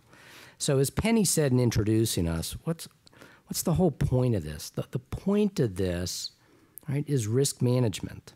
Right? The point of having an appraisal is to allow this credit market to function in a way in which there's prudential management of risk. And so, where are we in that, and where does the appraisal need to go or be rethought of or developed or enhanced to enhance our own um, understanding of risk? So, let me take an example. It's going to build on something Yanling said. So, um, it's the danger of false precision. When is a 97% LTV mortgage a 97% LTV mortgage? Well, if you look at the data that um, you know Yanling had from the appraisals, you'd say, well, it's at least 50%. All right. I'll submit that in round numbers, the answer is approximately zero. All right. Um, why? Well, look, I mean, it's an opinion of value. It is subject to a host of measurement errors. There's things about the home condition, the whole list of things that, that Joan had up there just a minute ago that can affect that. There's concessions that are going on. There's price momentum in the marketplace. Well, okay, all right, yeah, all right, so we're off a little bit. How much does that matter? All right, when is a borrower underwater? Well, borrower, assuming we are measuring value right, the borrower is underwater as long as their loan to value is above 93 or 94%. And that's assuming we've got value properly stated. Why is that? Because if tomorrow something happens as a life event, the borrower needs to sell the house, that's the cost of exit. So we got, you know, a lot of underwater borrowers out there just because of, of, of that um, observation. Now, um, yesterday, you, you, may recall, just if I could briefly reflect on my own remarks about creating a trading credit market in, in mortgage credit risk. And I talked about um, the data developments, and I mentioned the development of the Uniform Appraisal Data Set and the Uniform Collateral Data Portal but I noted there, well, this is good in that we've got an infrastructure. But let me just be clear when UAD was created, when that data set was created, it was little more than taking the Fannie Mae form that Joan mentioned and saying, okay, well, let's let's make sure between Fannie and Freddie we've got consistent definitions and that we've, you know, electronify this. But it wasn't actually any meaningful attempt to consider are we asking the right questions? Are we collecting the right data? All right, and where's this going? So now let me take another thing from my remarks. If, if what we're trying to do is to extend mortgage credit risk so that this is an actual credit market in which there is trading and participation by a wide host of private investors, the question about the appraisal then ought to be well, at some level, that investor is, a, is either a customer or the customer for the appraisal because the appraisal's purpose is risk management. We got a trading credit market. The investment community is the one managing that credit. So, what do they need out of the appraisal? Well, maybe we ought to ask them. Okay, so this conference has been terrific. I mean, I just I've I've learned a lot here, and, and one of the things that we've all sort of um, uh, been part of the last day and a half is this array of housing risk measures what they are, how they might be used, how we might be thinking about them. Okay? So the particular question we're asking in the context of the appraisal then is how can we recast the appraisal? What it is that we're collecting, right? And how do we make that information public? That is available to investors, available to analysts like you all, think tankers and academics and so on, so that we can study and debate housing market conditions and risk, right? So let me just give, uh, there's a lot, I mean, I'm not going to go on here. Let me just give a couple examples of data that could enhance the risk assessment. And I'm really, so, so one is, should we supplement or replace this notion of a single opinion of value with some kind of, of range or confidence interval or some measure of distribution around that value opinion? Is there some way we can extract from the appraiser some measure of the confidence or the certainty or uncertainty they have with regard to the opinion of value? And the second is this appraiser, right? These are not these are boots and eyes on the ground, on the property, on the neighborhood that ought to have real local information. What is the value proposition the appraiser has to that capital market investor that the investor can't get from our otherwise big data world? So where's the value proposition? What can that appraiser put in an appraisal report that can get transmitted to investors in mortgage credit that helps the investor have greater confidence about collateral value or the uncertainty or risk around collateral value. What can the appraiser tell about? We've had several discussions, including Jack Horton, about walkability or nearness, as, as Ed calls it transportation costs, energy efficiency, the condition of the property, the employment circumstances in the neighborhood. I'll submit another one that I think is going to become an emergent issue, and that is local municipal finance. Right? What's going to happen to house values is some of our uh, communities realize that they have pension obligations that are through the roof, and what the long-term tax implications of that's going to be, and how that's going to affect um, uh, uh, house values.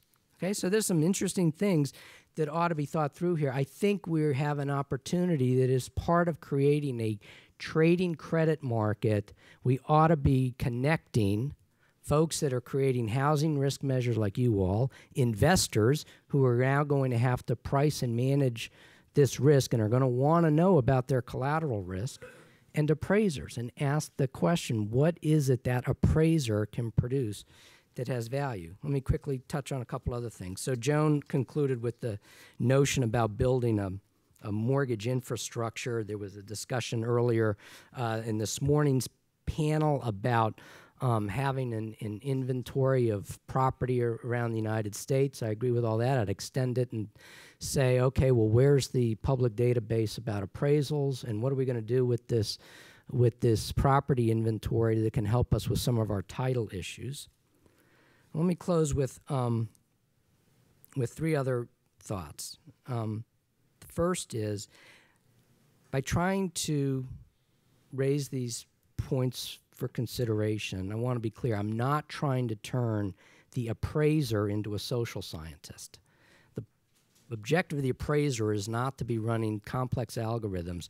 The point of the appraiser is that it's a trained individual that can go in and gather information and record it in a manner in which social scientists and risk managers can then make better informed judgments and decisions.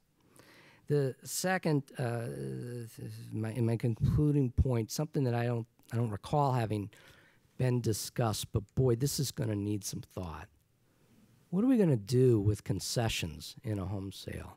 What do we do when the house price has been grossed up and then there's some kind of cost being paid by the seller on behalf of the of the buyer? And how are we going to have clarity that to the extent this is going on, that this is being properly recorded in a manner in which an appraiser that's using that sales transaction subsequently as a comparable has clarity about that?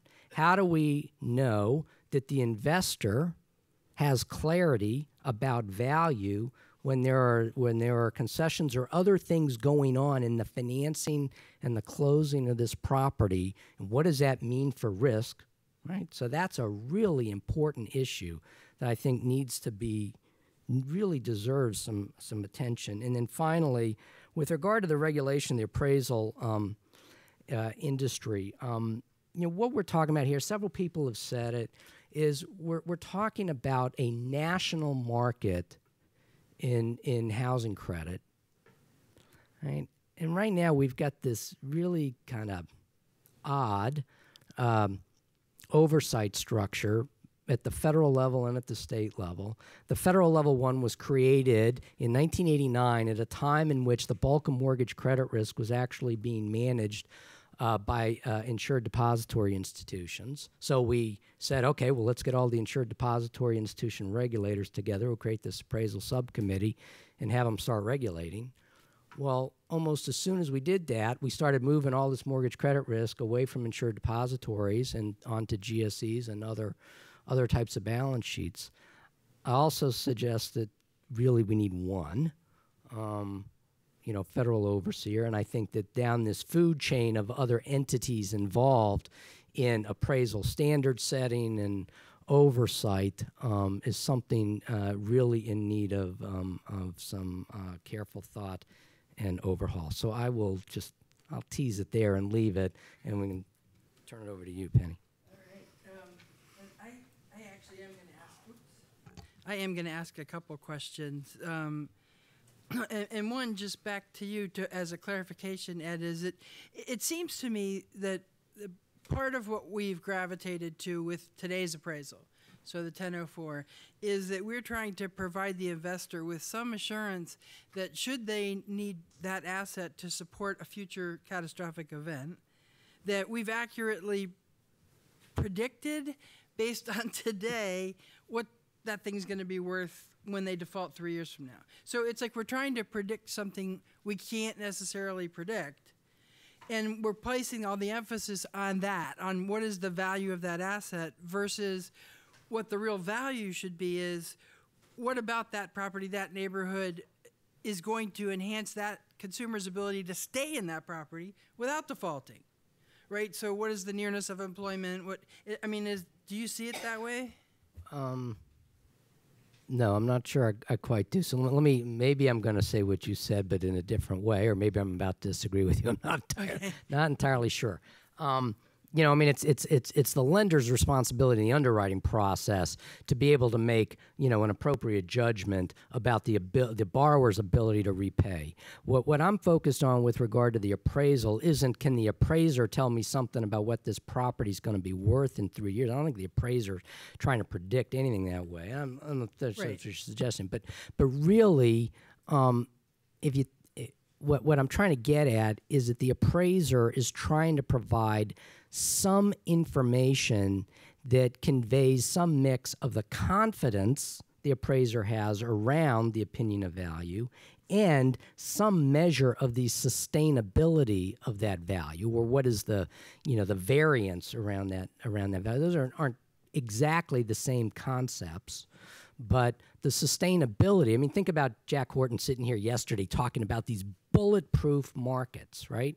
I mean, he's got a set of metrics that he has developed and, and thinks about that indicate that value, if, if the property is located in a community that has the following set of characteristics, there's low volatility around value. Whereas if the property is located in a neighborhood that has a different set of characteristics, there could be much greater you know variability around value. That tells you something about the sustainability of the of the purchase price in some in right. some future sense. And what I'm trying to say is, okay, well, as the analyst community, as the investor community can develop, you know, some sense of what are those characteristics and how can we objectif- ob- objectively measure them or create ordinal measures for them that can then go into housing risk models Right. that it can tell something about not just okay well this is this is the the value or the range of value but tells us something about the sustainability of that value. And i think that then goes to being able to enhance risk management. I don't know if that helps or not. Yeah, because part of my thought always is that because it's in the back of uh, it's in the back of my mind right now that at the level of gas prices today is is very similar to what it was before things all went south. And a lot of the early defaults occurred when gas prices increased, and borrowers started paying their gas credit cards and not their mortgage.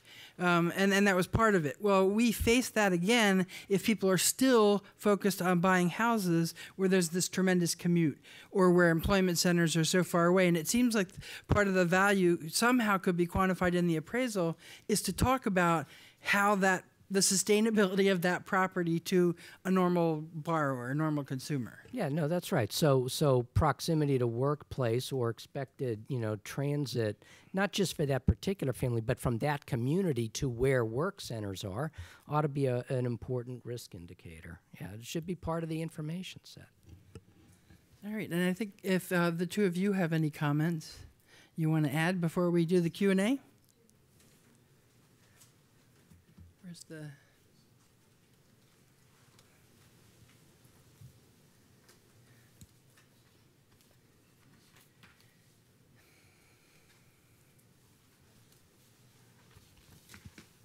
Uh, thank you. Uh, two questions. Uh, one for Joan. Uh, could you, as an appraiser, would you weigh in on the value of collateral underwriter and how that is impacting your business? And secondly, for Ed, um, how do we wrestle the uh, uh, the data clearinghouse from Fannie and Freddie so that there is an independent uh, repository for all this information? Tom, I'm not a, a field appraiser today, but I listen to lenders and and uh, appraisers. Uh, it's a difficult question with a difficult answer. Fannie and Freddie should be looking at the data. I mean that that's I think that's a given. That's a good thing.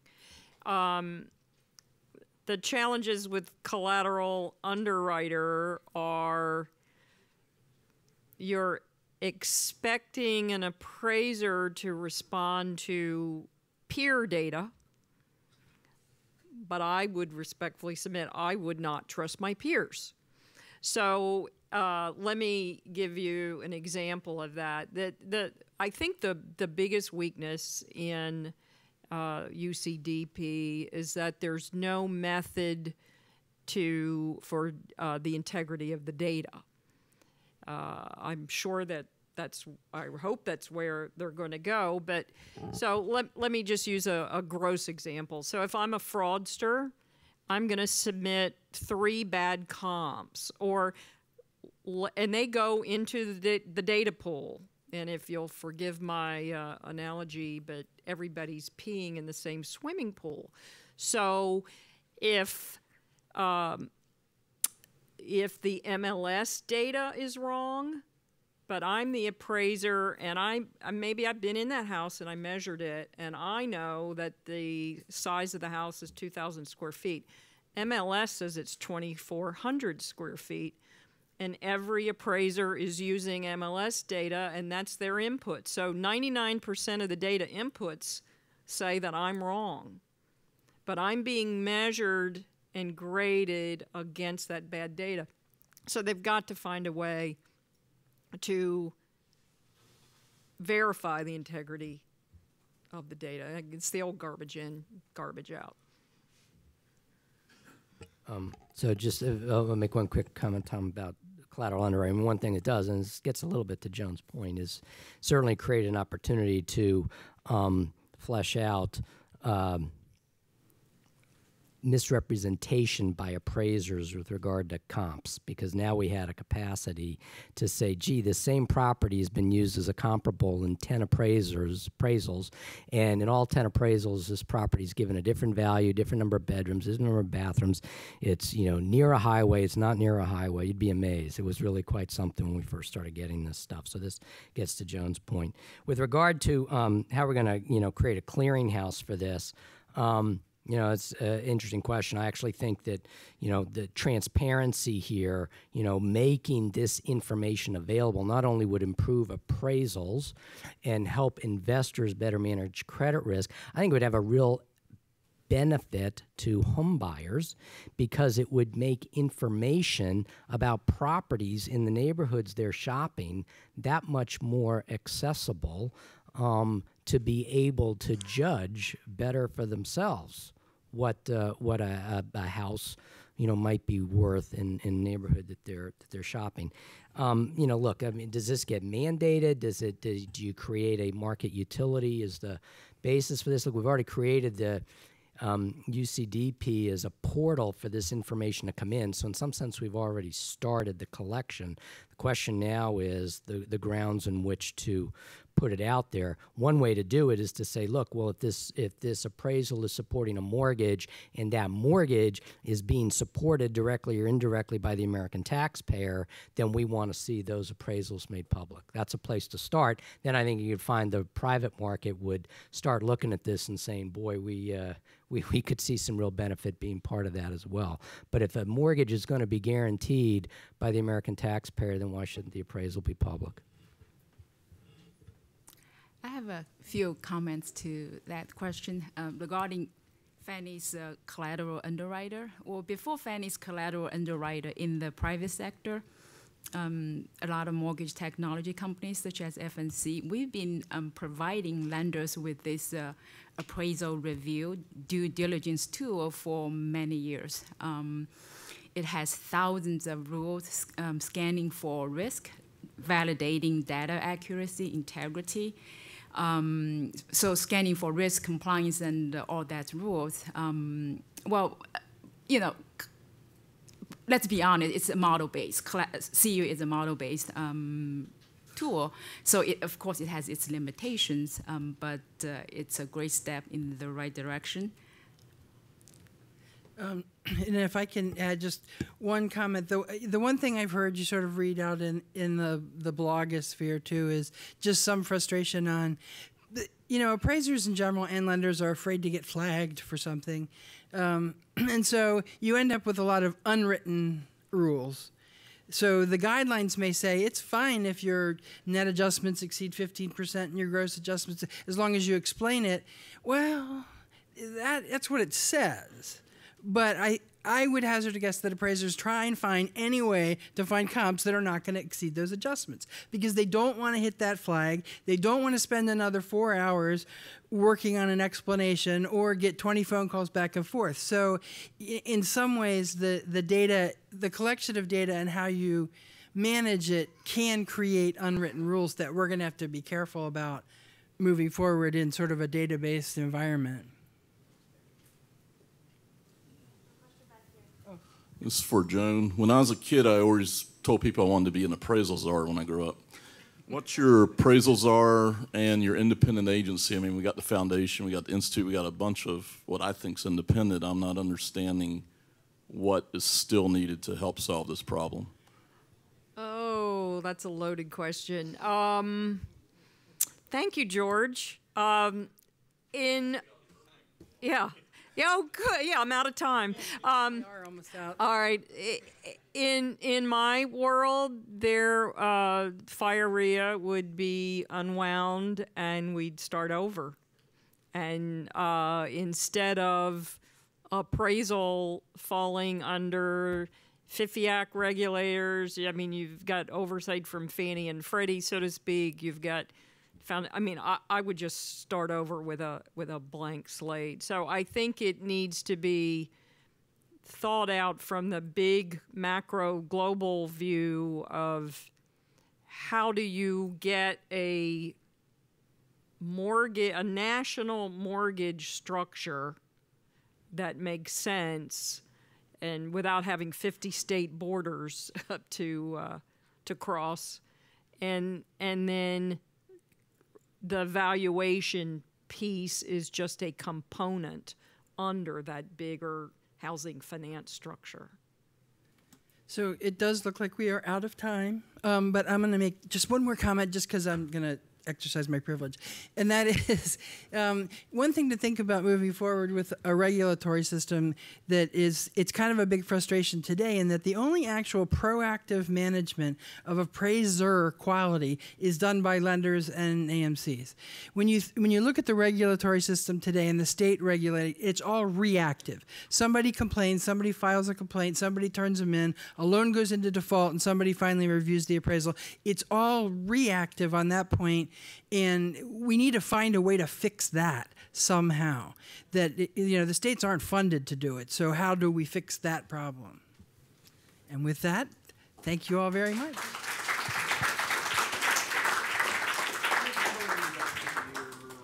So uh, we're going to break uh, for lunch, uh, down in the foyer, and then come back in here, and then we'll have a uh, closing panel discussion. Uh, Joan, Steve, and myself.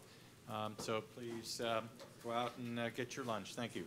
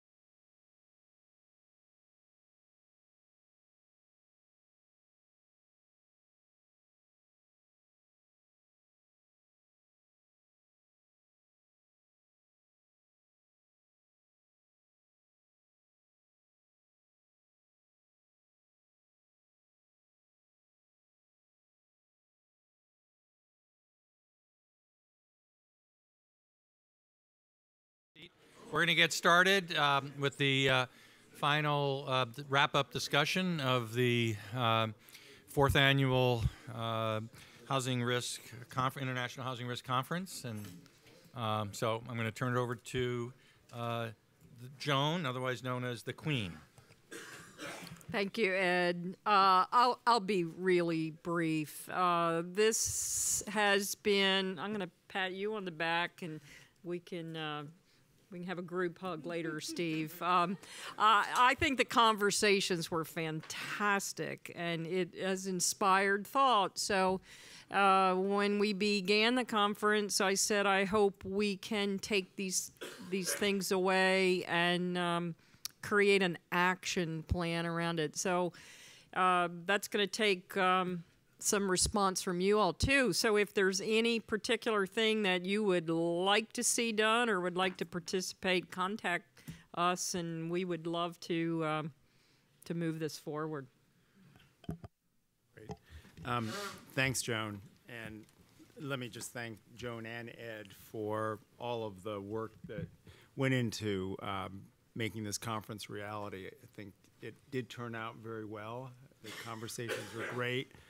The panelists um, uniformly had interesting things to bring to the table, so I'm very pleased with the way it, uh, it all turned out. Um, and you know, at this point, um, I'm already starting to think about next year. Uh, so, I've been writing notes about uh, possible topics for next year's conference, based in large part on the conversations that we had uh, over the past day and a half. And I'll just share a few of the topics that um, I'm already thinking about. Um, you know that we'll have more conversations about, and your feedback would be would be useful. Um, so one of the points that Morris made and that I commented on briefly was, you know, so what are the what's what's happening with regard to the measurement of mortgage risk at the federal agencies that have some responsibility for this. So, uh, as I already indicated, I think next year we're going to have people at a minimum from the Fed who do this as their job. And I know this work is going on.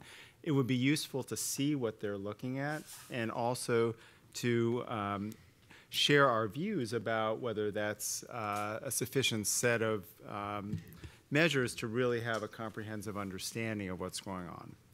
Um, we heard also about the um, ongoing development of additional databases, very comprehensive uh, national databases on mortgages and on properties um, that are, have been in the works for a while, particularly on the mortgage side.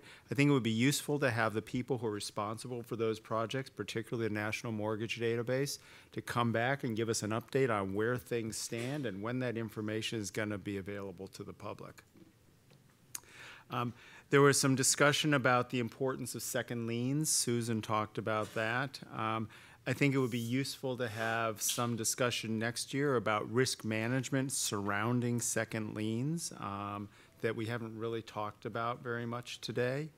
Um, and I think it would also be useful, and I'm sure we're going to do something like this, to really continue to, to monitor the progress on a number of initiatives that are already underway and that were uh, discussed um, over the past day and a half.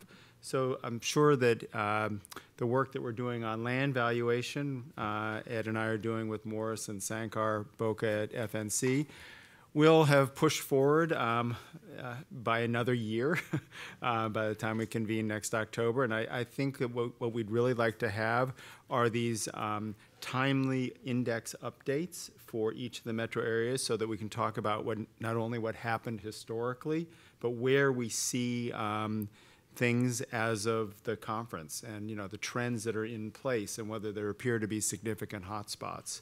Um, I'm hopeful that um, the wealth building home loan will achieve greater market prominence that it has already. I mean, Ed and I are very pleased with the penetration in the market we have so far, but honestly, it's still tiny. Um, and hopefully by next year, there will be more to report about uh, market acceptance of the loan. Um, uh, following on on some of Ed DeMarco's comments during his keynote address and also during the last panel, um, it would be very interesting to know more about the state of development of the infrastructure that he talked about that is really a precondition for a well-functioning private um, label mortgage-backed securities market. It would also be useful to hear more about what progress has been made on um, trying to design and implement the appraisal of the future, the last panel that we had. Ed gave, I thought, a very nice um, example of the kinds of information that would be useful to have in um, an appraisal that actually provided valuable information about um, market risk um, and showed as well that it's not that hard to collect a lot of that information. We didn't do it in an automated way. We, you know, it was very piecemeal. We pulled things together from lots of sources. But the fact that we could do it um, means that it could be done in a much more automated way without too much effort.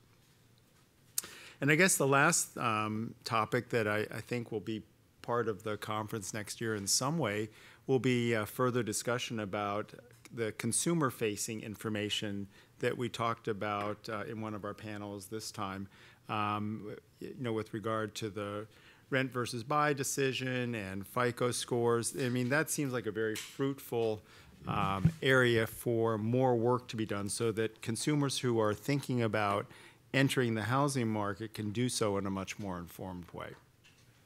So those are the items that are on my list for next year, and, and with that, I'll turn it over to Ed. Well, thank you also to Steve and Joan for all the hard work in putting this conference together.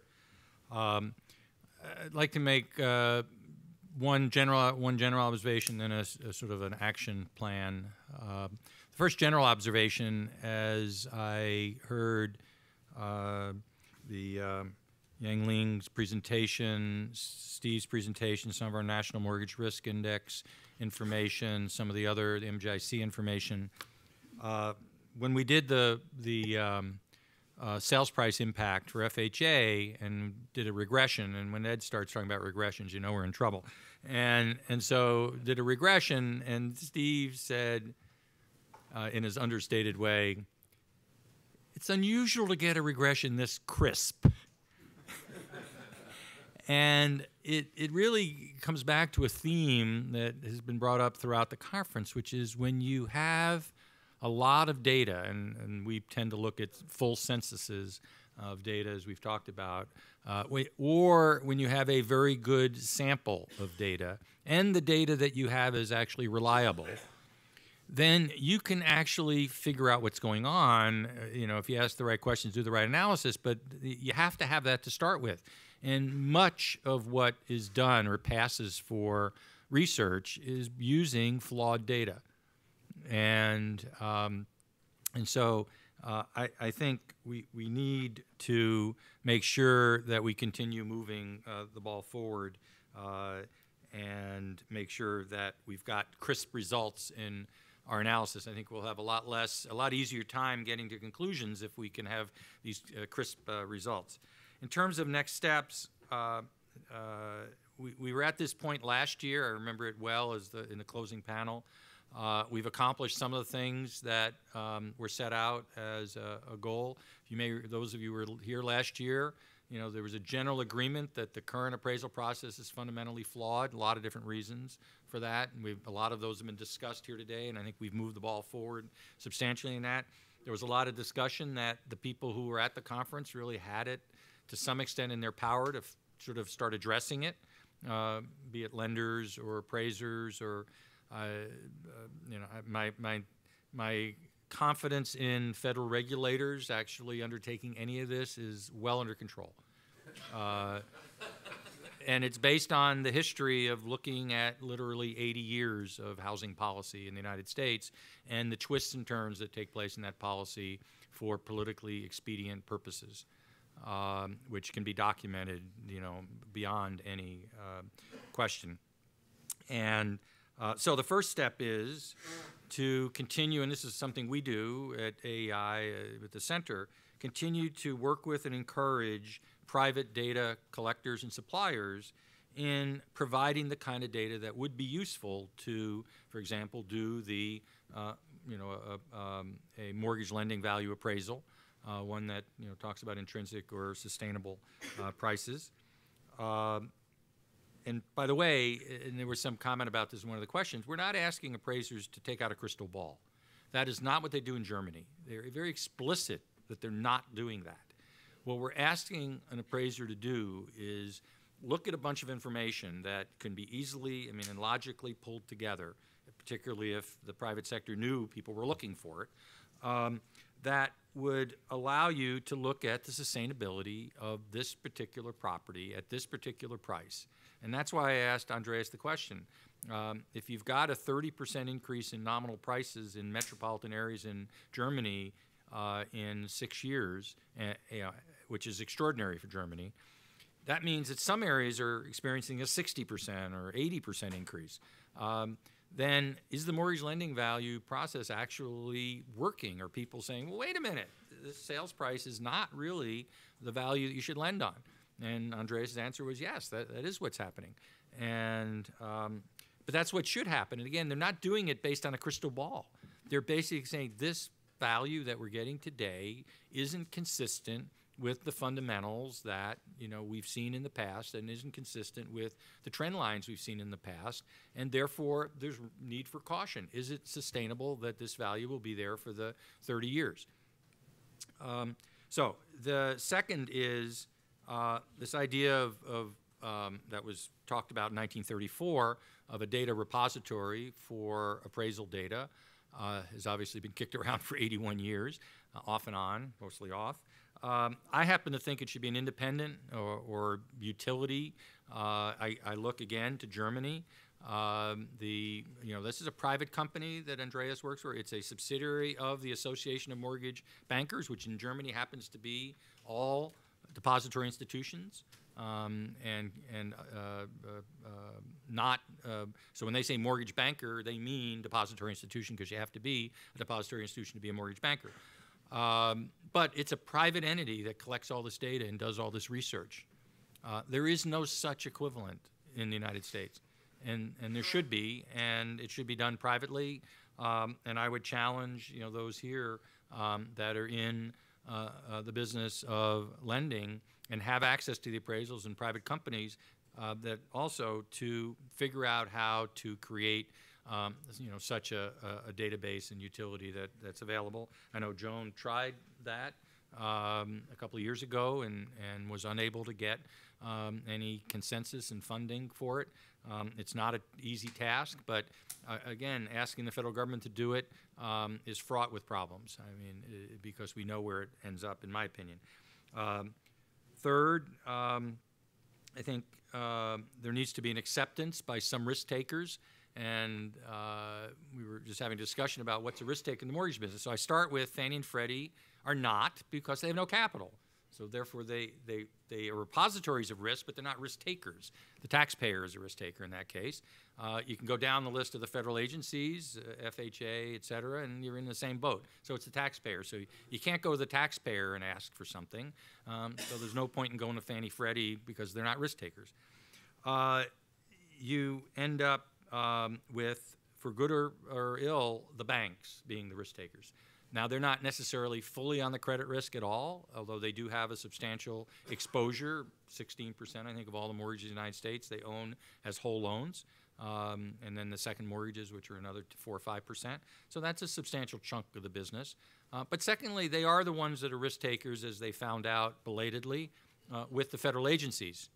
Um, when the federal agencies decide that they need a, a fall guy, they're going to look for the deep pockets, um, and the deep pockets aren't the largely the non-banks. The shadow banking are not the deep pockets, um, and therefore the banks are the logical. You know, it's the Willie Sutton rule, and therefore uh, in the land of the blind, the one man eyed is king, one one eyed man is king, and therefore the banks are king as risk takers.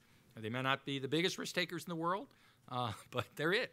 Um, there's nobody else. Uh, you got mortgage insurers is another. They're, they're true risk takers um, on their slice of the market. Um, but again, you need, in my opinion, you need front end risk takers. Uh, trying to get the back end people to do this, they don't even have access to the appraisals and a lot of the other stuff. And so maybe they'll be late, you know, joiners later on. But to the front end, the front end risk takers are the banks and uh, the mortgage insurers.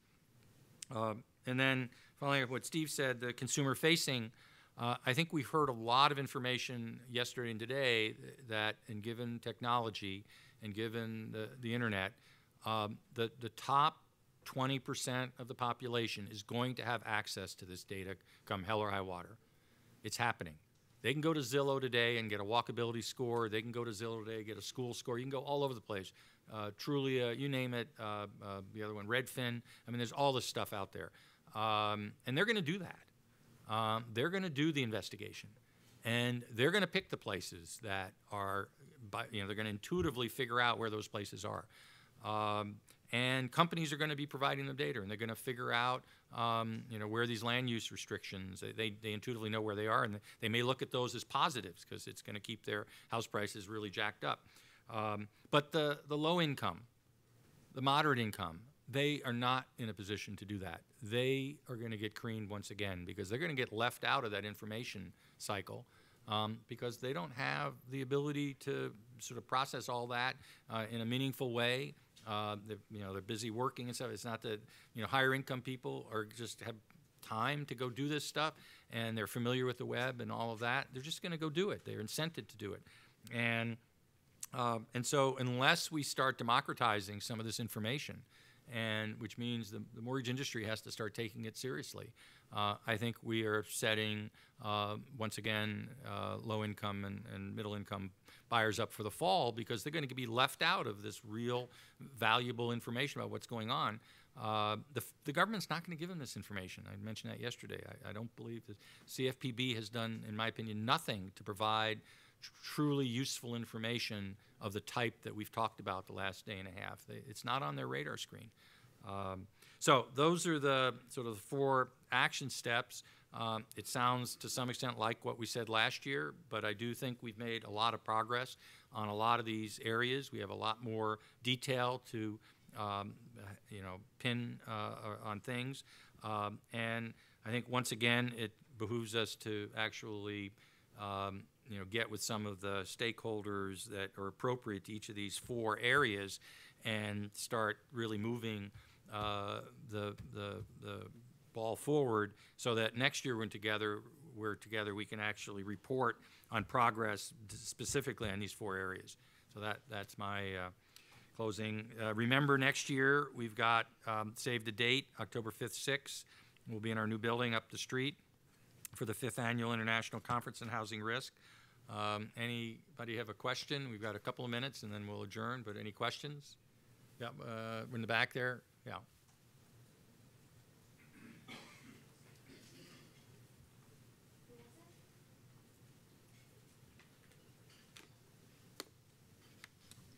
Rudy Bennett, zero to 60. So um, I, I, this conference was amazing. The people here are amazing. Thank you, Ed, inviting me the day before. I jumped on a plane. And, uh, but I wonder if I could uh, offer the following as a gift to AEI for how terrific this was. I think uh, Professor Wachter was talking about the fact that there's no individual number for each parcel in this country. And as far as I know, every parcel does have a number. It just doesn't have a, you know, national number. So um, I would say, and this I'd do for free, uh, we could go out for an RFP if everybody in this room would agree to uh, go to the people with the budget to uh, buy a subscription to this uh, database, and that uh, you know we could we could have something extremely and very very complete, uh, concrete that I think people would pay for. So I don't know if that that makes any sense or not. I haven't read the paper that says why it's so difficult to put this uh, database together, but I know if every parcel has a unique number and then that the necessity is for a national number, then we'll take, we'll aggregate those and we'll put them into an, an, a national database and at least we'll have something that might work. So comment or say that's not going to work or go back to where you come, come from. I'm fine with that.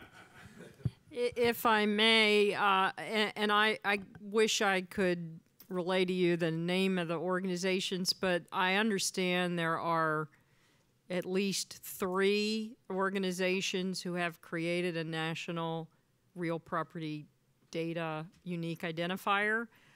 I can get that answer for you. I think the problem is that there are three competing, and then nobody's put a stake in the ground and said, "Oh, this is it." But part of the challenges uh, are that that unique identifier needs to be three dimensional, so that when you have a a high rise, you have a uh, you know the northwest corner on the 14th floor of that condo building.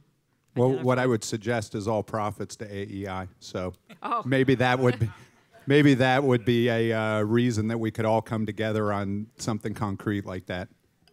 Well, Thank you for, for that uh, suggestion. We'll follow up on that. Any other uh, questions? Yeah.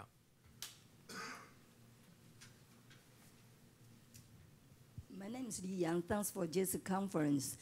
Uh, as I asked another question before, then those are important to put in your file, in the record.